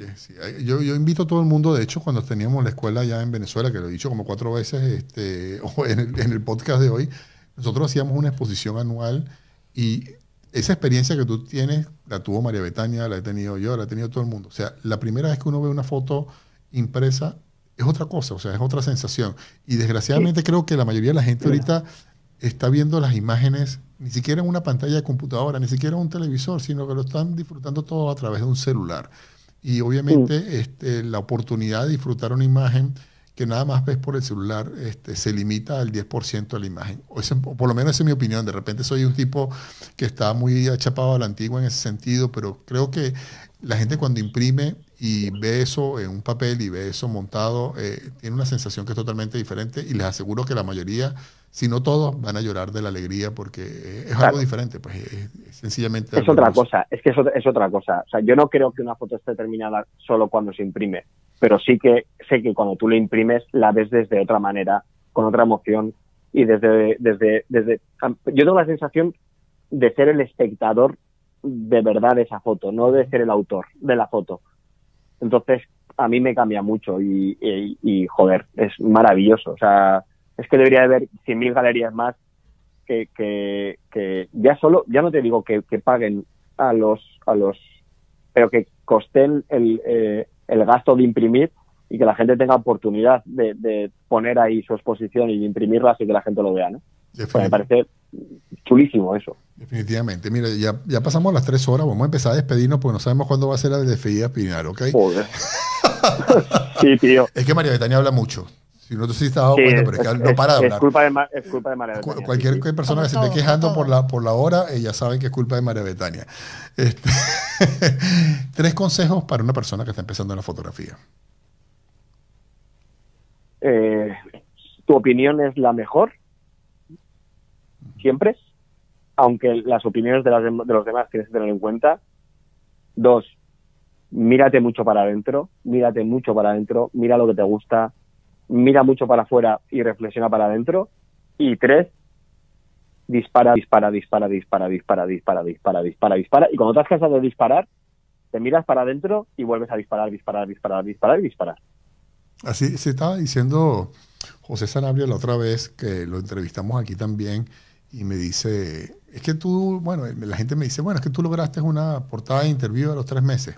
Sí, lo que la gente no sabe es que yo en esos tres meses hice eh, creo que fueron sesenta y pico de sesiones en tres meses. Entonces, claro. entonces eh, la experiencia que normalmente tiene un fotógrafo para hacer esas sesenta y pico de sesiones, que posiblemente le tome tres años, a él le tomó tres meses. Entonces agarraste toda la experiencia de tres años y la acumulaste en tres meses. Y obviamente tu fotografía se potencia. Entonces la gente tiene que disparar. Y lo valioso de, lo que acaba de decir Abel es que no mencionó que debías tener cierto equipo o que sin cierta cámara no podías empezar. No, eso queda en otro plano. Si vas a empezar, empieza con lo que tienes y como lo acaba de decir él, dispara y revisa mucho. Claro, claro. Es que el equipo, el, equipo, eh, eh, mm, el equipo no te va a hacer la foto. El equipo te va a poner que te va a poner las posibilidades de que tú creas o quieras creer que puedes hacer más cosas, pero luego tienes la obligación de hacerlo. Con lo cual, mm, cuanto mejor equipo, más obligado a hacer más cosas eh, tienes que hacer. Porque tienes un equipo que lo soporta. O sea, ya está, es así. Pero es hacer, hacer y hacer. Y, y, la diferencia entre uno eh, en, en, en, la vida medimos las cosas en tiempo, ¿no? En, en horas. En fotografía se miden en disparos. Cuantos más disparos, más evolucionas. No se miden horas, se miden disparos. Claro. No es que los, y, lo quiero recalcar aquí, no es que los equipos no importan y, ¿sabes? Y puedes hacer la misma foto con una Hasselblad que con BlackBerry, ¿sabes? Para algo así que de, las primeras cámaras con fotografía, de los primeros celulares con fotografía. Mm. Obviamente son herramientas que te van a permitir lograr ciertos objetivos, pero eso no, eso, eso no va a definir el fotógrafo ni va a definir tu fotografía. Lo que va a ser una herramienta que te va a permitir hacer cosas de una manera más sencilla o más compleja, pero igualito lo vas a lograr. Y recordar lo que decía Henry Cartier-Bresson, que tus primeras 10.000 fotografías van a ser las peores, así que por favor no nos pongamos la barra de la expectativa tan alta. Sí, señor. es que es como la perfección, ¿no? Dice, yo voy a hacer la foto perfecta. Le digo, pues yo no. porque cuando haga la foto, porque, porque primero la perfección no existe. Segundo, imagínate que algún día se cruzan todos los astros, tienes toda la suerte del mundo concentrada en ese segundo que disparas y tienes la foto perfecta. ¿Qué vas a hacer el resto de tu vida? Sí, sí, ya la si no, vas a si, si no vas a mejorar lo que ya has hecho. Pues chico, pues deja la cámara a un lado y, y, dedícate a la cocina, ¿no? Ya está. definitivamente, porque no vas a tener, o sea, ya el, el, el, tope o la barrera para poder superarla, que es una de las cosas hermosas de la fotografía, de poder continuamente superarte, no lo vas a poder lograr. Entonces, sencillamente lo dejas hasta ahí y ya está, y te dedicas a otra cosa, corte y costura, yo qué sé, cualquier vaina que te llame la atención. Este, Tres consejos para, para una persona que quiera arrancar con la iluminación, que era el tema principal de este podcast, ¿no? Hablar de la iluminación y que eso es parte de la fotografía. Si quiero arrancar con la iluminación, ¿qué le recomiendas a una persona que, ya sabe manejar su cámara, ya entiende que el proceso tiene que ser alegre y tengo que ser feliz y tengo que hacer lo que a mí me gusta y mi opinión es lo, más importante? ¿Qué le recomendarías tú? A Primero, el flash, el flash es tu mejor amigo. Es decir, no es ni tu enemigo, ni tiene que ser una herramienta que te haga sufrir, ni dudar, ni nada. El flash es tu mejor amigo y el flash solo va a hacer lo que tú quieras hacer con él. Segundo, eh, estudia muchísimo la, la o sea, las características de la luz para que luego puedas decir con cuál de esas características quieres trabajar. Muchísimo. Y mira al canal de Social Arte, mira a John, mira a García, mira a Edu, mira a Rubén, mira a todos y luego no les hagas caso a nadie. Porque te tienes que hacer caso a ti mismo. Y tercero, eh, la fotografía es pintar con luz si tú eliminas la última palabra, la fotografía no existe. Tal cual. Totalmente de acuerdo contigo. Bueno, hermano, este es tu canal. Ahorita te doy todo el chance para que te despidas, para que hables, para que lo que quieras comunicar a la gente.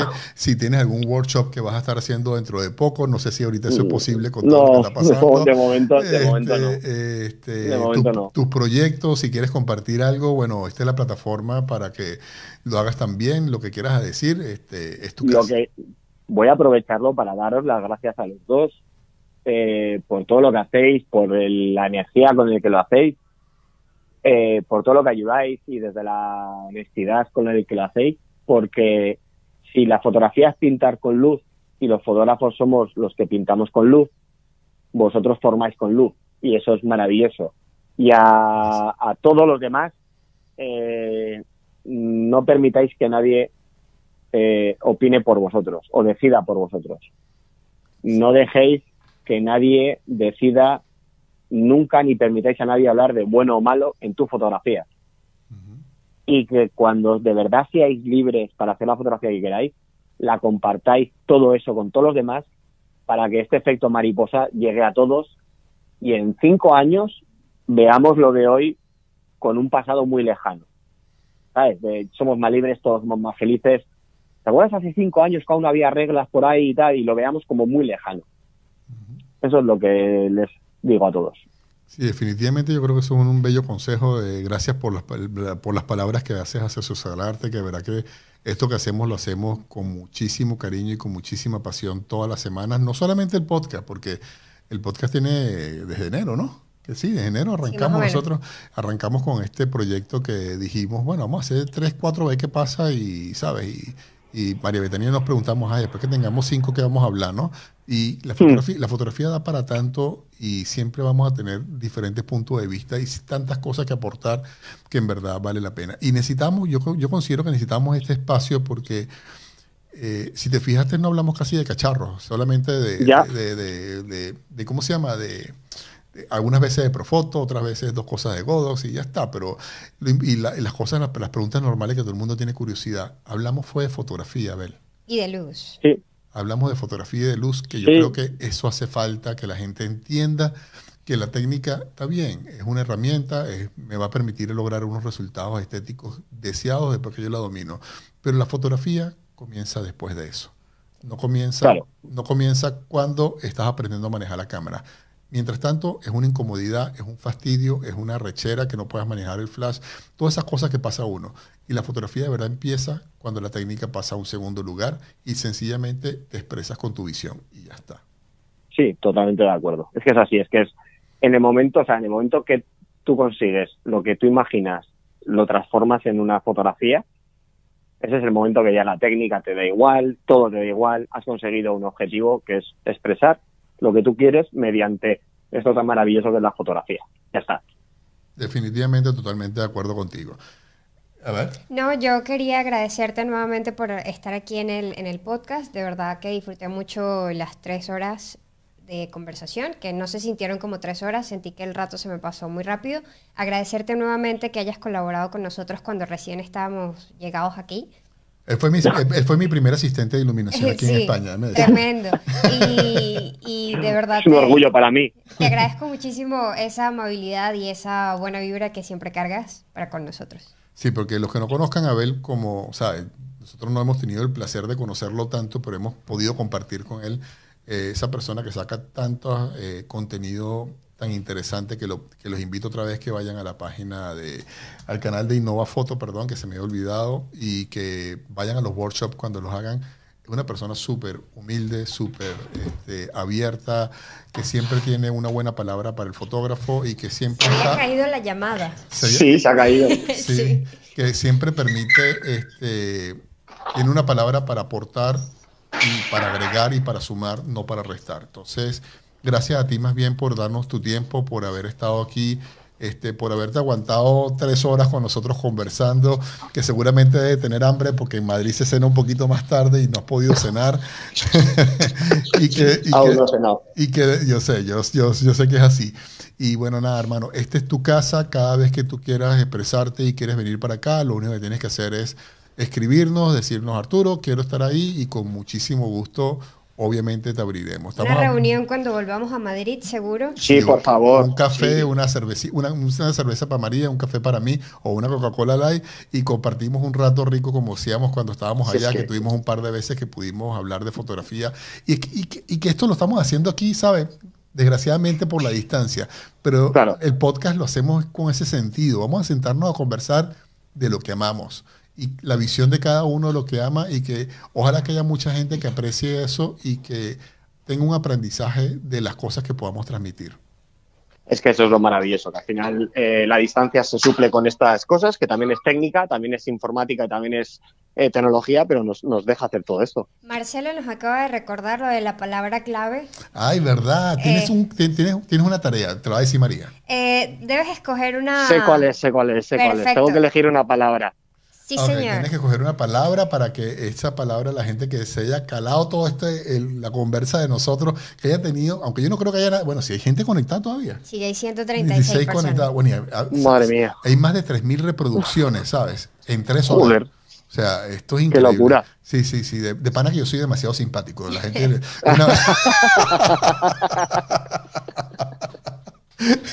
tu palabra clave, Abel.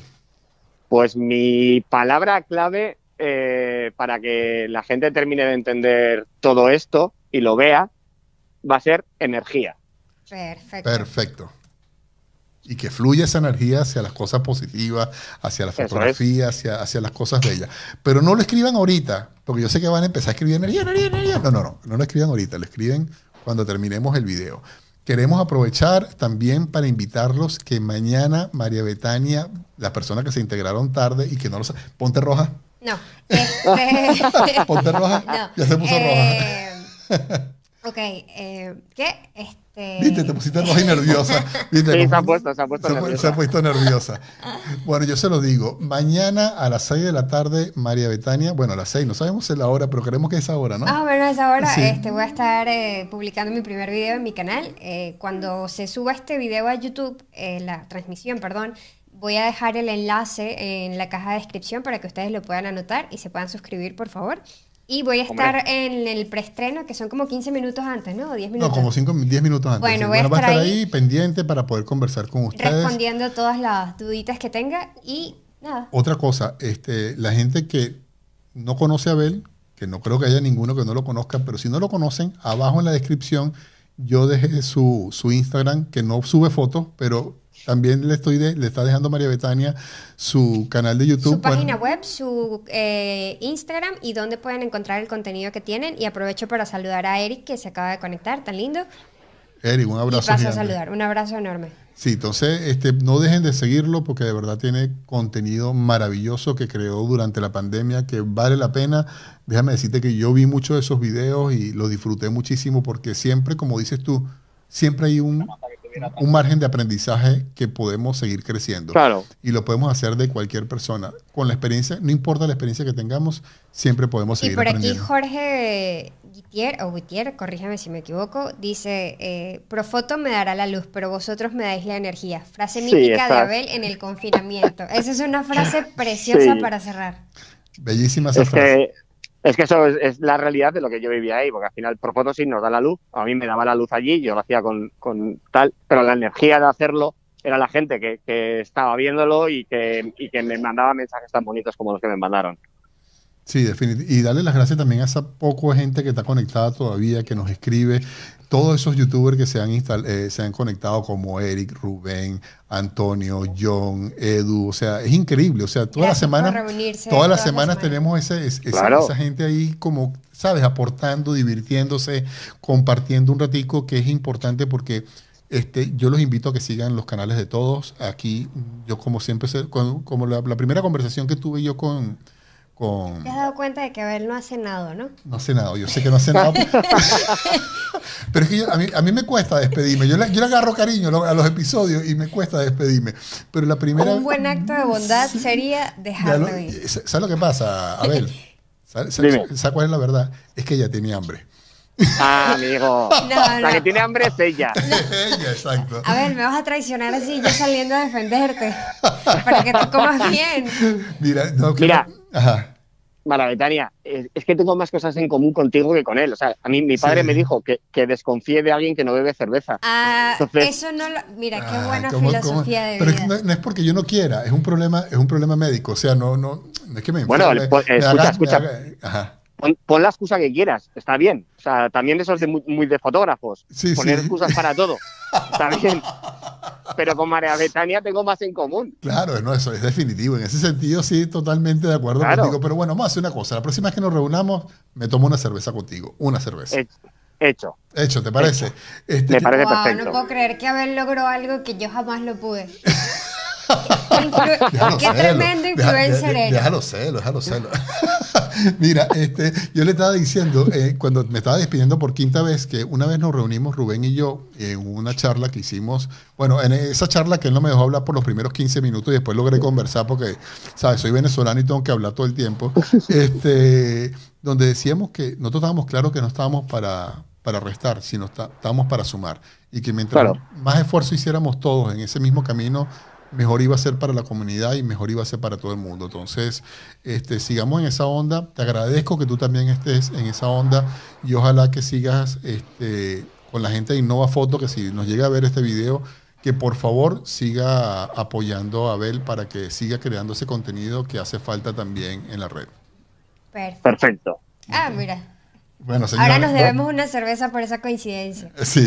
Amar de verdad. Eh, yo, me, yo, yo, me voy a tomar una y, voy a imaginar que la estamos tomando juntos. En cuanto colguemos, yo me tomo una. Ah, perfecto. María, va a, hacer, María va a hacer lo mismo, seguramente. No tengo, pero seguramente lo haré. Ya, se acabó, se acabó, la cerveza. Claro que sí. Se acabó la, cerveza ya. La cerveza se compra para tomársela. Exactamente. Bueno, a ver, un, millón, un millón de gracias por estar aquí para ver. 3 horas y 22 minutos, ya es hora que vayas a comer.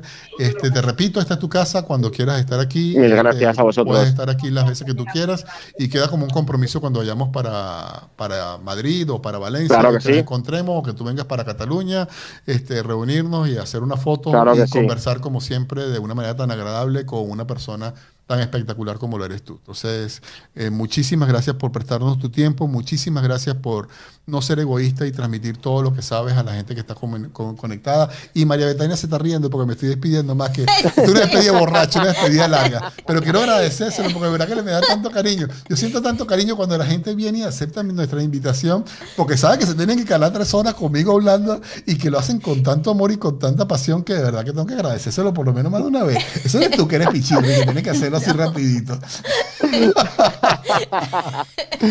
Hermano, un abrazo. Un abrazo, muy grande a los dos. Gracias. Hasta luego. Chao, chao. Chao.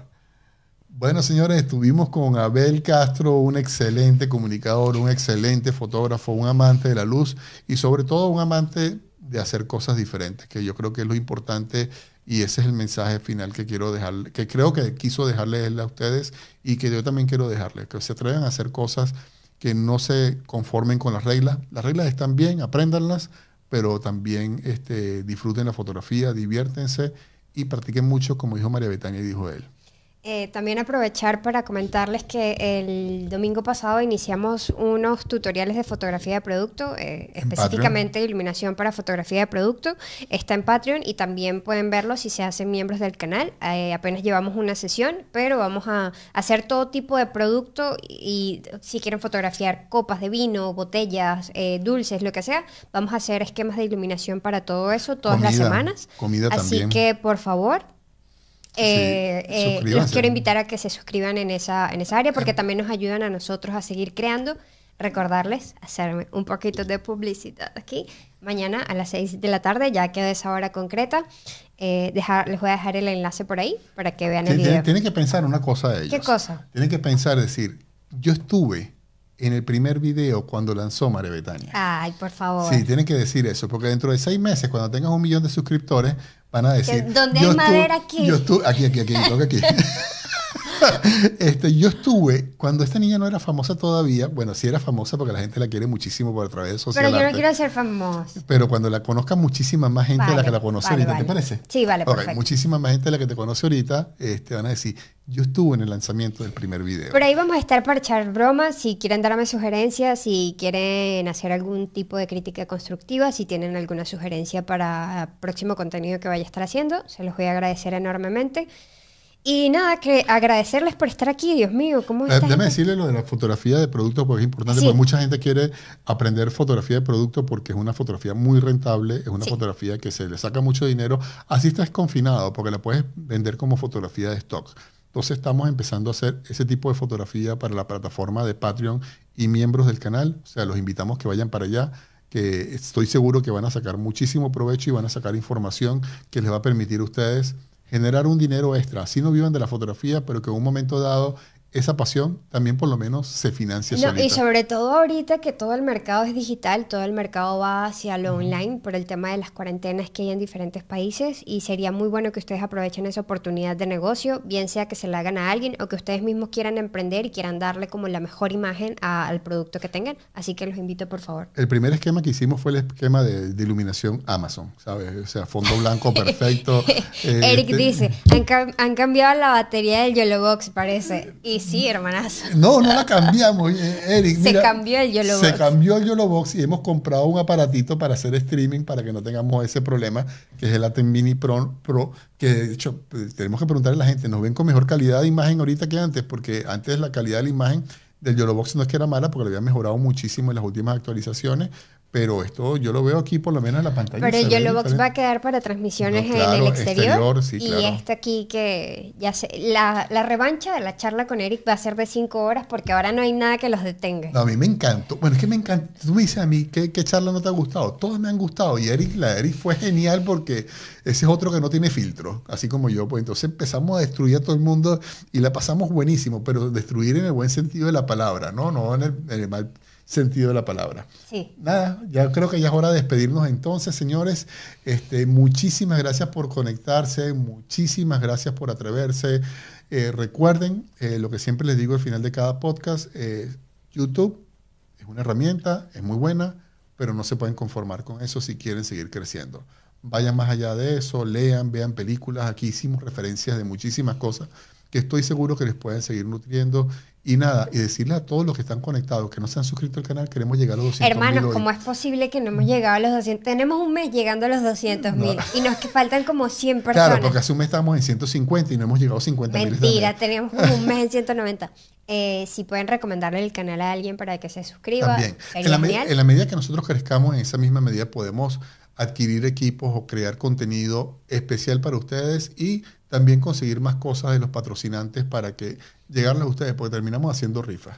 Dicho todo esto, amigos míos, amigas mías que estuvieron por allí eh, conversando, eh, un abrazo para todos. Gracias Se les quiere un montón. Muchísimas gracias por atreverse y nos vemos en el próximo video. Podcast, no otra uh, ah, vez, otra vez. vale. Ok, otra vez. Muchísimas gracias por atreverse y nos vemos. En el próximo episodio del podcast. Ok, el próximo miércoles a las ocho y media. No, no, nos vemos mañana a las seis de la tarde en el lanzamiento del video de María Betania. Lo, eh, ahorita María Betania les vuelve a dejar el link ahí abajo. Es que, no encuentro cómo copiar el link de mi, de mi cuenta a, a, los comentarios, así que no sé, pero encontraré la manera. Búsquenlo en la caja de descripción. de este lo, lo voy a dejar más tarde por ahí y no dejen de suscribirse que está creando un contenido súper fresco, súper diferente y de verdad que es súper divertida como es ella, ¿sabes? Con sus cosas que... Gracias, gracias por los piropos. Sí. Adiós. Adiós.